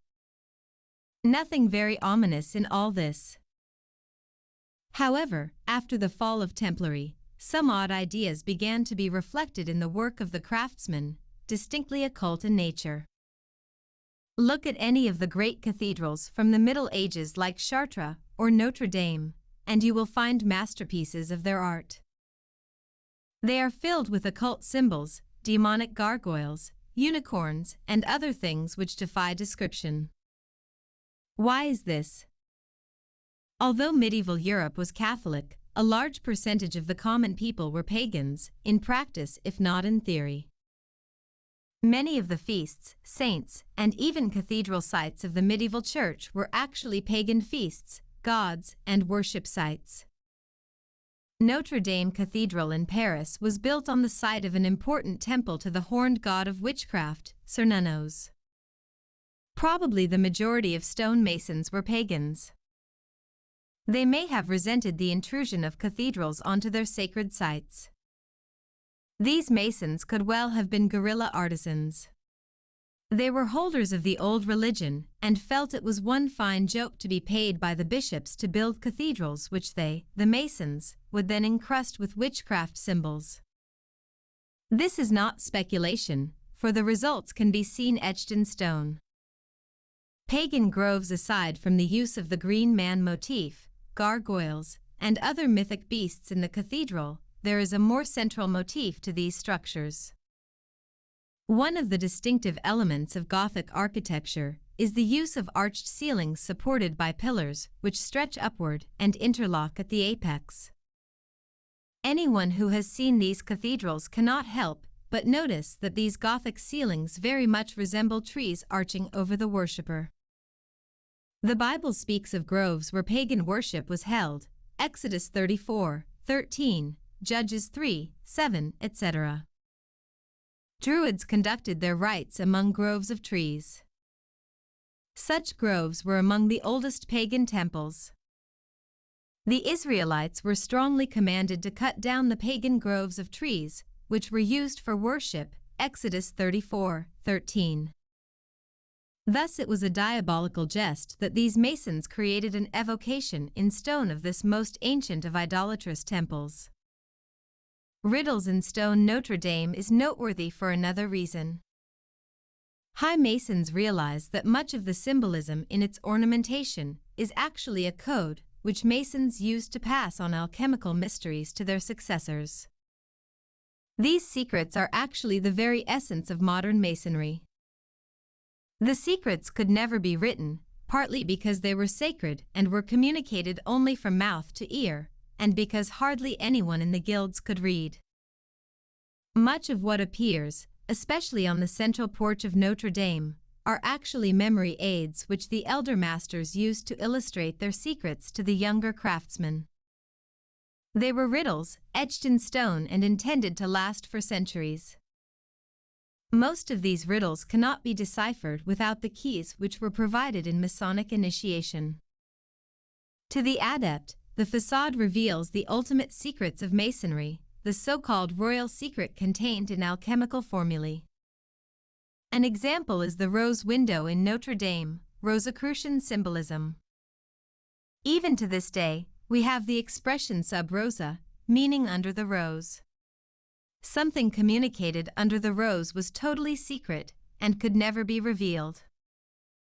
The irony of this is that today, in America, if you were to ask a 32-0 Mason whose title is the Sublime Prince of the Royal Secret what the Royal Secret is, you would be greeted by a blank stare nine times out of ten. The streams come together until the 17th century, there were only operative Masons. However, in c. 1600, Masonry evidently began initiating non-stone Masons into its ranks. This formed the final catalyst which brought modern Masonry into being. Most Masons trace their founding to the first Mother Lodge, which met in a tavern in London in 1717. In keeping with their Templar ties, these first Masons gathered on June 24, 1717, the feast of St. John, a day held most sacred by the Knights Templar, which is also a high satanic holiday. In 1726, this lodge became Grand Lodge of all England. This was followed by schisms between other Grand Lodges, both in England and on the continent. In 1773, the second most influential Grand Lodge, the Grand Orient was formed in France. The year's this brings us to a most significant date in modern Freemasonry, May 1, 1776. On that date the final element in the evil equation of Freemasonry was introduced. We have already seen how strains of fertility cults, Islamic mysticism, alchemy, Templary, and Rosicrucianism combined with the Mason guilds of Europe. Think of all these things as stones in an arch, a doorway into witchcraft. These archstones needed a keystone to secure them. Satan had just the man for the job, and he would change the face of Masonry forever. The changes would be subtle, almost unseen, but they would harness together these exotic and ancient philosophies into a spiritual engine of enormous destructive power. The keystone on the arch was provided by an obscure Jesuit-trained professor of canon law at the University of Ingolstadt in Bavaria, Adam Weishaupt. May 1st, another high witch holiday, was the date selected for the foundation of his secret society called the Ancient and Illuminated Seers of Bavaria, AISB for short. It was founded on a mixture of Masonic secrets, Islamic mysticism, and Jesuit mental discipline. The element which made it even more unique and dangerous was its scientific use of the drug, alam out hashish, to produce an illuminated state of mind. This was the drug of the assassins. Illumination had long been a cherished component of Masonry and other occult groups. The Masonic candidate requests and is promised light in Masonry. As he goes up the ladder of initiation, he receives more light. It is because of this society's emphasis on illumination that the AISB became known by its more common title, the Illuminati. Illuminated Masters The Illuminati are dear to the hearts of conspiracy theorists, frequently identified with the idea of a huge, shadow government intent on world domination. People are surprised to learn there are real Illuminati. The term is the plural of the Latin illuminatus, meaning one who is illuminated. Thus, it means a person who has received the full extent of the initiation that is available through Freemasonry. Technically, an illuminatus is a master mason who has received all the light masonry can bestow. He is beyond 32 degree and even beyond 33 degree. Such people are known as masters or masters of the temple, and collectively they are known by several names other than the Illuminati. Sometimes they are called the Great White Brotherhood or the Argenteum Astrum, Silver Star.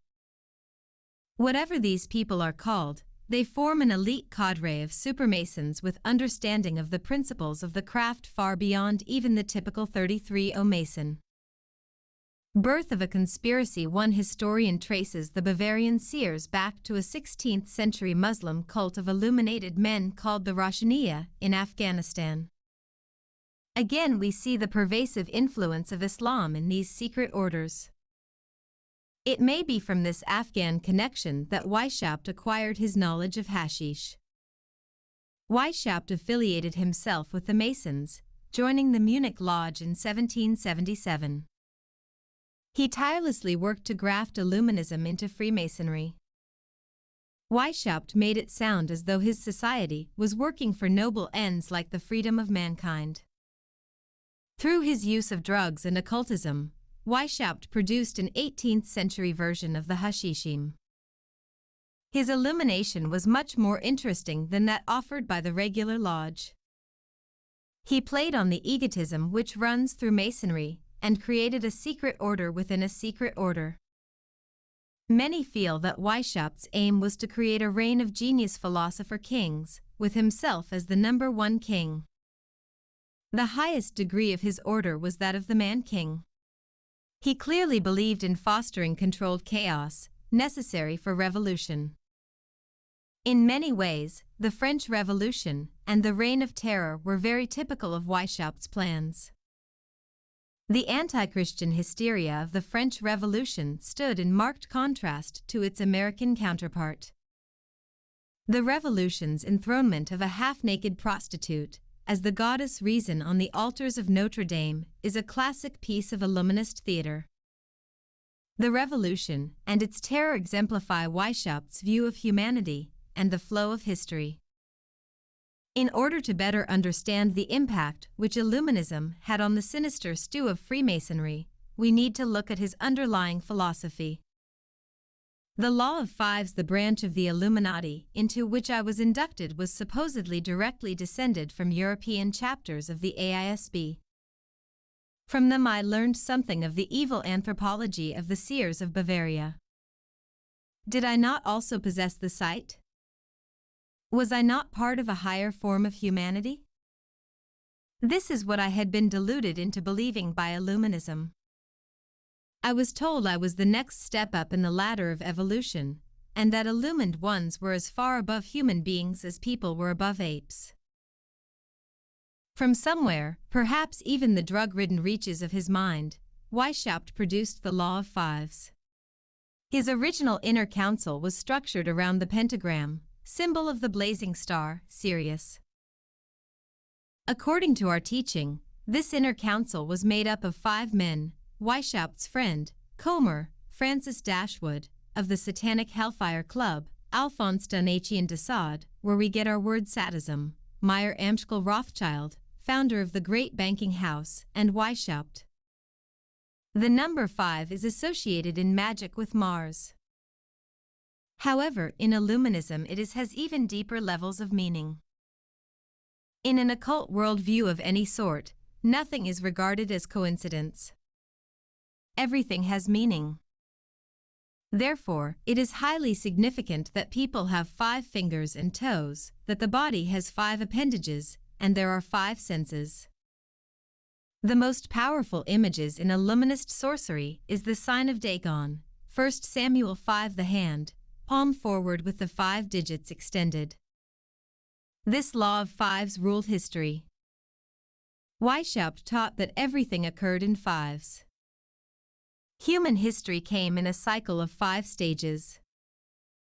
Someone who understood these stages could manipulate history to his own ends. The five stages were I.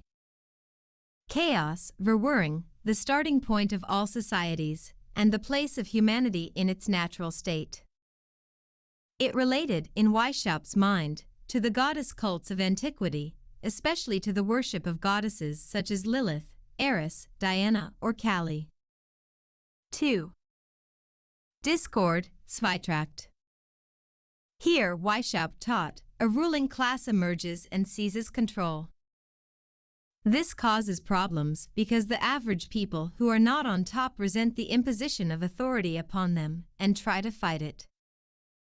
Weishaupt related this period to introduction, or imposition, of the worship of a male god, i.e., the god of the Bible or Marduk or Osiris. 3. Confusion, Unordnung. Weishaupt saw this period as a time when people would attempt to restore a balance between the two preceding forces. It is supposedly an attempt to reprogram human nature and make it fit into stage 2. He related this period to the child god, Loki, Horus, etc. Or to a kind of devil. 4. Bureaucracy, Beamtenherrschaft. The result of the synthesis of stage 3 failing. In this period, everything must be obsessively kept track of because folks can't take care of themselves. Weishaupt believed there would be a spiritual void during this stage and absolutely no deity would be acknowledged. The only God becomes the ruling bureaucracy. Folks cannot abide this void and escape into fantasy, drugs, or madness.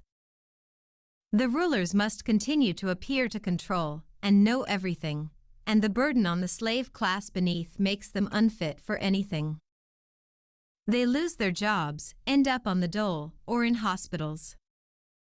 It is during this phase that the destruction of the middle class takes place. Without a middle class to generate capital, the entire mess collapses into V.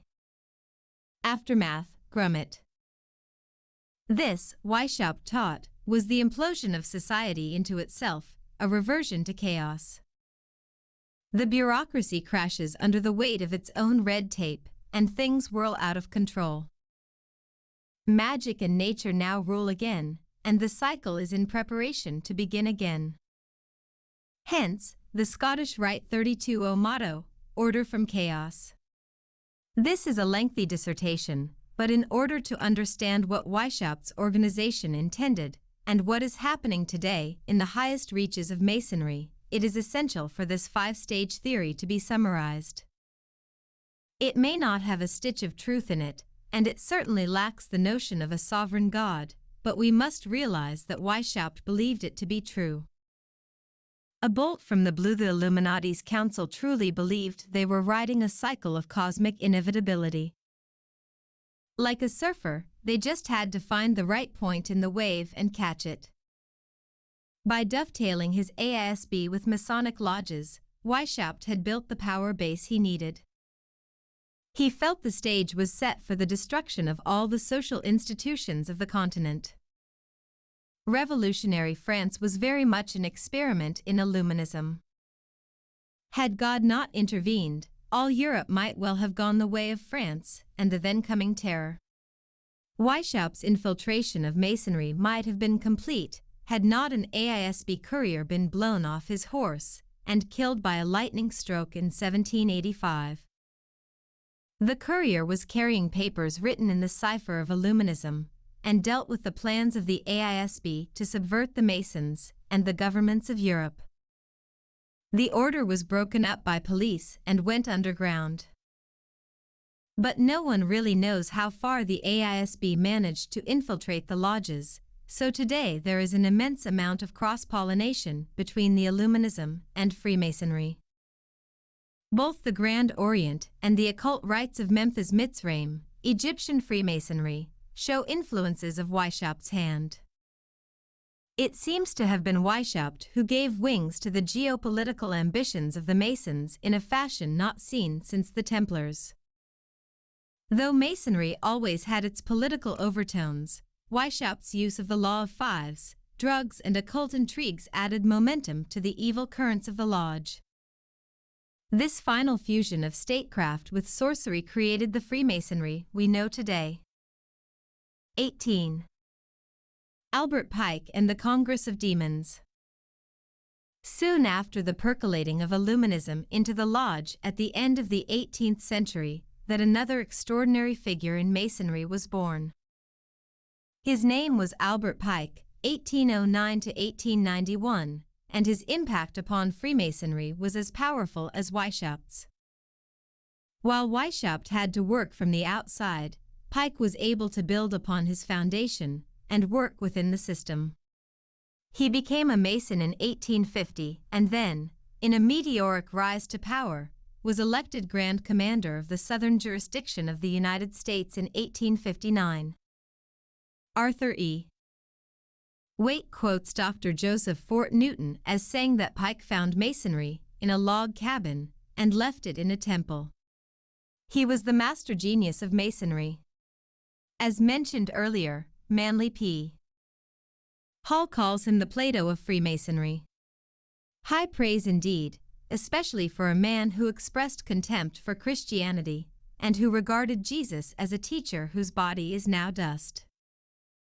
Today, some Masonic defenders are backing away from Pike since his writings, especially morals and dogma, are exceptionally nettlesome to anyone trying to prove that Masonry is a benevolent society which does not conflict with Christianity. His impact cannot be denied, as he essentially made Scottish Rite Masonry into the institution it is today. The fact that, in addition to his Masonic titles, he also was the sovereign pontiff of Lucifer makes him someone to study very closely. The evidence is that Pike regarded Lucifer as the true God. He, like Weishaupt, seems to have been a Gnostic and a Manichaean, a dualist at the very least. Since Pike chose to follow the mystery religions of Baal, he turned his back on God. If we look at his writings and statements attributed to him, we find that he acknowledged Lucifer as the true God and Adonai, the biblical God, as the God of evil.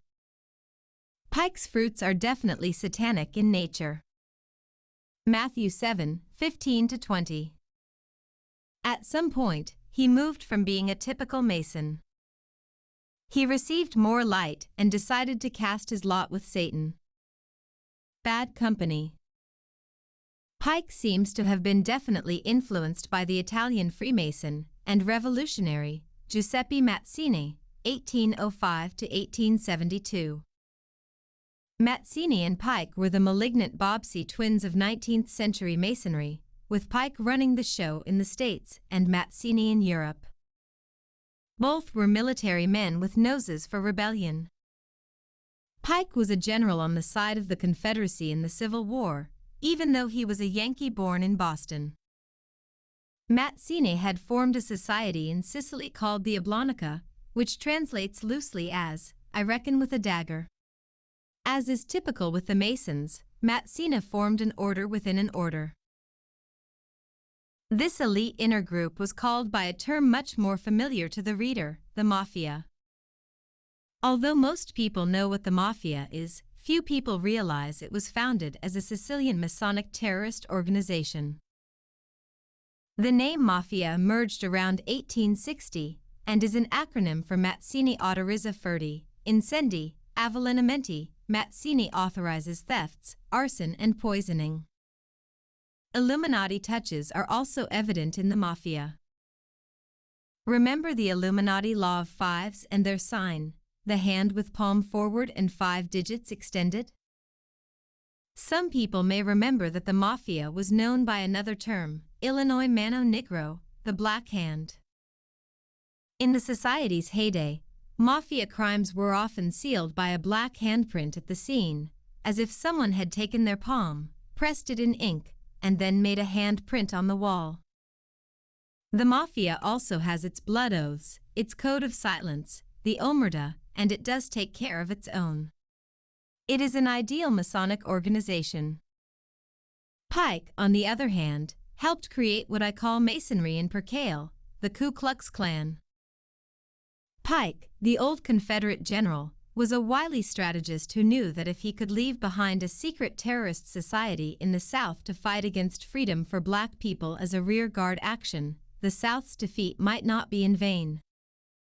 Although these facts may stun Masons, the Lodge has always been racist. Almost no black men were ever admitted to lodges because of the qualifications that the candidate be a man, free-born, of good repute, and well recommended. This is what the term free in Freemasonry stands for. You must be a free and accepted Mason. This rule kept blacks of slave ancestry out of the lodge up to the last decade or so. Black men were forced very early in U.S. history to adapt their own form of masonry, which is called Prince Hall Masonry. An unholy alliance in 1870, Pike and Mazzini completed an agreement to create a supreme, universal rite of Masonry which would overarch all the other rites, even the different national rites. It would centralize all high Masonic bodies in the world under one head. This head would be, in the ultimate sense, Lucifer. However, Pike and Mazzini would be his human regents. To this end, the Palladium rite was created as the pinnacle of the pyramid of power. Domenico Margiotta, a 33O Mason, has written, Palladism is necessarily a Luciferian rite. Its religion is Manichaean neo-Gnosticism, teaching that the divinity is dual, and that Lucifer is the equal of Adonai. With Lucifer the god of light and goodness struggling for humanity against Adonai the god of darkness, and evil, Albert Pike had only specified and unveiled the dogmas of the high grades of all other masonries, for in no matter what rite. The great architect of the universe is not the God worshipped by the Christians. 7. Please note that last statement carefully. The Luciferian doctrine, we are told, is implicit in the lower degrees and only becomes an explicit teaching in the highest degrees. The highest of the high was the Palladium. It would be an international alliance of key masons. It would bring in the Grand Lodges, the Grand Orient, the 97 degrees of Memphis Mitzrayim, the ancient and primitive rite, and the Scottish rite. The name, Palladium, was taken from a Masonic order founded in 1720 which died out, only to re-emerge in Charleston under Pike. Although some Masonic apologists like Arthur Edward Waite claim there was no Luciferian Palladium under Pike, their protests ring hollow. Waite himself was a sorcerer and taught people through his books how to conjure up demons and sell their souls to the devil. Though he kept pretending to be a white light Christian magician, he wrote books with titles like The Book of Black Magic and Pacts. How gullible do they think we can be? One can no more be a Christian magician than a Christian crack peddler. I was brought into Palladium Lodge, Resurrection, number 13, in Chicago in the late 1970s, and received the degree of Paladin in that lodge in 1981 from the son of one of the leading occultists in the late 19th century, an associate of Aleister Crowley. Evidently there was, and is, palladium masonry being worked in the 20th century. I am ashamed to admit it, but I, myself, stood in lodge and joined in the traditional palladium imprecation, which is translated from the French glory and love for Lucifer. Hatred. Hatred. Hatred. To God accursed. Accursed. Accursed. Although I cannot be absolutely certain, I have no reason to doubt the authenticity of the initiation I received. It certainly came right from the pit of hell. Driving the enginery of evil, what made the Palladium rites so distinctive? What made them the glue that held all these different forms of Freemasonry together? One of the arguments raised against the idea of conspiracy in history or religion is the simple fact that most people cannot sit down and agree on the color of parking meters in a town, much less the destiny of the world. This point is well taken, and that is the purpose for the Palladium being revived. It took the fuel of Weishaupt's dangerous vision for humanity and connected that energy to the pistons of Freemasonry. Those pistons were then driven in rhythm by the Palladium. There are basically two ways to get people to move in agreement. One way is through force, either military or of a moral or legal nature. The other way is through a spiritual transformation. If you can somehow plug everyone into the same spiritual power source, if they surrender to that power, and if that power is not concerned with free will, then a remarkable kind of unanimity can be achieved. This can be seen to a small degree in what is called mob psychology. In a greater degree, it can be seen with Hitler and Khomeini. Many Americans were astounded and dismayed at the fervor and persistence of the anti-American demonstrations during the Iran hostage crisis. Guns were not being held to the heads of those hundreds of Muslim fundamentalists who daily hurled their tirades at the great Satan. Similarly, the old newsreels we watch of Nazi rallies are frightening in the lockstep of the participants.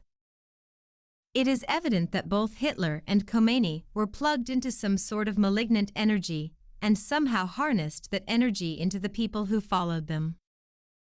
They exercised amazing control over thousands of people who had submitted to them as spiritual slash national leaders. Now turn the power knob up still higher, and you will understand how the palladium worked.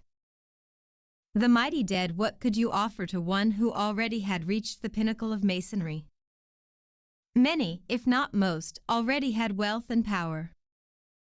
The only further enticement of any power would be an ancient one Ye shall not surely die, ye shall be as gods, knowing good and evil. Genesis 3 For to five such men would be offered immortality and godlike wisdom.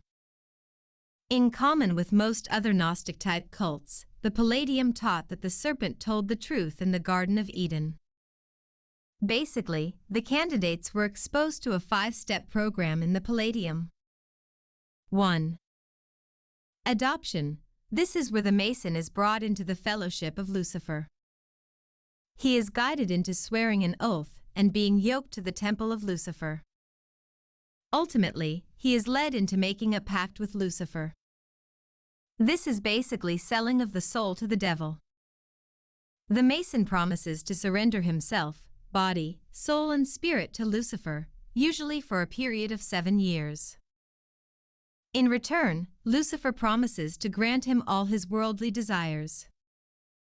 After the seven years are up, if he has been a good servant, Lucifer will give him another seven years. If he has failed in some fashion, his life is taken. 2.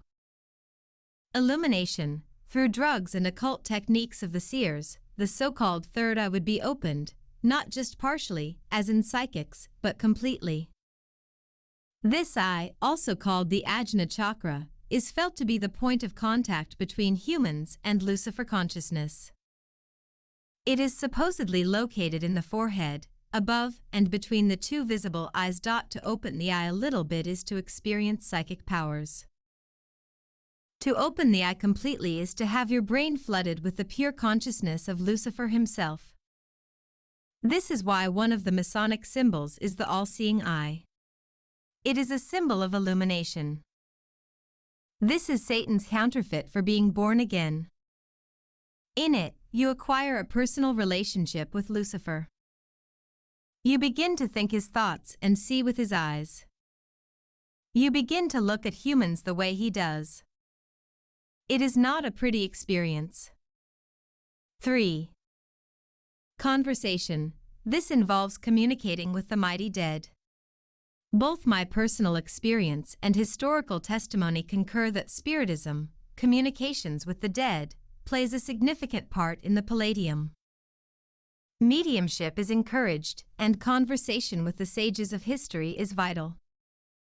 We spoke, allegedly, with such luminaries as Jesus, Plato, Francis of Assisi, King Arthur, the Emperor Nero, Aleister Crowley, and even Hitler. We were very ecumenical. These wise and powerful beings gave us advice and taught us how to bring our bodies and wills more perfectly under the subjection of Lucifer. 4. Congress, the initiate would be led into being literally married to these dead. Usually this was done either by having a medium of the appropriate gender be possessed by the dead spirit, actually a demon, and then a sacrilegious wedding ceremony was consummated. It was believed that the magical virtue of the spirit would flow from the possessed medium into the initiate through the act of intimacy.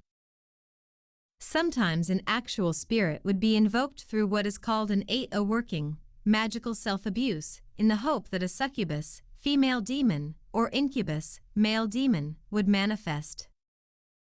The idea was that the wisdom and godlike power of the spirit being would gradually, through repeated congress, totally infuse the mind, body, and will of the initiate. Once this awful goal had been achieved, the initiate is brought into 5. Union. At this point, the soul of the initiate is totally eclipsed by the evil spirit.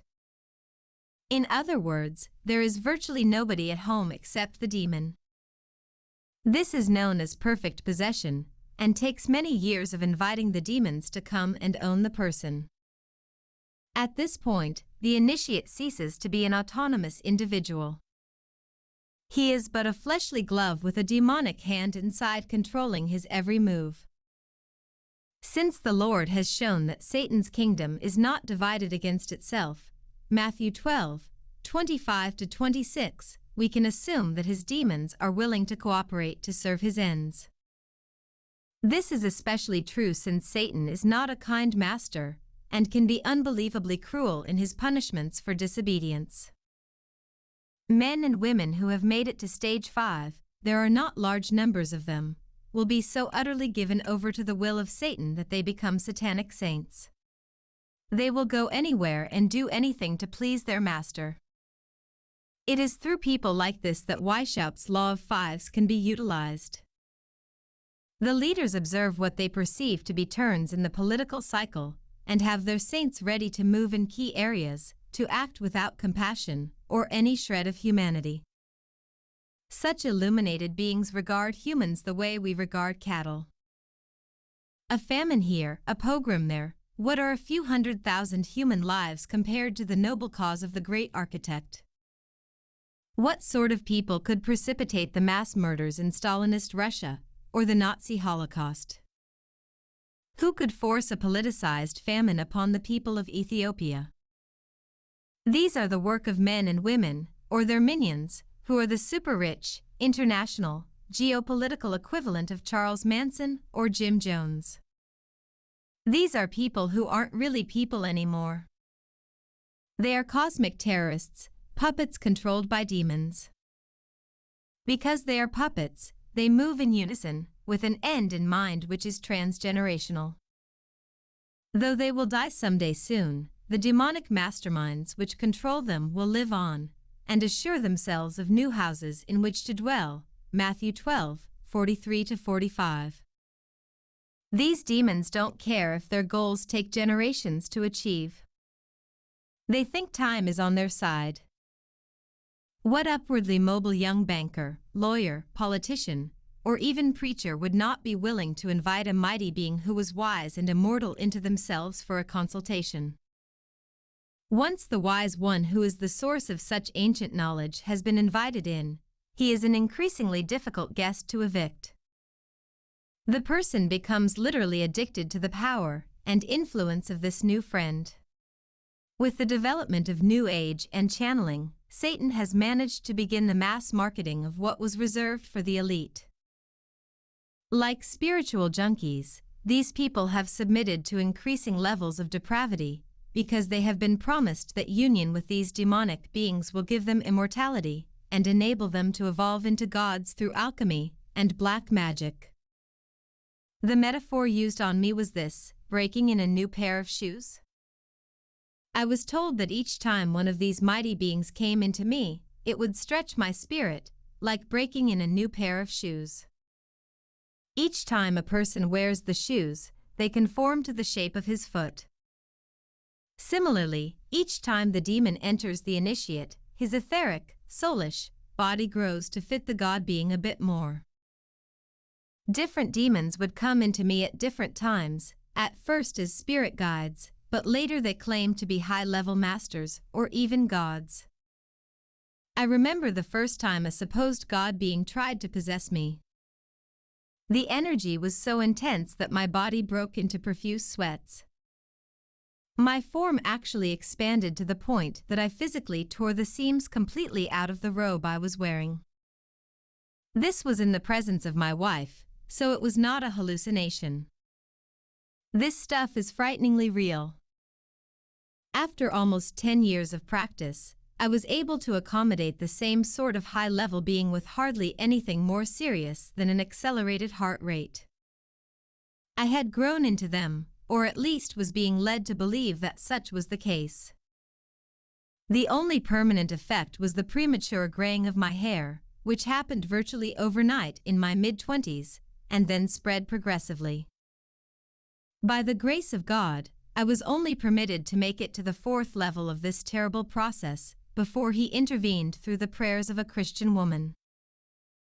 Although the blood of Jesus can cleanse from all sin, 1 John 1 7, I'm not certain how many people would be spiritually salvageable once they got far into step 5.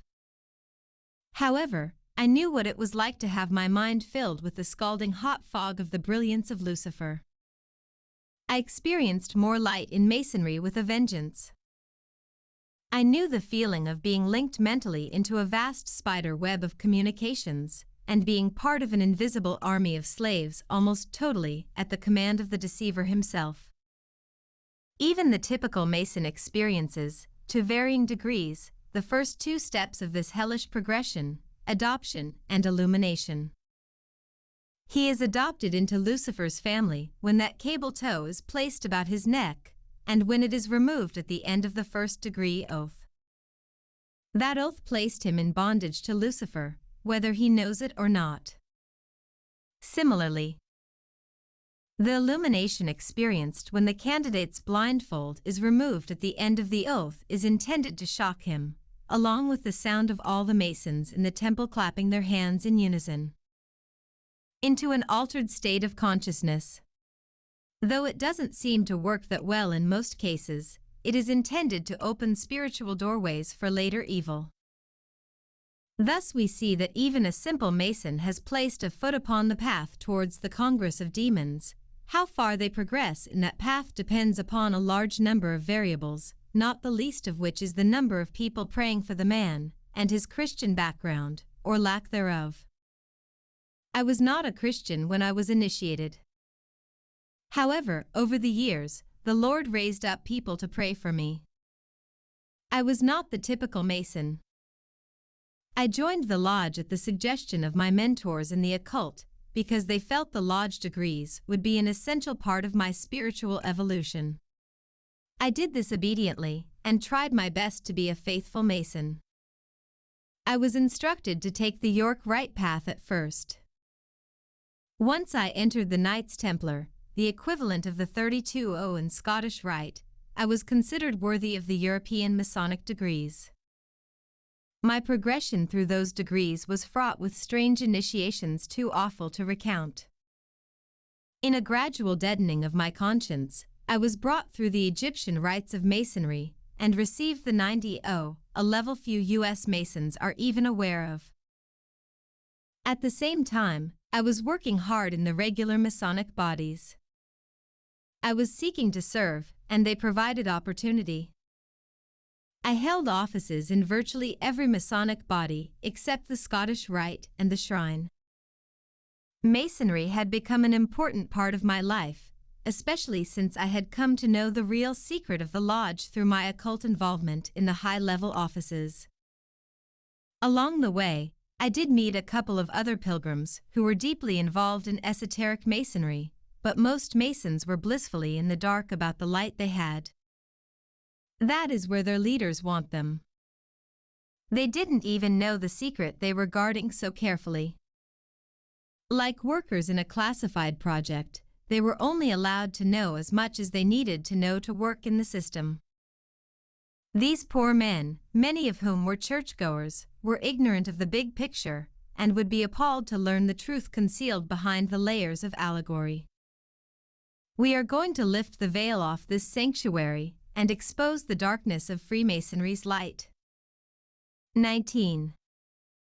The Witchcraft Connection It is vital to understand that the past interchange between Masonry and these various occult groups did not stop in the 18th century. If anything, it has grown more prominent in the past century. There is something about the lodge that has always attracted sorcerers. The list of occultists and witches in the last century who were Freemasons reads like a who's who of 20th century occultism. Arthur Edward Waite, occult writer and Masonic historian Dr. Wynn Westcott, member of the Societas Rosicruciana in Anglia and founding member of the occult order of the Golden Dawn. S. L. MacGregor Mathers, co-founder of the Golden Dawn, Aleister Crowley, master Satanist of this century and founder of the Antichrist religion of Thelema. Dr. Gerard Encausse, Papus, masterful author, teacher of the tarot, and leader of the occult Martinistes Society. Dr. Theodore Reuss, head of the OTO, a German occult slash satanic society, which made Crowley its head for the British Isles. George Pickingill, the master warlock, male witch of 19th century England, leader of the Pickingill Covens. Annie Besant, leader of the Occult Theosophical Society and Co-Masonic Hierarch. Yes, there are female Masons. Alice Bailey, founder of the New Age organization, Lucis, formerly Lucifer, Trust. Bishop C. W. Leadbeater, Theosophist, mentor to the failed New Age Christ, Krishnamurti, and prelate in the occult liberal Catholic Church. Manly P. Hall Rosicrucian adept, author, founder of the Philosophical Research Society. Gerald B. Gardner, founder of the Modern Wiccan, White Witchcraft, Revival. Alex Sanders, self-styled King of the Witches in London, and one of the most influential leaders of Wicca after Gardner.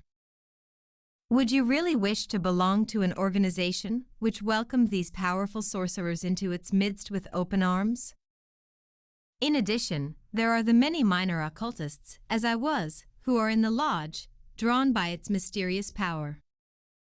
At least three or four of my male witch friends were in the Masons, and all my leaders were. There is a real reason for this strong affinity between masonry and witchcraft. It is because the lodge is plugged into an international network of witchcraft, a hierarchy of evil. Recognizing the all-seeing eye as an occult symbol, its use on the Great Seal of the United States is not without significance, see the back of any dollar bill. You will note that the eye is perched atop an incomplete pyramid with the date 1776 AD in Roman numerals at the bottom. Remember 1776 is also the year Weishaupt founded the Illuminati. The trapezoid, what the unfinished pyramid really is, is a most significant symbol in Satanism. The symbol on that seal is actually a metaphor for the oppressive hierarchy which reigns over the Masonic Lodge and over much of U.S. government. The pyramid is something like the illustration on the next page. Being a Mason, of whatever degree, is like going through your life with all that spiritual garbage weighing down on you. It is like having a King Kong sized monkey on your back.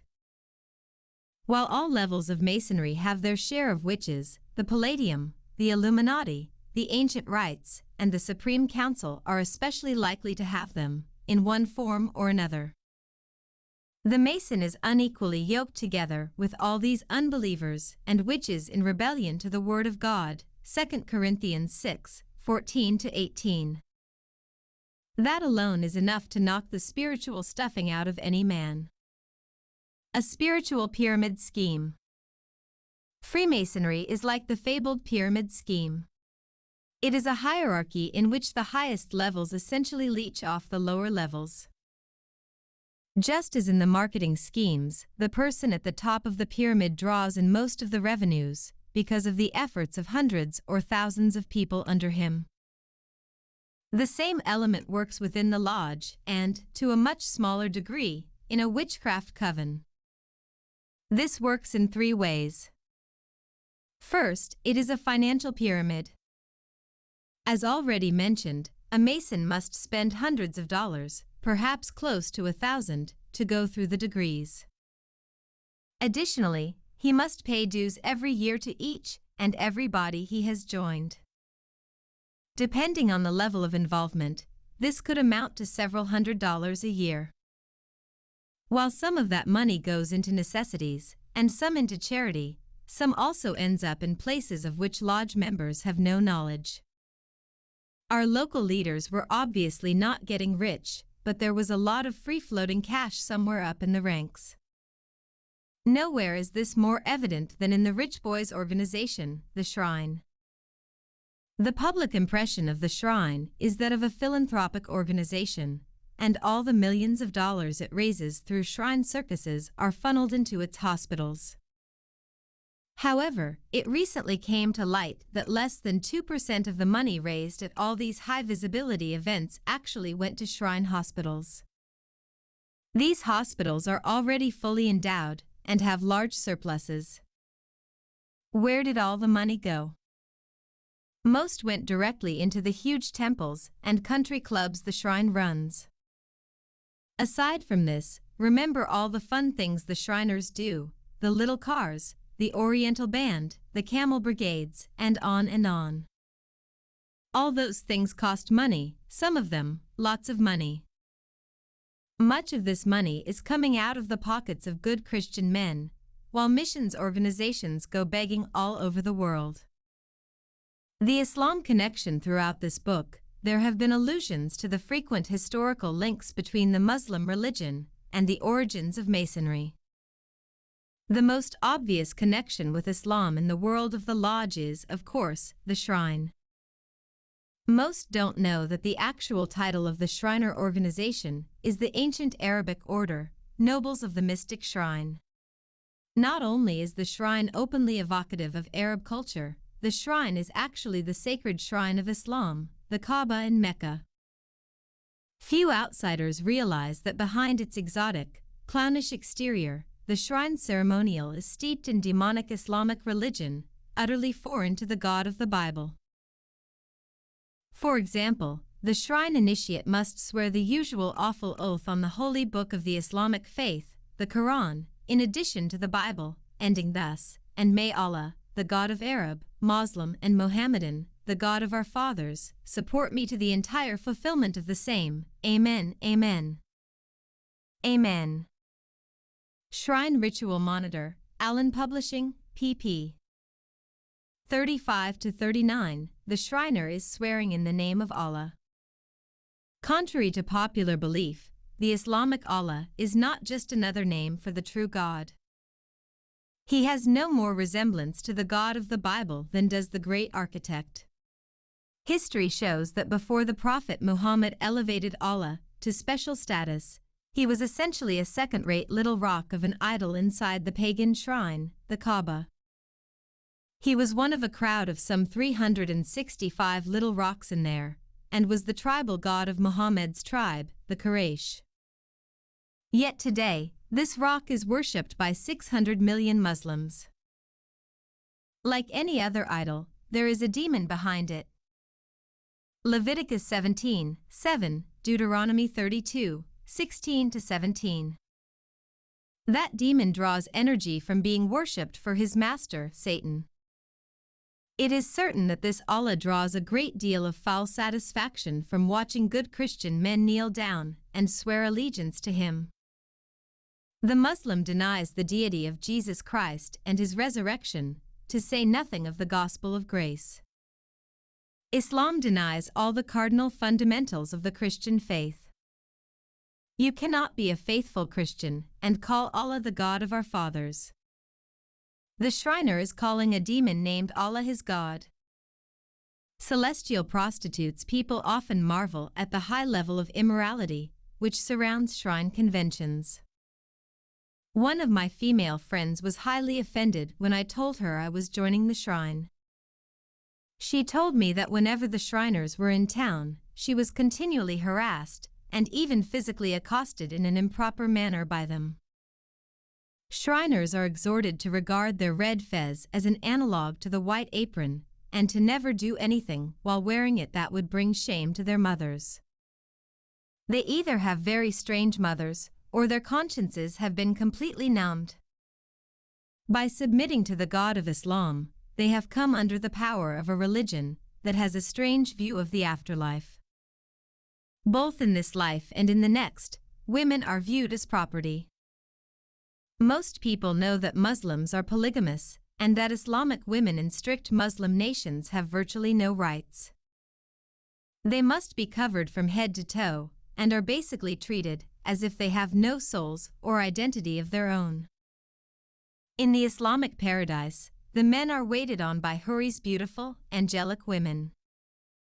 These women are mindless and exist only to serve the sexual needs of the Islamic saints. They are basically celestial prostitutes. If this Islamic spirit has come upon the shrine nobles, no wonder they behave like oversexed adolescents in these conventions. In the Jesters Club, an elite group within the shrine, women have reported to us that their husbands abused them physically and sexually and even share them with other jesters, like a wife-swapping club. If this is true in the larger order, it could explain the horrible Islamic attitude toward women, which basically regards them as objects. With or without the immorality, the Islamic powers which loom over the shrine should make it a place any Christian would flee. The red fez itself, associated with the shrine, is actually an article of ceremonial attire among Moroccan Muslims. Its color is said to reflect the fact that centuries ago, Islamic armies invaded Fez and slaughtered thousands of Christians who resided there. The blood of Christian martyrs ran in the streets, and the Islamic holy warriors dipped their headgear in the blood and dyed them scarlet. Thus, the Fez is a commemoration of the murder of thousands of Christians. No wonder Satan smiles when Christians wear it proudly.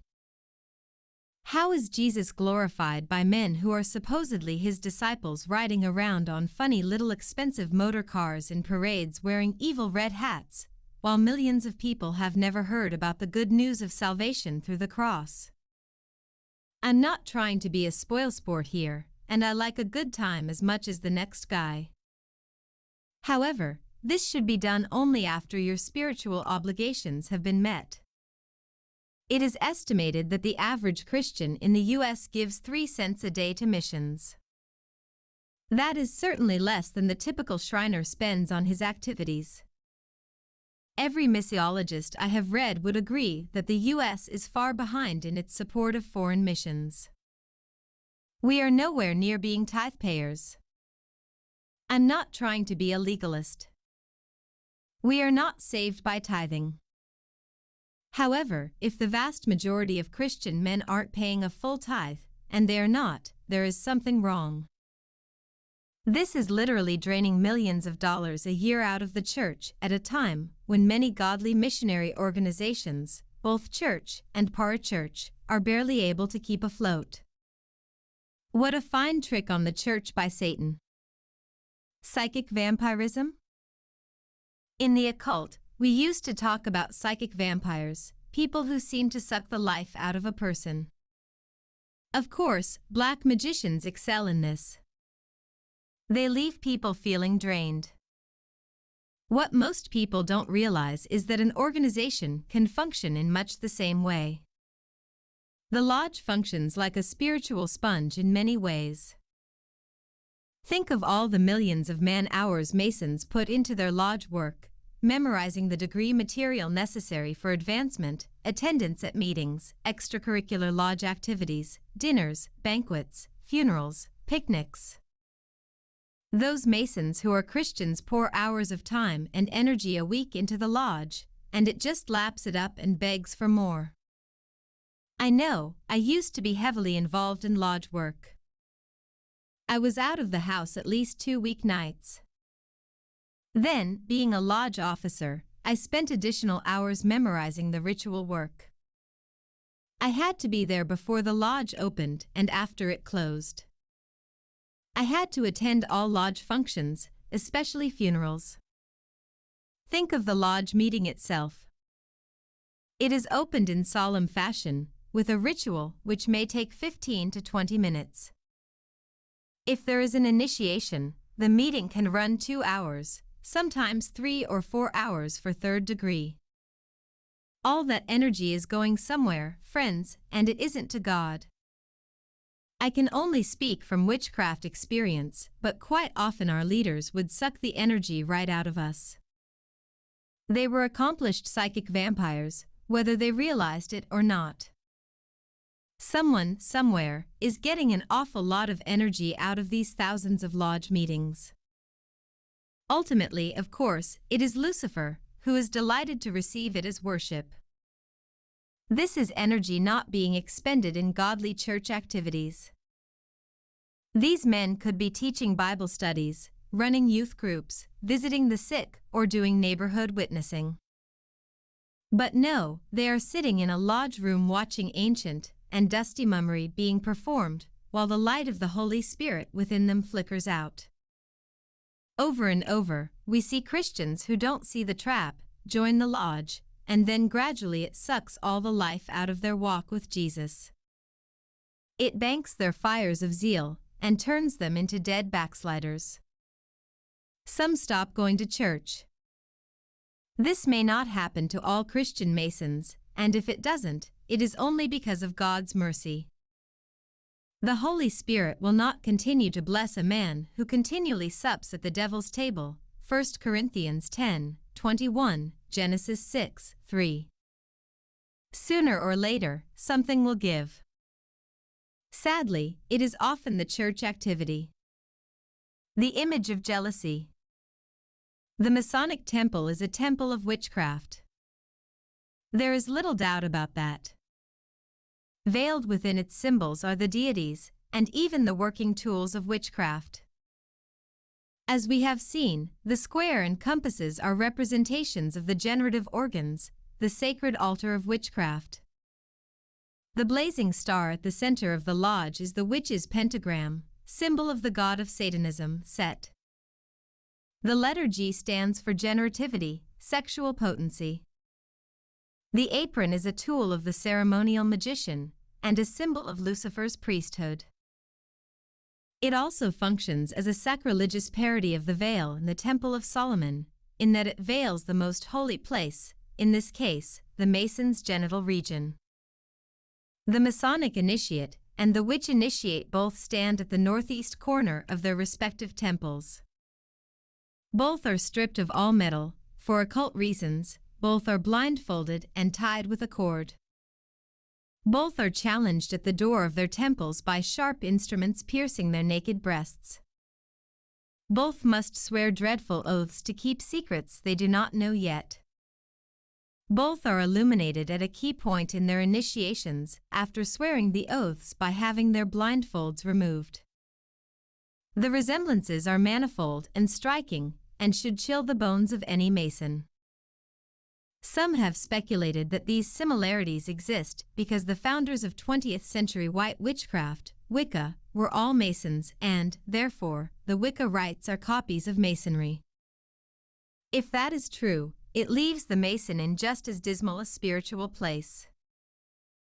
It means he is spiritually connected to an organization whose rites can effortlessly slide into witchcraft and devil worship and fit beautifully. If Freemasonry is so godly, how could it possibly be interchanged by both witches and Satanists so freely? Virtually all the above mentioned resemblances are part of the ancient practices of pagan antiquity as well. Witches 2,000 years ago were doing the same things that Masons are doing today. Masonic writers boast of this, although they don't use the word witch, they talk about mystery religions, but it is the same thing. Let's face it, the Masonic tie tacks and rings which so many Masons wear proudly to their churches on Sunday are sexual idols. The true God of the Bible is not a sex organ. That may seem a ridiculously obvious statement, but the Mason needs to be reminded of it. This is the very image of jealousy, which provoketh to jealousy, Ezekiel 8 3. The gods of the pagan nations around Israel, like Baal, were all sexual idols. This is precisely what God does not want in His church, and yet, Masons are flaunting both their idols and their memberships. It is a testimony to the graciousness and loving kindness of Father God that these churches are not flattened by the breath of his nostrils, that they are not vomited out of his mouth. Revelation 3 16. However, both they and their individual members may well be paying a horrible price for their continued winking at the sin of Freemasonry in their camp. 20. Masonry's trap closes. After I came out of Masonry, I was astounded by one of the first scriptures the Lord showed me with its uncanny resemblance to what is happening today in lodges all over the world. After seeing the image of jealousy, Ezekiel is taken in a vision into the temple in Jerusalem. Within the temple walls, the prophet was shocked to see idols painted on its inner corridors, with seventy of the ancients of the house of Israel worshipping them with incense. The Lord tells Ezekiel, Son of man, hast thou seen what the ancients of the house of Israel do in the dark, every man in the chambers of his imagery? For they say, The Lord seeth us not, the Lord hath forsaken the earth. Ezekiel 8, 12 Then the prophet is taken further, and sees the women weeping for the dying and resurrected God, Tammuz, Hiram Abiff. The final horror in the eyes of God, however, was the following scene, And he brought me into the inner court of the Lord's house, and, behold, at the door of the temple of the Lord, between the porch and the altar, were about five and twenty men, with their backs toward the temple of Lord, and their faces toward the east, and they worshipped the sun toward the east. Ezekiel 8, 16 That is precisely what happens at every lodge meeting. Although the Masonic temple is supposed to represent Solomon's temple, it is facing exactly backwards from the way the real temple was situated. The Lord deliberately had the temple rites facing west, away from the rising sun, which was the chief symbol of the pagan gods of the time. To face the Ark of the Covenant, one had to face west. In the lodge, all devotions are made facing east. Not only that, the Masonic ritual boldly proclaims that, as the sun rises in the east, to open and govern the day, so rises the worshipful Master in the east, to open and govern his lodge, set the craft to work, and give them proper instructions. Here is a direct identification of the master of the lodge with the sun god, Baal. How can masonry be an enactment of the rites of Solomon's temple when the whole thing is oriented the wrong way? This is a similar concept to the satanic black mass, where all the Christian symbols like the cross or the Lord's Prayer are inverted or said backwards. The place of darkness when the new mason sees the lodge, he will note there are officers' stations in three of the four compass points, the master in the east, the junior warden in the south, and the senior warden in the west. The north alone has no dignitary. In the lecture, the candidate is told, because this and every other lodge is, or ought to be, a true representation of King Solomon's temple, which was situated north of the ecliptic, the sun and moon, therefore, darting their rays from the north. We therefore, Masonically, term the north a place of darkness. That should be an interesting remark to anyone familiar with the Bible. First of all, the temple's holy place and most holy places were not dependent on the light from the sun or moon. No, it was lit by the seven-branched candlestick, Exodus 25, 31 to 40, 26, 35. More importantly, the Bible teaches that the north is the dwelling place of God. God is enthroned in the north, Isaiah 14, 13, Ezekiel 1, 4, Psalm 48, 2. How interesting that the mason must turn his back on the true temple of God to worship, and that he also regards the place where God's throne sits as the place of darkness. You see, the trip wires are everywhere. Spiritual traps await the mason around every corner. Hardly a facet of the ritual or doctrine of the lodge exists which does not hold some blasphemy, some hidden peril. The bottom line for the Christian Mason are these questions. How many things need to be wrong with an institution before you will renounce it? How many sins does it have to lead you into before you say it's enough? For a sincere Christian, the answer should be just one. We have shown you dozens. You need to understand the spiritual dynamics of these traps and how cleverly all Masons have been duped by the master deceiver himself, Satan. Welcome to the world's largest coven. Masons are adopted into the Masonic order. The word adoption is key here because it is a deliberate copy of the sacred act which takes place when a person becomes born again. You are adopted into God's family, Romans 8, 15, John 1, 12.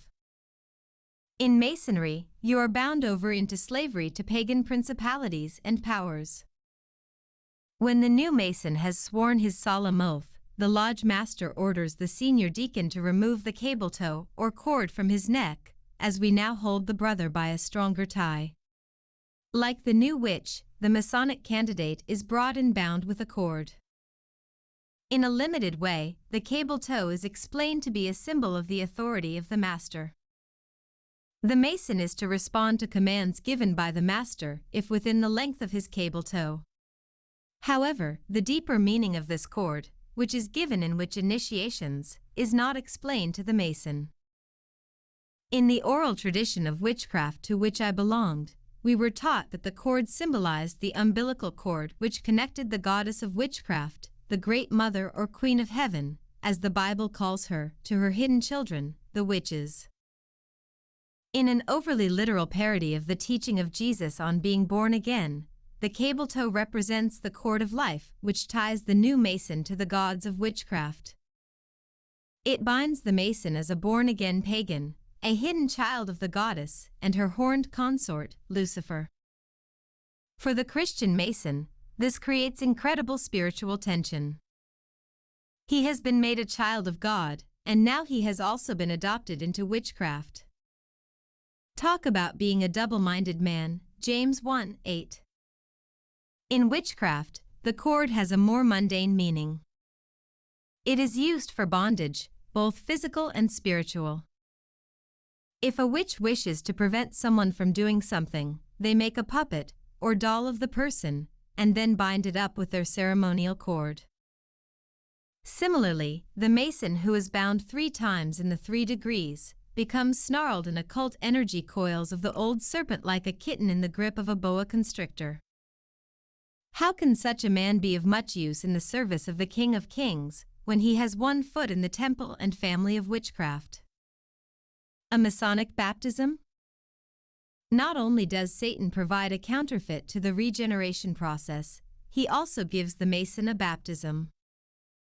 As bizarre as it may sound, the Mason is forced to experience a parody of the rite of water baptism.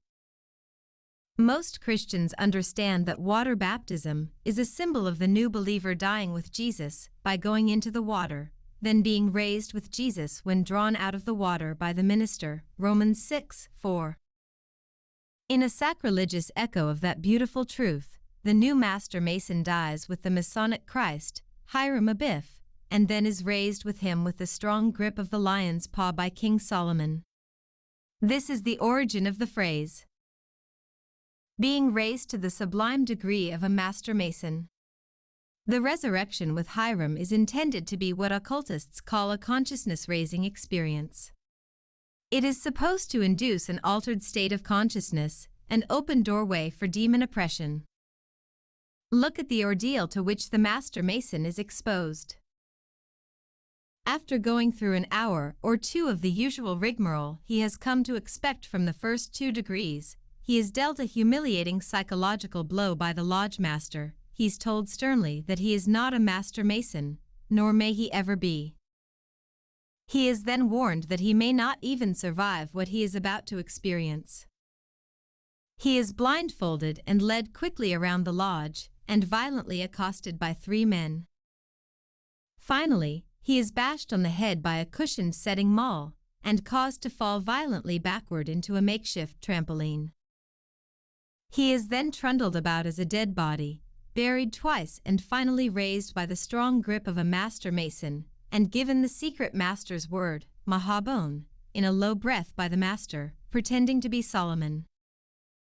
This is a blatant recreation of the ancient pagan sex cult resurrection rites mentioned earlier, and a mockery of the Lord's resurrection and Christian baptism. After dying with the Masonic Christ, actually Baal or Tammuz, comma, he is raised with him, not only has he been born again with the umbilical cord of the witch goddess strangling his neck, he also gets a pagan baptismal rite. How it must grieve the Holy Spirit to see Christians submit to this profane rubbish. Viruses in the biocomputer then we have what masonry does to your mind. I was honored to have as my poster in the lodge, the fellow who helps you memorize the ritual, an actual 33O Mason who was a Grand Lodge officer. He was a kindly, older gentleman who was patient with me as I struggled to learn the degree work necessary to advance. When I got discouraged, he smiled and urged me on. He sat beside me in his living room and told me he had found the memory work did all sorts of interesting things to his mind. He was a big executive and said the memory work clarified his mind and enabled him to have a more astute business sense. He credited it with his rapid advancement in a huge firm. As I worked, I discovered my mind began to subtly change. I was beginning to think like a mason. Running these strange, arcane-sounding phrases over and over in my head had an almost hypnotic, mantra-like quality. I realize now that such phenomena were the first steps towards moving me in the direction of Illuminism. My mind was being given more light. My software was being wiped clean and rewritten to conform to the mold of Masonry's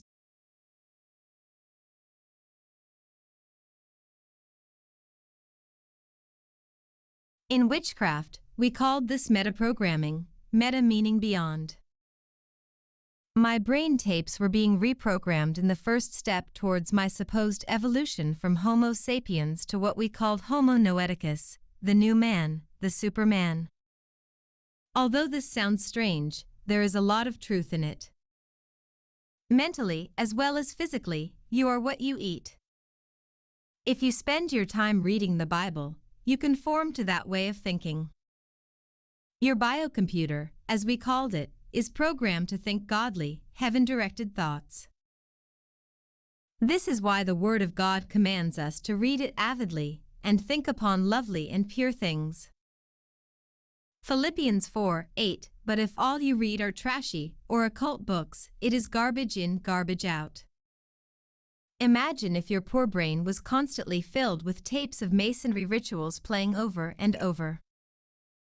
Imagine those tapes as scientifically designed like spiritual computer viruses to get into the very depths of your mind's software and eat away everything worthwhile. I was working on an assembly line when I was a first degree Mason, and it was mentally boring. I spent hours at a time fixing the Masonic memory work in my head. Although there is no way to prove this, I can look back and see that those countless hours I spent memorizing ritual work were times in which Satan had a chance to hotwire my mind. When I was born again, I realized that my mind was remarkably refreshed and regenerated by the blood of Jesus. Much of the Masonic mind patterns were instantly cleaned out. That is why, when I returned to the lodge on that summer morning, I felt like such an alien, a stranger. I had to renounce my lodge oaths and sever my membership. Masonic Muzak? It may seem I am carrying this computer metaphor too far. Can simple memory work in a lodge really do spiritual damage? At the very least, it can cost the Christian Mason time, which could have been spent in Bible reading, prayer, or Christian service. How would you like to stand before Jesus and tell him that you were too busy memorizing the 12 clauses of the Master Mason oath to go next door and tell your neighbor about him? Not for me, thank you. Beyond that, we have noticed a formidable spiritual deadness in talking with Masons about the Lord. It is like pouring water over a rock. What can this deadness come from? When my wife and I were fairly new to the evangelism ministry, we traveled back to Milwaukee to talk to one of our former friends and pupils in witchcraft whom we had recently been blessed to help lead to the Lord. Both he and his younger brother had been in our covens, and he wanted us to meet with the brother to explain to him what we had discovered about Jesus. I had led this younger brother, Tom, to join my lodge. He was one of the kindest, most tender-hearted and sincere people in any of our groups, and was deeply religious. However, he was not yet a Christian in the biblical sense. He had followed us through Wicca, Masonry and Mormonism, and now we wanted to help him back out. We spent hours with Tom and explained the gospel to him. He was willing to pray and ask Jesus into his heart. He was willing to prayerfully renounce Wicca and Mormonism. But in spite of his love and respect for us, which was mutual, he could not bring himself to see anything wrong with Masonry. When we spoke about it, his eyes would glaze over. He was very proud of the memory work he had completed because he was raised in a disadvantaged home and didn't have a good grasp of the language. It was indeed an accomplishment to be proud of. However, he was so caught up in the work, he was willing to turn his back on Jesus. He could have let go of Mormonism and Wicca, but not Masonry. We parted with hugs, but he did not pray to receive the Lord. Soon, in spite of his best intentions, he began to slide back into occultism. We haven't heard from him for several years, but we pray for him. His spirit, which was very sweet and searching, had been rendered inert by frequent exposure to the musty mummery of the lodge. Satan had enshrouded his mind in the soft cotton batting of the ritual, insulating him from God's truth. Tom is our dearest example of literally dozens of Masons we have witnessed to, only to find that Satan has cleverly quarantined their minds from our efforts. He has his Masonic Muzak tapes playing so loudly in their ears they cannot hear the gentle promptings of the Holy Spirit. What a strategy! Not only has Satan succeeded in getting Christian Masons in spiritual bondage through blood oaths, sin, and idolatry, he has even managed to capture their minds. He has turned the Lord's command on its head. Instead of conforming their minds and renewing them in Christ, Romans 12, 2, Philippians 2, 5, for colon 2, he is turning them into little Masonic robots who can barely quote John 3, 16, but can easily give you the entire G lecture from second degree. Satan has managed to mock not only the regeneration experience and baptism, but even the process of sanctification itself with his own twisted rituals. However, he is not content with entrapping the Christian Mason's mind, soul, and body, he wants his family too. 21. The Curse and the Hope Asterisk A teenage girl has epileptic seizures so horrible that no medication can help. Her parents' renunciation of Masonry begins a process, which ends with her being healed of the epilepsy by the power of Jesus. Asterisk a high-level officer in the Eastern Star wakes up to night terrors involving a goat-headed demon trying to molest her the night after she performed star rituals. These awful occurrences stopped when she renounced the star and quit. Asterisk a grandchild with severe learning disabilities is miraculously brought nearly up to speed within days of his grandmother renouncing the Masonic ties in her family. Asterisk a woman with crippling MS is brought into complete remission by cutting her ties to the Eastern Star and asking the Lord to forgive her for that association. Asterisk a suicidal teen who is into Satanism and black metal music comes forward for prayer and receives Jesus after her mom renounces the generational Masonic links through the child's grandfather. These are just a few accounts of people, and often children, whose lives were severely hampered by involvement in Masonry. I mention them not to dismay you, but to show you there is no tragedy that the cross of Calvary cannot heal. Satan can come in and wreak spiritual and physical carnage in a home when the father is a Mason. Parents who seem to be good, God fearing people are bewildered that their child is ill, or their teen is involved with Satanism, promiscuous sex, or trying to commit suicide. Because information such as you find in this book has been kept out of most Christian media, parents are often astonished to learn that Masonry can be such a cancer in the home. This due to a lack of good teaching on the cult of Masonry in churches, and because of the lack of preaching on the issue of spiritual headship in the home. Many pastors are uncomfortable with the subject because they feel it is chauvinist or unliberated to preach about the husband being the head of the wife. 1 Corinthians 11, 3-10. God's word is never old-fashioned. For lack of sound teaching on this, many Christian marriages have shipwrecked, and many children have become lost in the raging seas of adolescence. It is essential that both the husband and wife understand the principle of headship in the home, and thereby comprehend the dangers of Masonic involvement. Headship Paul teaches that the head of every man is Christ, and the head of the woman is the man, 1 Corinthians 11, 3. This is how men and women are created by God. Two other key verses in this passage tell us, But every woman that prayeth or prophesieth with her head uncovered dishonoureth her head, for that is even all one as if she were shaven, for the man is not of the woman, but the woman of the man. Neither was the man created for the woman, but the woman for the man. For this cause ought the woman to have power on her head, because of the, the angels. 1 Corinthians 11, 5, 8 to 10 Although this is a rather deep passage, it is not too deep that it cannot be interpreted by turning to the Bible itself for help. The first part is clearer. The husband is to be the head of the wife, even as Christ is the head of the husband.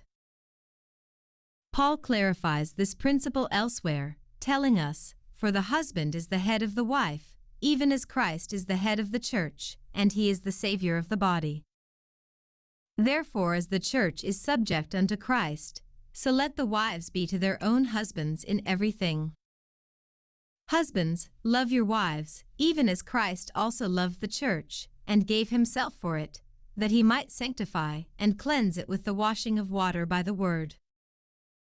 Ephesians 5 23 26 It is not a question of the husband lording it over the wife as much as it is the husband giving himself up for his wife, laying down his life for her as Jesus did for the church.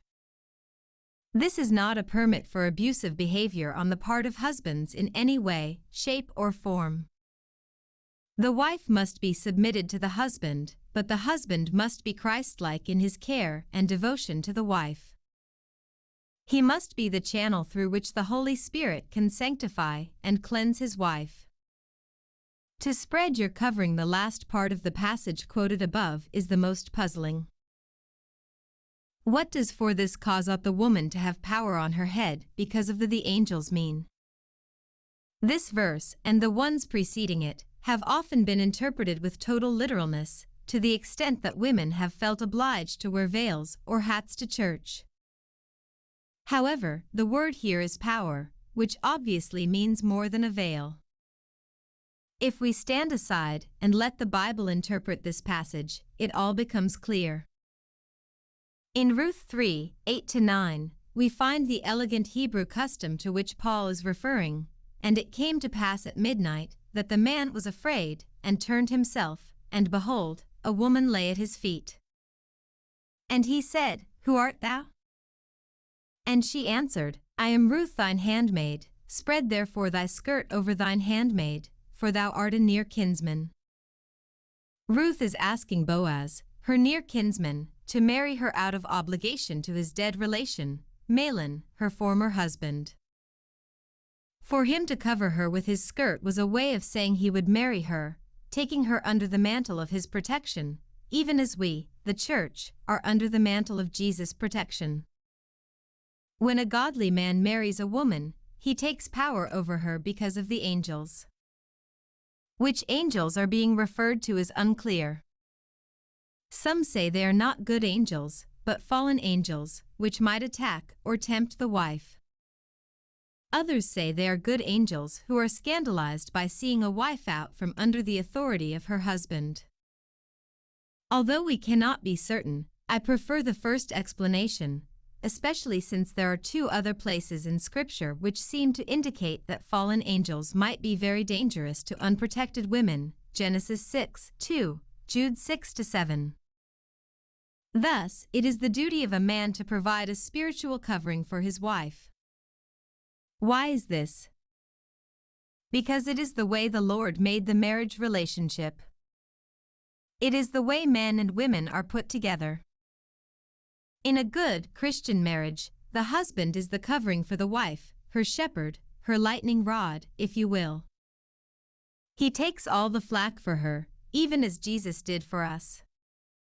He should be both a unique font of blessing for her and her strong protector from attack, whether spiritual or physical. A godly woman can maintain herself in marriage to a backslidden or unsaved husband, but it is a struggle.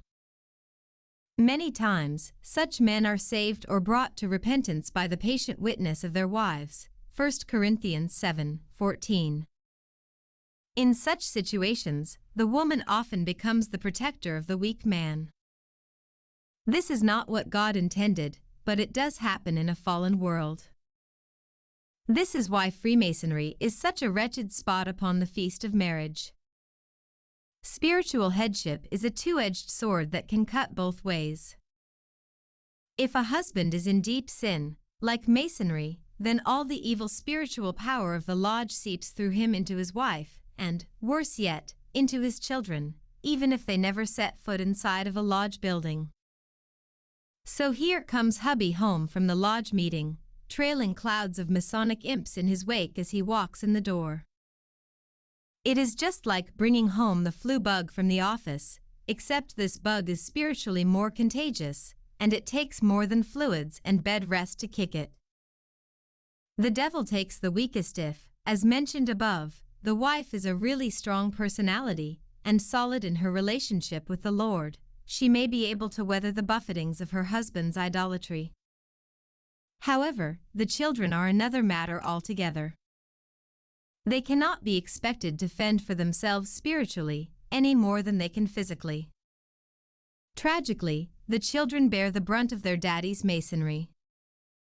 This is not just because of the likelihood of the kids getting involved in Demolay, Rainbow, or Job's Daughters, Masonic youth orders, although that danger is real.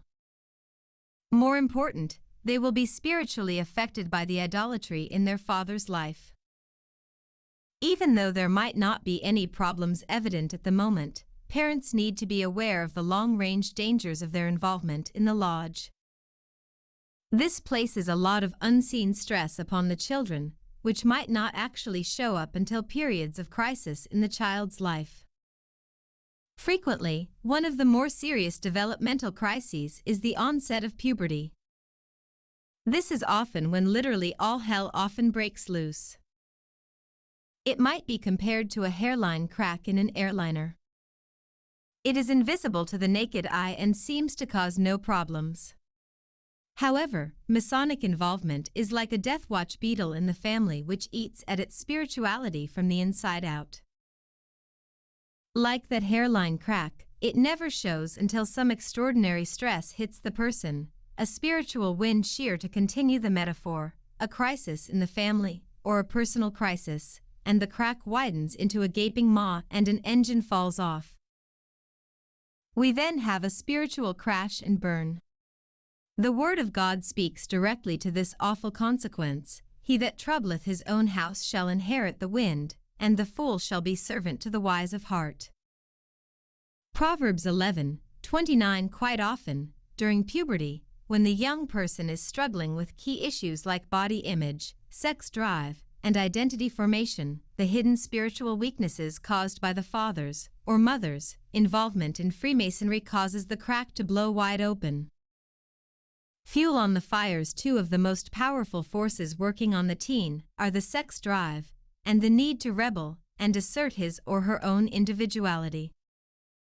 Both are part of the craziness of being an adolescent and are made incredibly worse by Masonic headship in the home. Why is this?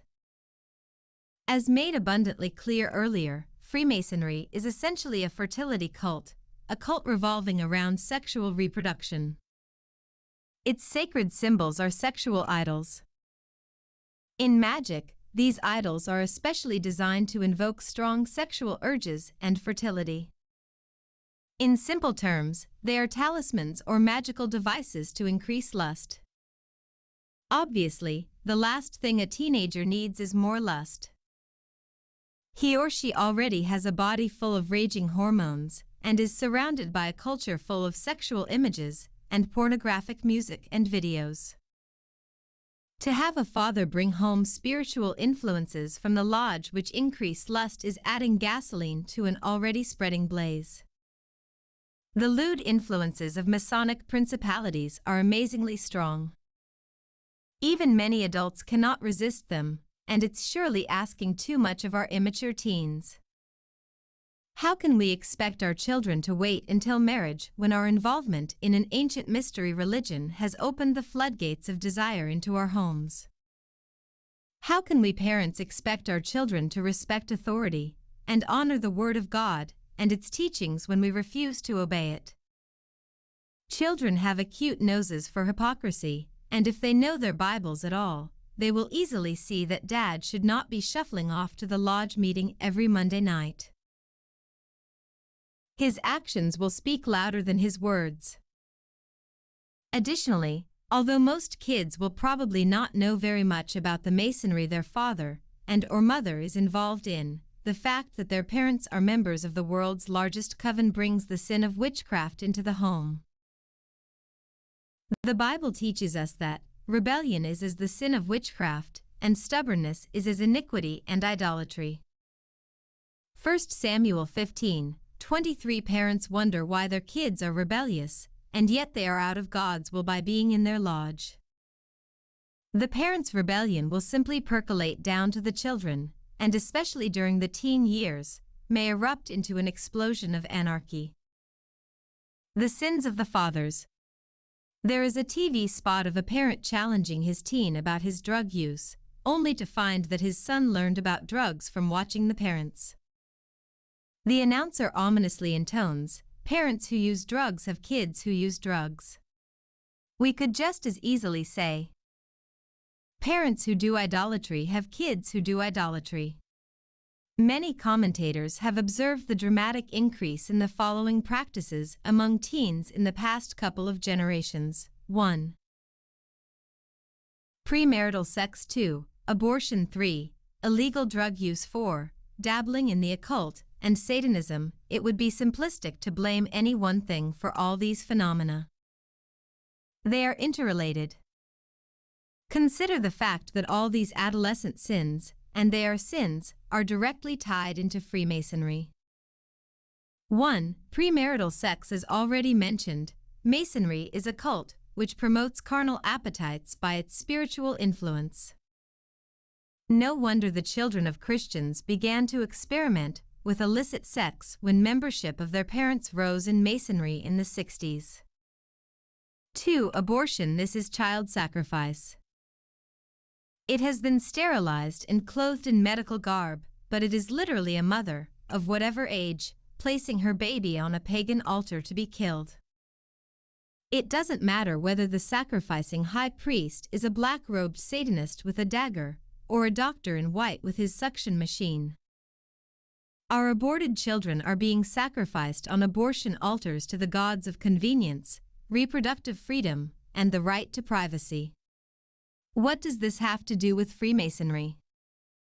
The god of the lodge is Baal, or Abaddon, or any number of other pagan gods.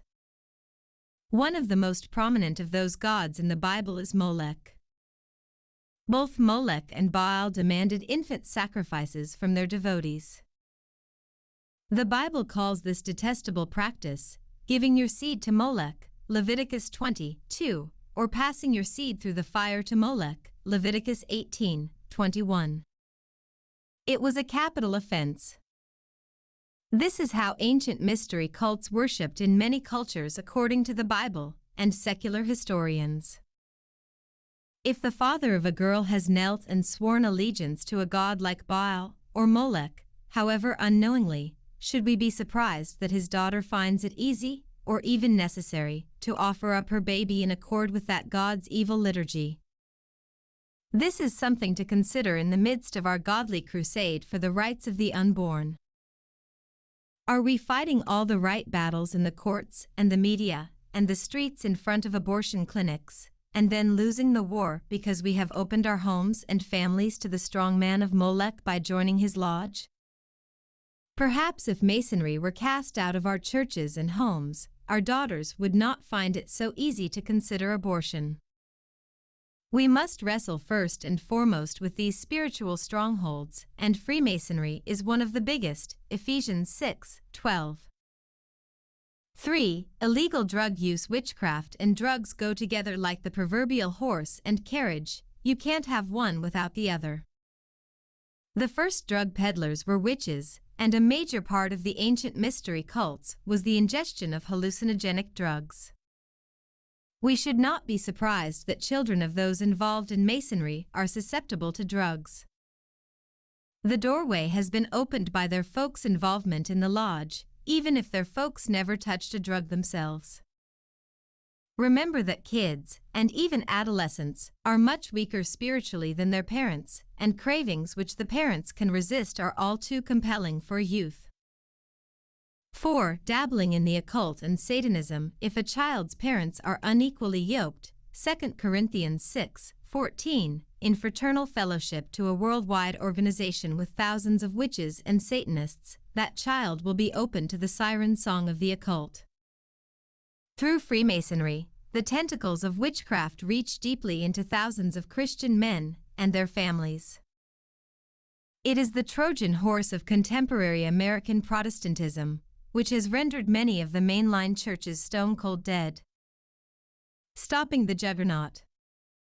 Satan is too wily a strategist to put all his serpent's eggs into one basket. He launched a multi-taloned assault against our young people, TV, rock music, secularism in schools, drugs, etc. But the first step he had to achieve was fouling the nest of the Christian church by bringing Freemasonry into it. Even though Masonic Lodge activity is on the wane in most areas, the vile spiritual momentum created by the parents' and grandparents' involvement in Freemasonry has set in motion a snowball of sin. Like an unstoppable juggernaut, this current of pagan mystery religion draws into itself all the side streams of occultism, MTV, drugs, and slasher videos until it lumbers on under its own power, crushing an entire generation of children under its malignant weight. Only the power of the cross can stop it. Nothing but the blood of Jesus can bring the juggernaut of corruption to a halt. But with it must come true brokenness and heartfelt repentance.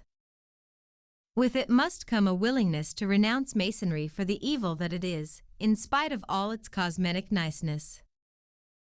With it must come a genuine desire to come out from among them and be separate, no matter what friends, family, or business associates might say. If the Christian Mason loves his family, and more importantly, if he really loves Jesus Christ, he will be willing to lay aside the unfruitful works of darkness, Ephesians 5 11, no matter how glamorous they might be. He will be willing to call sin by its name. Only by doing this, and by following the suggested procedure in the concluding chapter of renouncing the practices of Masonry before the Lord and legally resigning from his Masonic memberships, will he be able to stop the juggernaut of evil. Jesus can break the chains of sin and death which bind the Christian Mason in the lodge, but he must repent and confess to the Lord. Only then can the momentum which threatens him, his family, and his church be brought to a grinding and impotent halt. Sadly, the Christian Mason will need to count the cost. Luke 14, 28. I would be less than honest if I did not mention that the wrath of the lodge can be massive and frightening.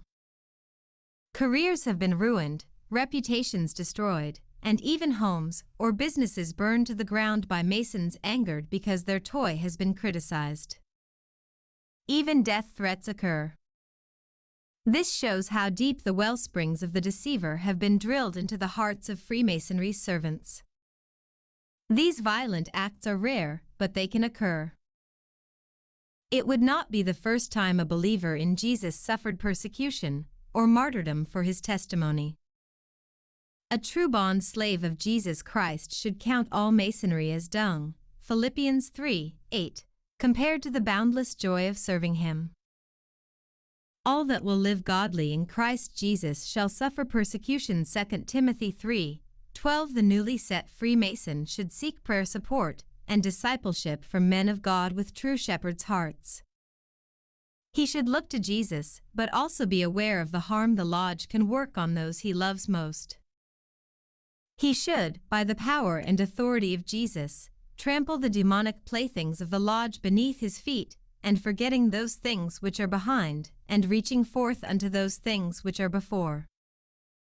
He should press toward the mark for the prize of the high calling of God in Christ Jesus. Philippians 3 13 14. 22. How to Protect Your Family. Throughout this book, you've seen a grim picture of the havoc that Masonry has created within the Christian home and church. You've seen how the involvement of either parent, especially the father, in the Baal worship of the lodge can cause strongholds of evil and rebellion in the home, in spite of the best efforts of the parents to maintain Christian standards. Jesus Christ offers a simple solution to these problems through his cross and shed blood. Nevertheless, Christians involved in Masonry must be willing to reach out to Jesus. They must confess Masonry as sin, renounce it, and get it out of their lives and out of the lives of their families. Only then can they confidently resist the activity of Satan against them and those most dear to them. The vast majority of Masons have no idea of the danger to which they have been exposed. They are victims. They do not know that the symbols of the lodge, which they wear so proudly, are idols of lust. They have been deliberately deceived by those in the highest reaches of the craft. However, that does not excuse them. Hosea 4 6 still applies. If you drink a soda with poison in it, it will kill you, even if you didn't know the poison was in it. If a baby, ignorant of the law of gravity, crawls off a sofa, it will fall with a jarring thud to the floor. These realities, which everyone accepts, are based upon laws created by the Lord.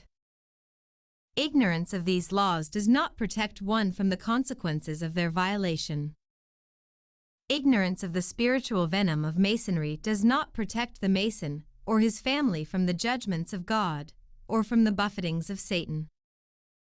And yet, people who accept the laws of gravity as solid and inviolable neglect to realize that the same God who designed those laws also designed spiritual laws which are just as powerful and just as difficult to circumvent. The law of God with regards to sin, any sin, in the life of a Christian is simple. The Apostle John says, This then is the message which we have heard of him, and declare unto you, that God is light, and in him is no darkness at all. If we say that we have fellowship with him, and walk in darkness, we lie, and do not the truth, but if we walk in the light, as he is in the light, we have fellowship one with another, and the blood of Jesus Christ his Son cleanseth us from all sin. If we say that we have no sin, we deceive ourselves, and the truth is not in us. If we confess our sins, he is faithful and just to forgive us our sins, and to cleanse us from all unrighteousness. 1 John 1 5 to 9 Masonry, just as any other sin, needs to be confessed.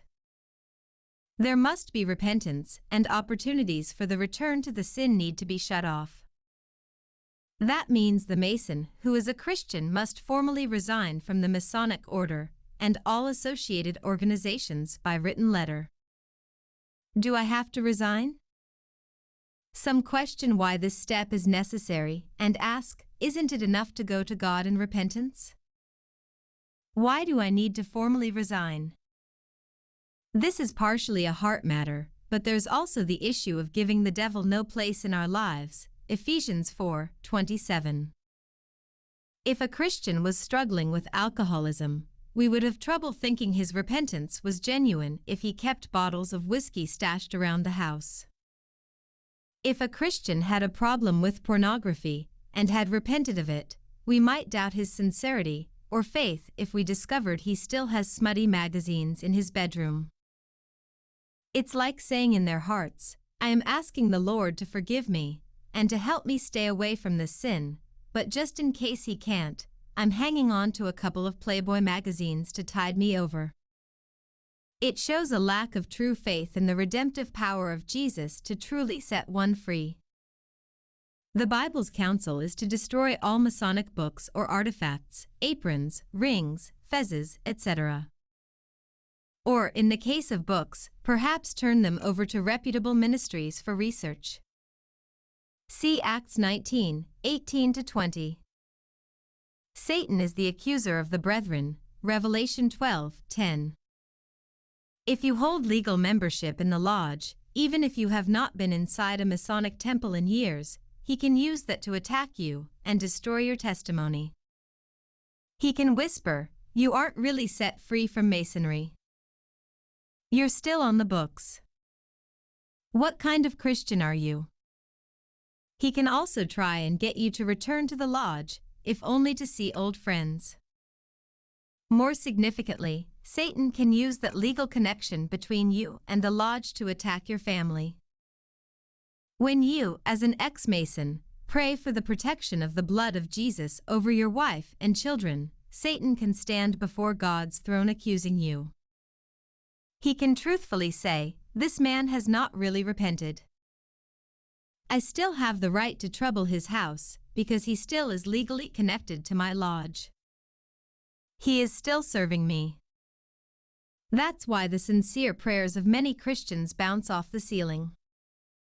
Satan is the ultimate legalist, and he has a mind like a steel trap. Think of him as the world's most persistent prosecuting attorney. If he can find the tiniest loophole through which he can attack a Christian, he will. Retaining your lodge membership provides him with just such a loophole. The iniquity of the fathers' Freemasonry is not just any sin. It is the sin of idolatry. It is the worship, knowingly or unknowingly, of false gods, gods which have been worshipped by witches and pagans for thousands of years. Because of the special character of this sin, it merits an extraordinary clause in the Ten Commandments. The Lord commanded, Thou shalt not make unto thee any graven image, or any likeness of anything that is in heaven above, or that is in the earth beneath, or that is in the water under the earth. Thou shalt not bow down thyself to them, nor serve them, for I the Lord thy God am a jealous God. Visiting the iniquity of the fathers upon the children, even unto the third and fourth generation of them that hate me. Exodus 20, 4 to 5 Notice that idolatry visits the sin of the fathers to the children, and even to the great grandchildren. What a terrible trap the deceiver has laid for the mason. Not only is he in spiritual trouble, but unless he repents and asks for the intervention of the blood of Jesus, his posterity will also be oppressed. People have often come to us for counsel unable to understand why they are having such a problem walking with the Lord. Upon questioning, it frequently emerges that there's a father or grandfather who was in Masonry. Scarcely a family in the United States is free of this wretched plague for four generations back. Another generational curse that may beset believers is the 10 generation curse of Deuteronomy 23 2. God commands that a person of illegitimate birth must be kept out of the congregation of the Lord and his or her ancestors for 10 generations. This does not affect a person's salvation, but it can prevent a victory in their walk with the Lord. Very few people can trace their family line back 10 generations, and human nature being what it is, somewhere in those 10 generations there may have been an ancestor born outside of wedlock. It cannot hurt to ask the Lord to cleanse the family line of that anathema. A brief prayer suffices. It is exciting to see the relief and peace on their faces when they simply go to their sweet Lord Jesus in prayer and ask Him to forgive and cleanse those generational curses. In minutes, they have new joy in their hearts. A huge door has just been slammed in the face of Satan, and he can no longer bother them and their family. Besetting sins and health problems often begin to disappear with this confession. It is truly amazing to see Satan quickly flee like a scalded cat before the blood of Jesus when he no longer has a legal right to remain. Some people may find it odd to confess the sins of their ancestors. Is this biblical? Psalm 106, 6 to 7, Nehemiah 9, 2 to 3, and Daniel 9, 5 to 6 each contain mighty prayers of confession in which the sins of the fathers are repented of as well. Obviously, Nehemiah and Daniel took this commandment very seriously. Law or grace? There may be a protest that, this is Old Testament stuff. We aren't under the law, we are under grace. For the Christian, this is true in a spiritual sense. None of this affects the person's salvation. Those in bondage to masonry or under a generational curse of masonry will go to heaven when they die. Their spirits have been regenerated. However, Satan will do his level best to make their trip through life miserable.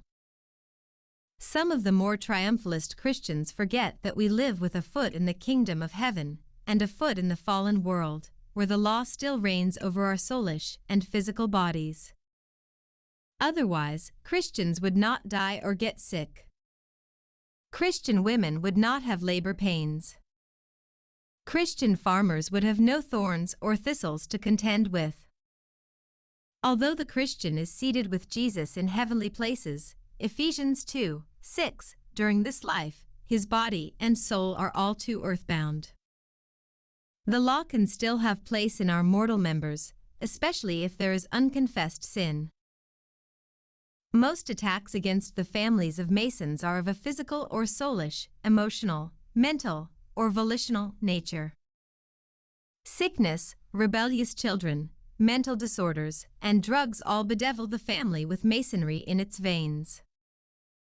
Whether Masonic involvement can ultimately cost the Mason his eternal life is too terrible a question to even contemplate. I would prefer not to think so. However, he is definitely tempting the wrath of God by kneeling at the altars of Baal and frittering away his time in the service of some other worshipful master. The 10th chapter of Hebrews contains chilling warnings for those who think they can tempt the mercy of God. As verse 31 says, it is a fearful thing to fall into the hands of the living God. If this doesn't make sense to you doctrinally, I encourage you to check it out in the Word and avoid all preconceived notions. Acts 17 11. In years of praying with Masonic families for deliverance from these curses, we have seen wonderful testimonies of the power of Jesus to save to the uttermost. The biblical principles are ignored at the peril of the Masonically involved family. Take the Lord at His word, even if it does rattle your theological cage a bit. You have nothing to lose but your squares and compasses. Down to business having laid the groundwork, let us consider the power of the cross and blood of Christ that can be brought to bear on the weak and beggarly elements of the lodge. If you are a Mason who isn't sure if you are saved by the blood of Jesus, see the end of this chapter for your instructions. If you are a Mason who is a born again Christian, here is what you need to do. This is a quick checklist. Examples of prayers for these will appear in Appendix I. First, ask the Lord to forgive you for the sin of Masonry. You need to renounce the Lodge before Him in prayer as a false religious system and ask the help of the Holy Spirit to never return to it. Second, ask God to cut all generational ties between you and any Masonic ancestors and any ties between you and your own children or grandchildren, if any, and cleanse all those ties in the blood of Jesus Christ. We have found that it helps to seal these prayers with a simple anointing with oil upon the forehead of the person renouncing these things, and or family members, as a token of the reconsecration, or resealing of your body. Soul and spirit as cleansed temples of the Holy Spirit and yourself as a servant of the living and true God. James 5, 13 to 14, Revelation 7, 3. Third, destroy or dispose of any Masonic regalia you have in your home. Aprons, fezes, books and anything combustible should be burned. Jewelry should be destroyed or, if extremely valuable, melted down and recast. We'll cover this later. Fourth, write a letter to your Blue Lodge and any other Masonic bodies of which you are a member, asking that your name be removed at once from the membership rolls. The letter should be charitable and brief, but it would not hurt to share the reasons you are doing this. A sample resignation letter is included in Appendix 2. Fifth, if your involvement in Masonry has been conspicuous or highly public, i.e., if you were a lodge master or a Grand Lodge officer, which may bring scandal to the cause of Christ, it may be necessary for you to make a public statement of repentance in your church. Seek the guidance of your pastor on this, unless, of course, your pastor is a Mason himself. If your wife or children have been active in Masonic organizations like the Order of the Eastern Star, Demolay, or Job's Daughters, they need to go through similar steps themselves. This brings up another area which may need to be dealt with. The soul tie soul ties are links formed by close associations with people we love, especially in sexual intimacy. God ordained the marriage covenant to be the coming together in one flesh. Originally, there was no concept of a priest or rabbi blessing a marriage. The very act of sexual relations constituted a marriage. The Bible tells us this is how the early patriarchs took their wives. Genesis 24, 67, 29 23. This means that intimacy with a person creates a covenant link. They become one flesh. Thereafter, whatever happens to the one partner can percolate into the other partner. It may not always happen, but it can. If a husband is involved with masonry, the bondage he experiences in the lodge is probably seeping over into the wife and robbing her of much spiritual victory.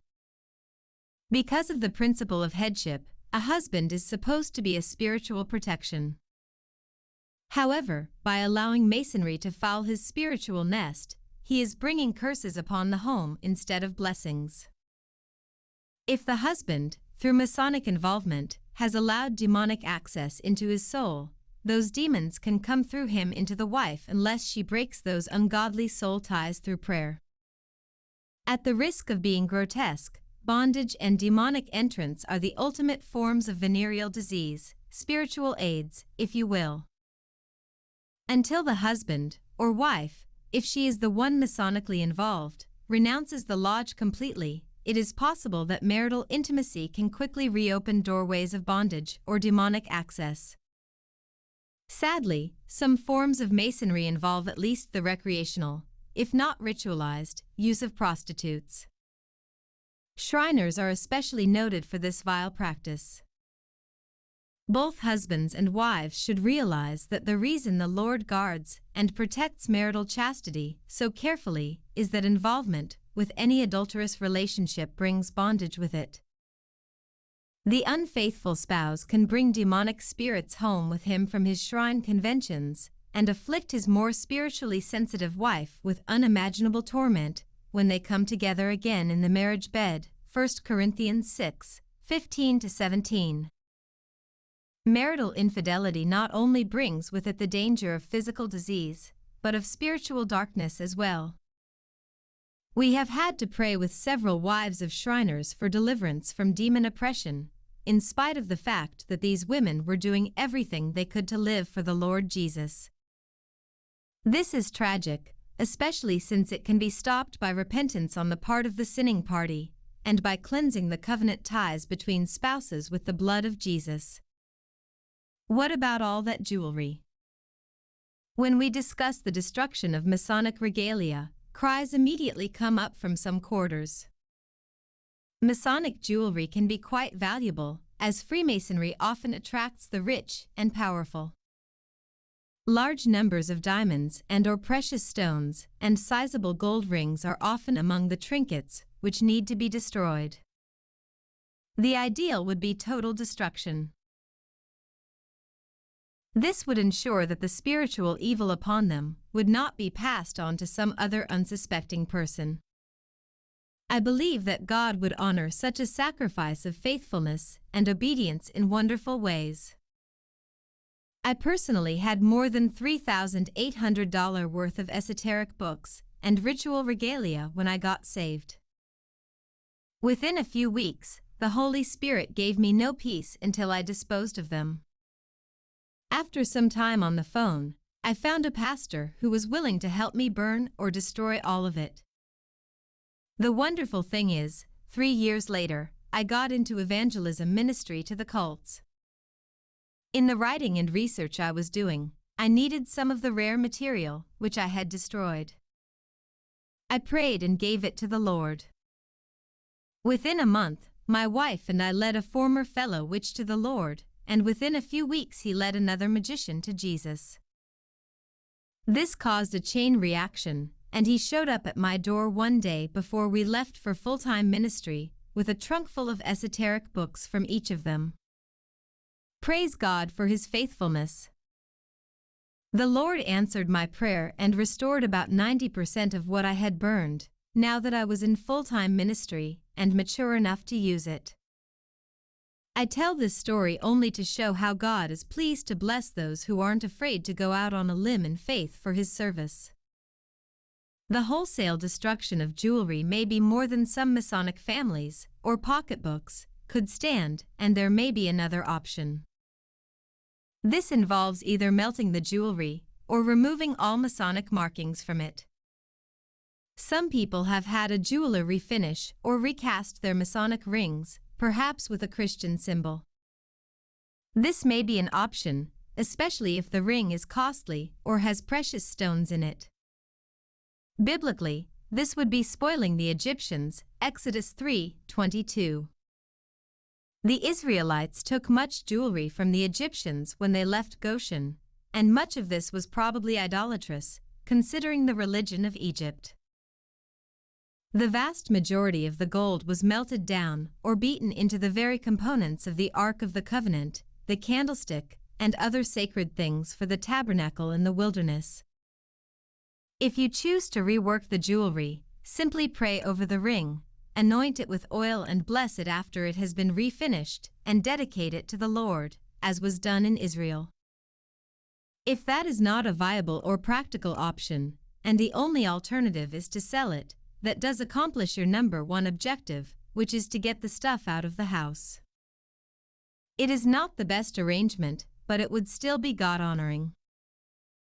I would pray over the materials and plead the blood of Jesus over them, and bind away all Masonic spirits before I turned it over to the new owners. You might consider giving the proceeds from the sale to some worthy Christian mission organization, and certainly you should tithe out of the proceeds. Even as I am concluding this chapter, I received a wonderful report from a mother who came to us for counseling. Her son, who is a Christian, was having trouble lately in his Christian walk. He also felt ill at ease in his bedroom. His grandfather had been a Shriner, and upon his death, had bequeathed his fez to his grandson, who had been building a formidable hat collection.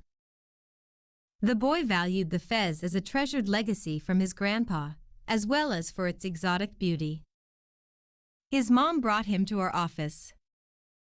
Upon finding out about the evil nature of the fez, his response was truly noble.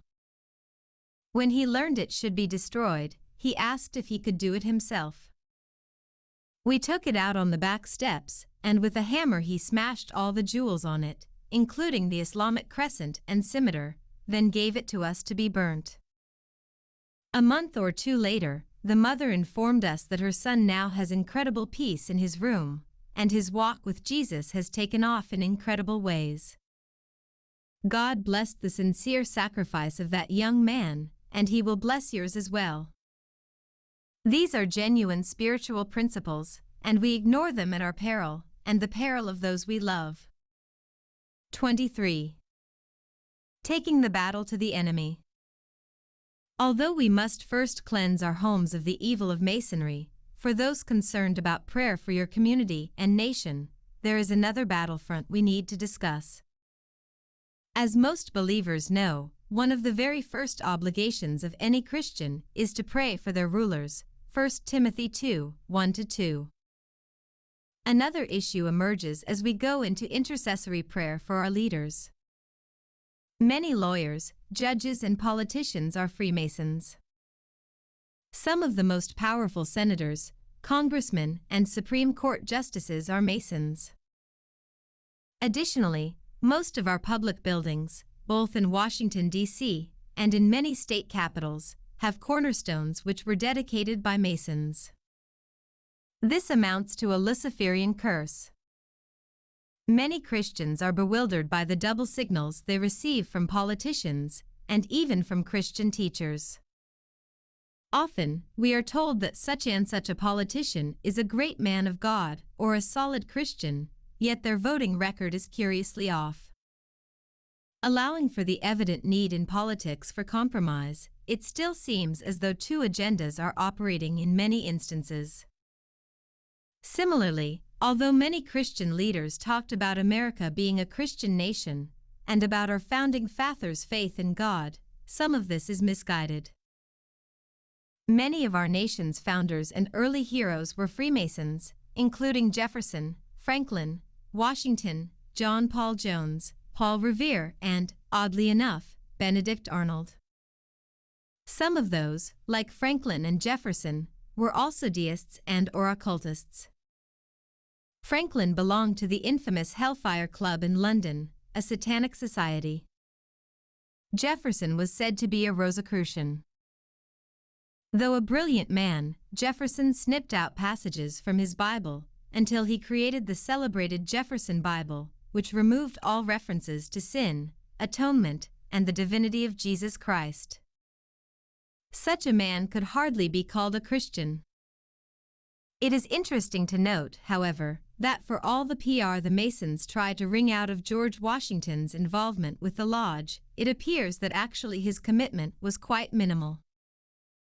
Although countless Masonic pamphlets have the picture of Washington presiding over a Grand Lodge in full Grand Officer regalia, that picture has about as much truth to it as the story of Little George and the cherry tree. Washington, who by all accounts was a serious Christian, actually had no patience with the lodge, and seemed to have scarcely been involved in it at all after joining it in 1752. In fact, Washington wrote a Rev. G. W. Snyder in 1798 that far from presiding over the English lodges in this country, Washington had not even been inside a Masonic lodge more than once or twice within the last 30 years. Washington's involvement with the Lodge has been vastly overstated by Masons eager to trade upon his reputation.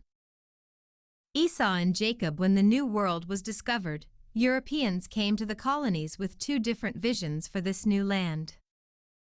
The Puritans and others came seeking religious freedom and envisioned a chance to establish a Bible-based civilization. But others saw America as the new Atlantis, a place where occultism could prosper uninhibited by Christianity. Long before 1776, a colony of Rosicrucians was established in Ephrata, Pennsylvania. Colonial America was full of occult groups, and both witchcraft and Freemasonry came over on the boats quite early. Almost as in the birth of Esau and Jacob, from the birth of America, there has been a struggle between two forces, even in the womb. America was born out of uneasy compromise between Christianity on one hand and Masonic occultism on the other.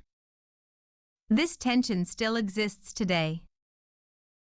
Many Christian politicians, including popular conservative senators like Jesse Helms, Strom Thurmond and Robert Dole are 33O Masons, and many lesser-known current or past politicians like Senators Nunn, McClure, Stennis, Hatfield, Johnston, Burdick, Glenn, Hollings, Benson, Stafford Grassley.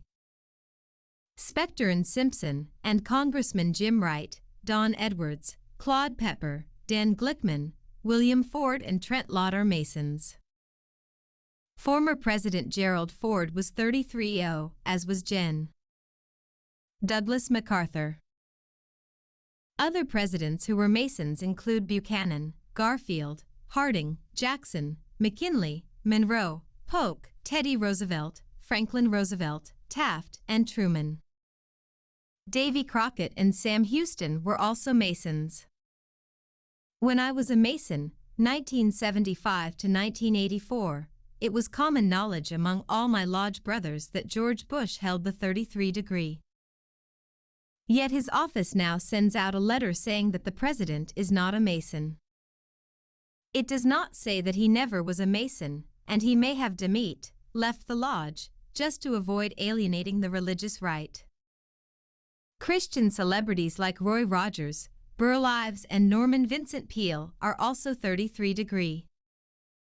Ronald Reagan, long the darling of the religious right, was made a Mason while in the White House. He was later implicated in the practice of astrology and carries a lucky rabbit's foot. We do not deny the sincerity of these men's faith, but they are either deceived or have chosen to make a devil's bargain to reach the corridors of power. They may have realized that few politicians can attain prominence today without bowing the knee to Baal in the Masonic Lodge. This is why we desperately need to pray for our leaders. It is also vital to counterbalance this list of heroes, both present and past, who have been Masons with men of the Christian faith and U.S. history who have gone on record condemning the Lodge. These include Charles Finney, a former Mason, Dwight Moody, R.A. Torrey, Billy Sunday, John R. Rice, a former Mason, John Quincy Adams, and Ulysses S. Grant, a channel for the Christ. One of the most recent manifestations of this spiritual struggle is the all too evident alliance between the New Age movement and Freemasons. Most Christians understand something of the New Age, that it is a blend of Hinduism, psychology, and Gnosticism. Though the New Age concepts have been around since the Garden of Eden, the current manifestation of these beliefs can be traced back to the Theosophical Society and its offshoots, Alice Bailey and Lucis Trust. The New Age movement has become a uniquely American blend of Hinduism and yuppified Spiritism. One of its key doctrines is the coming of a Christ, referred to by most New Age leaders as Lord Maitreya. Although we cannot get into an extensive analysis of the New Age here, it is important to understand that New Age teaches the following 1. God is an impersonal force, not a personal being.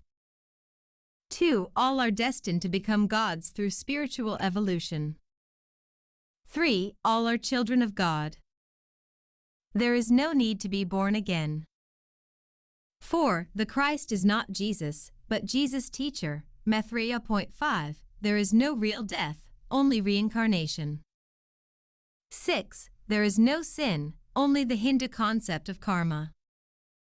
7. All religions lead to God. There is no one true path to Him.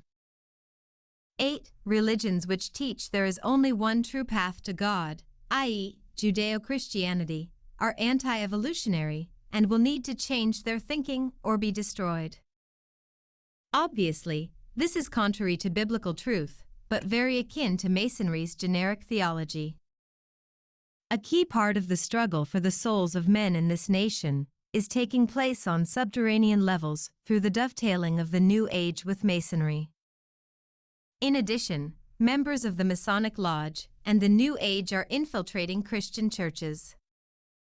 Today, leaders of the New Age movement are saying that Masonry will be both the political and spiritual channel through which the Christ will manifest. A letter from the Tara Center, a major New Age group states the Masonic movement is one of the three main channels through which the preparation for the New Age is going on. In it are found disciples of the great ones who are steadily gathering momentum and will before long enter upon their designated task. The same letter quotes Alice Bailey, an early New Age leader, as saying, The Masonic movement will meet the need of those who can and should wield power. It is the custodian of the law it is the home of the mysteries and seat of initiation. It holds in its symbolism the ritual of deity, and the way of salvation is pictorially preserved in its work. The methods of deity are demonstrated in its temples, and under the all-seeing eye the work can go forward. It is a far more occult organization than can be realized, and is intended to be the training school for the coming advanced occultists.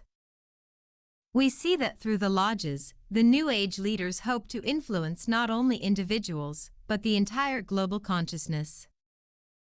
Benjamin Creme, the prophet for this Maitreya, and one of the most famous New Age leaders in the world, has written, through the Masonic tradition and certain esoteric groups will come the process of initiation.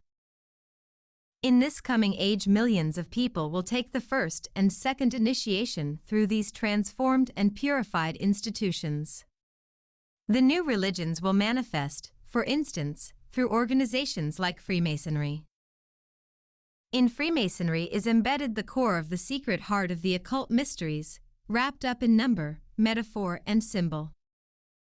When these are purified, these will be seen to be a true occult heritage.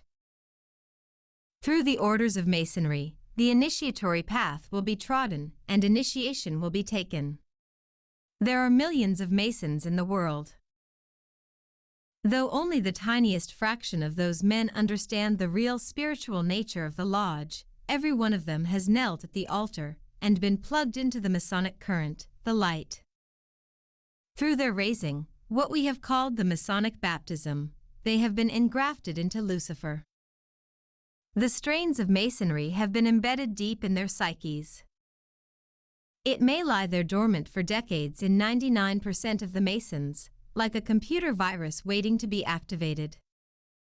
But when this false Christ wishes, it will be suddenly energized. In a spiritual sense, every Mason is like a time bomb waiting to go off.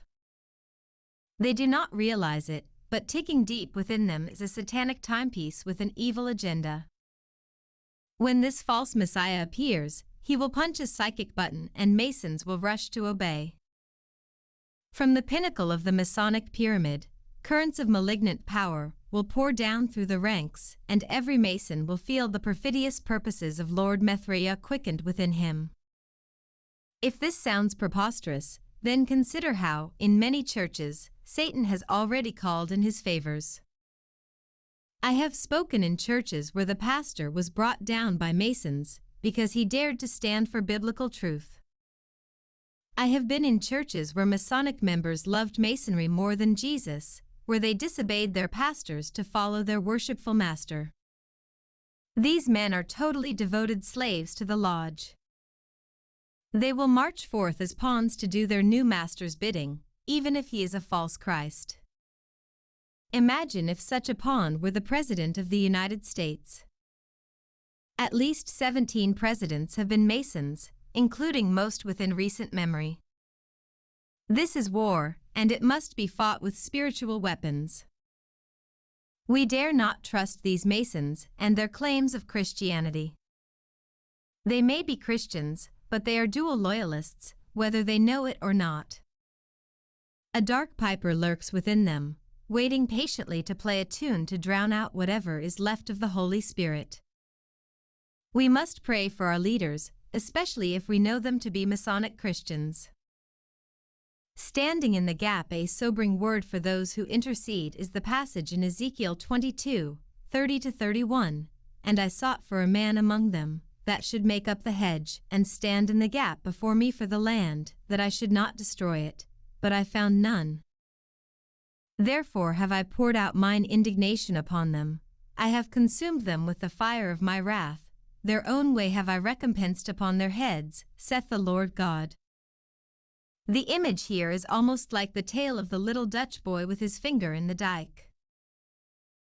God is looking for those who will stand in prayer in the breaches, and will spiritually plug the holes in the walls of our churches and government, holes that have been created by sin and idolatry. Sadly, it seems that lately, there are more cracks in the wall than there are intercessors to help fill them. We see our nation crumbling around us immorality, disease, drugs, and abortion. The Lord is pouring out his indignation upon the land.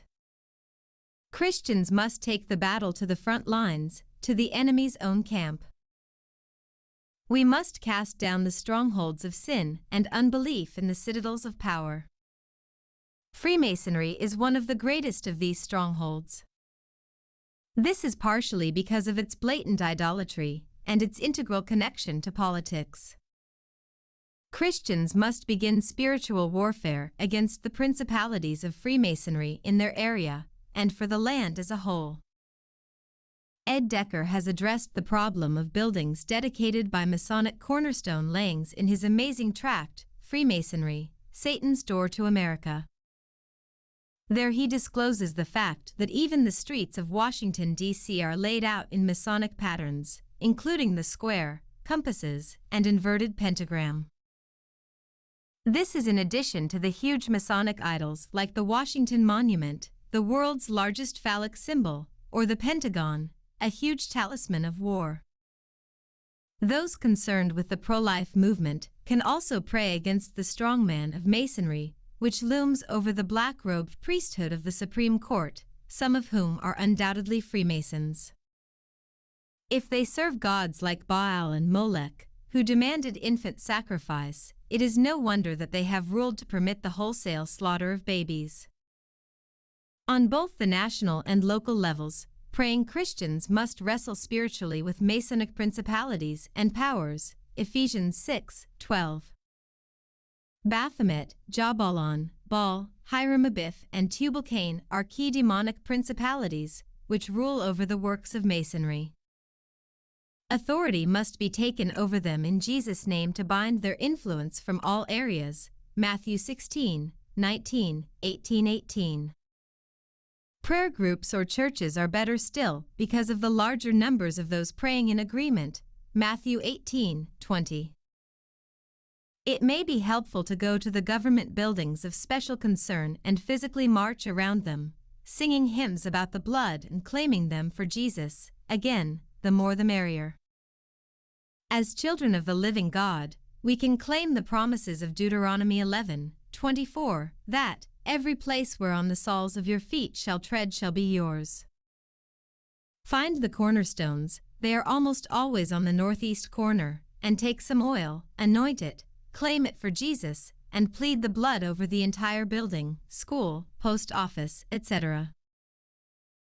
Pray that the strongholds of masonry might be cast down, using the scriptures from 2 Corinthians 10, 4 to 5 as your authority, and reclaim your community for God. Also, pray that the pastors of the churches in your community might be emboldened by the Holy Spirit to speak out publicly against the lodge, and to deal with it in the local congregation. Pray for the guidance of the Holy Spirit as you do this, and He may bring things to mind in your own community, which are specialized needs. Finally, pray for the Masonic leadership in your town to repent. Find out the names of the masters of the lodges and place them specifically on your prayer list. Plead the blood of Jesus over them and if they are not born again, pray that they would be led into a place where they might hear the gospel. If they are saved, but deceived about Masonry, pray that the Spirit would convict them of their sin, and raise up many strong, knowledgeable, and anointed voices in the community to speak out against the Baal worship of the Lodge. If you can accomplish all this and encourage your Christian friends to join with you in prayer, you will really put the devil and the lodge to flight in your town.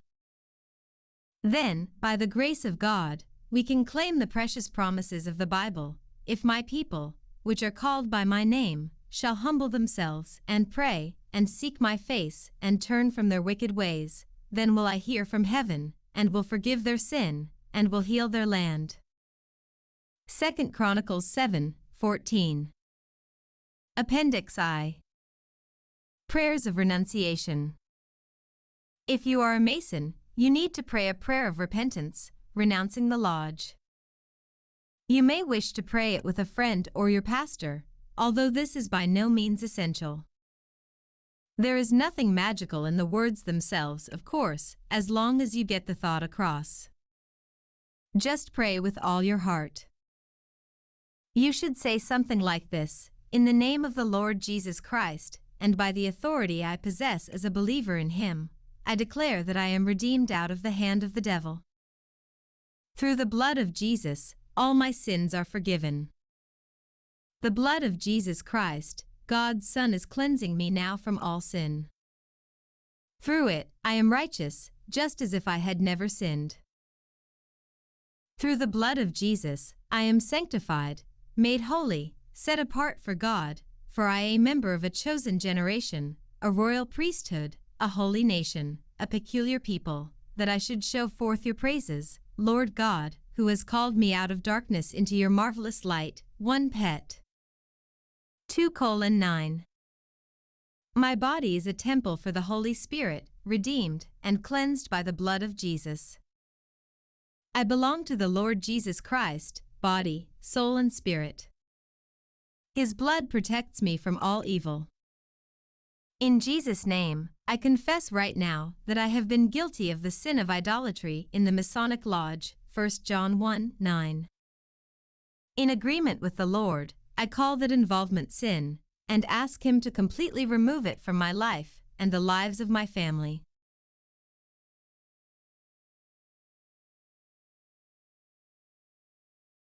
In the name of Jesus, I rebuke any and all the lying and deceitful spirits of Freemasonry which may think that they still have a claim on me or my family. James 4 7. In Jesus' name, I renounce the spirits of Freemasonry, Baal, Jahbulon, Baphomet, and Tubal Cain, and declare that you have no power over me any more, for I am bought and paid for by the blood of Jesus, shed on Calvary. I renounce any and all oaths made at the altar of Freemasonry in Jesus' holy name, and by the power of his shed blood I also break any generational sin, and bondage, which may be oppressing me through oaths made by my parents or ancestors. Exodus 25. And I nail all these things to the cross of Christ. Colossians 2:14. I also break any and all power of the devil through these oaths over my own children or grandchildren, and command him to leave them alone, for they are under the blood of the Lamb of God.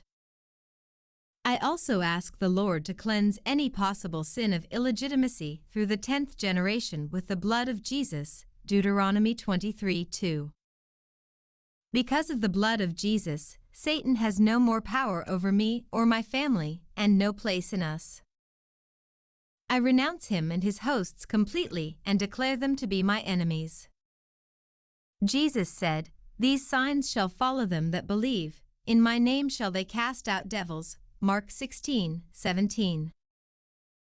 I am a believer, and in the name of Jesus I exercise my authority and expel all evil spirits. I command them to leave me now, according to the word of God, and in the name of Jesus.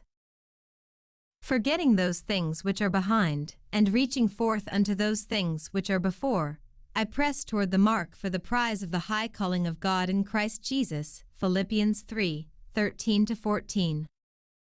In Jesus' name. Amen. Prayer for breaking ungodly soul ties where the soul tie issue is a concern. Here is a sample prayer Father, in the name of Jesus Christ, and by the authority I possess in Him as a believer. I ask you to cut any and all ungodly soul ties with my husband slash wife, and anyone else with whom I have been intimate. I ask you to break any and all relationships established between us by Satan or his evil spirits, and ask that the blessed Holy Spirit would rebuild those relationships and covenant ties in accord with your perfect will. I ask you to completely cleanse those relationships by the blood of the Lord Jesus Christ of all sin and demonic access. I declare to Satan in the name of Jesus Christ that he has no more access to my body, soul or spirit through those ties, and the doorway is shut and sealed by the blood of the Lamb. I also declare to Satan by the authority of the name of Jesus Christ that he has no power over my children either. All access to my children through soul ties is hereby cut by the power of God, and I bring the full power of the cross, the blood, the resurrection, and the ascension of Jesus Christ against Satan's plans and schemes for me and my family. In Jesus' mighty name, Amen. Though I hate to mention this unpleasant subject, in our ministry, we have found many cases of Masonic fathers, grandfathers, or uncles who have abused children in the families sexually. This often comes from the spirit of lust which the sexual talismans of the lodge provoke. In counseling with these people, it is often necessary for them to pray the above prayer to shut doorways which have been opened by their being raped incestuously as little children. Sadly, there is little difference between the statistics for Christian versus non Christian homes on child abuse, either sexual, emotional, or physical. Masonry may be one of the primary reasons for that. Therefore, this is something that may need to be dealt with. Some adults have carried this horrid secret in silence their whole lives. Others have suppressed it to the extent they have forgotten it. Obviously, there is no sin on the child's part, unless perhaps the child was a mid to late adolescent when the incest began. Even then, the much greater guilt lies at the door of the parent, or relative, who has trampled on the sacred position of trust the Lord accorded him over a precious young soul and gravely misused the power and authority he wielded over the youngster. Nevertheless, any sexual intimacy between child and adult does create soul ties, as well as destroying the healthy love and assurance between parent and child. Therefore, these things too need to be placed under the blood of Jesus. The child, if old enough to understand, teen, or adult survivor of sexual abuse, needs to ask the Lord cleanse these ungodly ties with the relative, just as in the above prayer.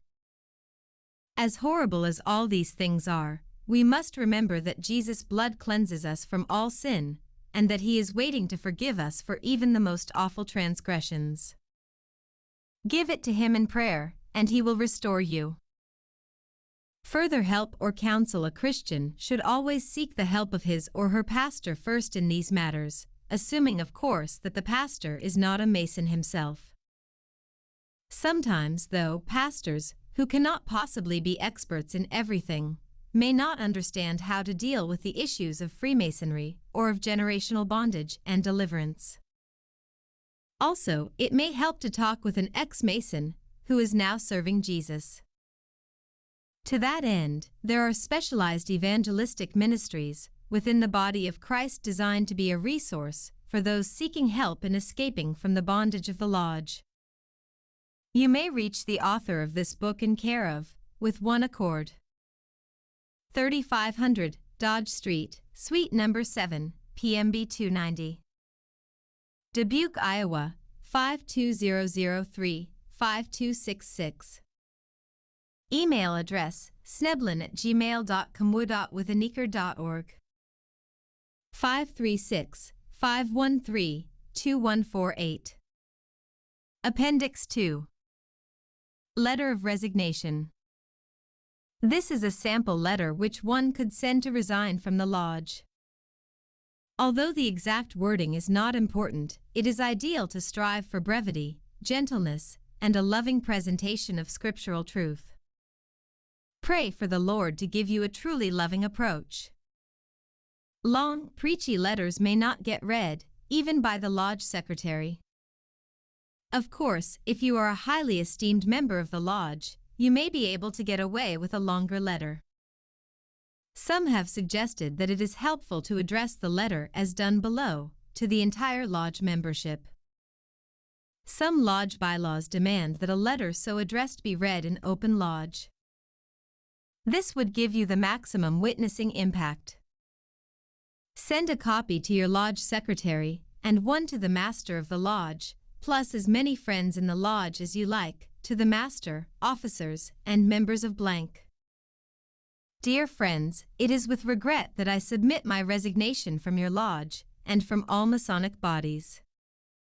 I have taken this step in spite of the fact that I value very much the friendships and associations I have developed within Masonry over the years. However, one whom I love more than all of you has said, He that loveth father or mother more than me is not worthy of me, and he that loveth son or daughter more than me is not worthy of me. Matthew 10, 37. Those who call themselves Christians and believe in the name of Jesus are called to that kind of radical discipleship. If I am to be true to my Lord, who loved me and gave himself for me, then I must keep his commandments. If I am called to love him more than my own family, how much more am I called to love him more than friends and fraternal brothers? Unfortunately, in spite of the fraternal love I bear you all, I find that in following Jesus Christ, I must sever my ties with all forms of the Masonic fraternity. This is no reflection upon you, or upon the many good things that Masonry does. It is simply the fact that Masonry does not honor Jesus Christ as the Almighty God who came in the flesh to save us from our sins. Our Lord said that, he that is not with me is against me, and he that gathereth not with me scattereth abroad. Matthew 12, 30.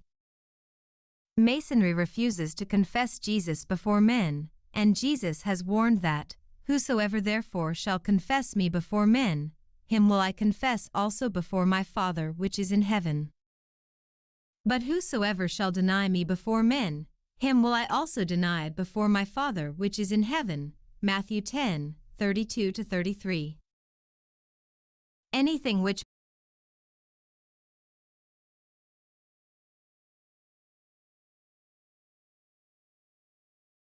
anything which presents itself as a moral or religious institution and yet does not confess Christ as God is denying Jesus.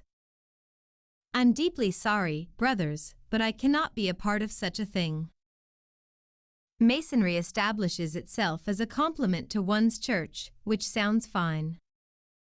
Masonry has prayers, rituals, and solemn ceremonies in which the authority of the Bible is invoked. The lodge is not secular, but religious. But in my study of the Bible, it seems clear that Masonry asks us, as Masons, to do things contrary to biblical teachings. For example, Jesus commands us to teach all nations, Matthew 28, 19 to 20, and to preach the gospel to everyone, Mark 16, 15. Yet Masonic etiquette forbids me as a Christian from sharing my Savior with my non Christian lodge brothers. I must stand by politely and watch them go to hell, for there is none other name under heaven given among men, whereby we must be saved. Acts 4 12. Who am I to obey, my Lord or my lodge? The very Bible which sits on the altar commands these things. It is one of the three great lights of Masonry, and yet you ignore its teachings for the sake of harmony. Jesus also commands us not to swear oaths, Matthew 5, 34 to 37, and his sovereign command is echoed by James 5:12. Yet the taking of solemn oaths is at the very heart of Masonic degree work. My brothers, these things ought not to be.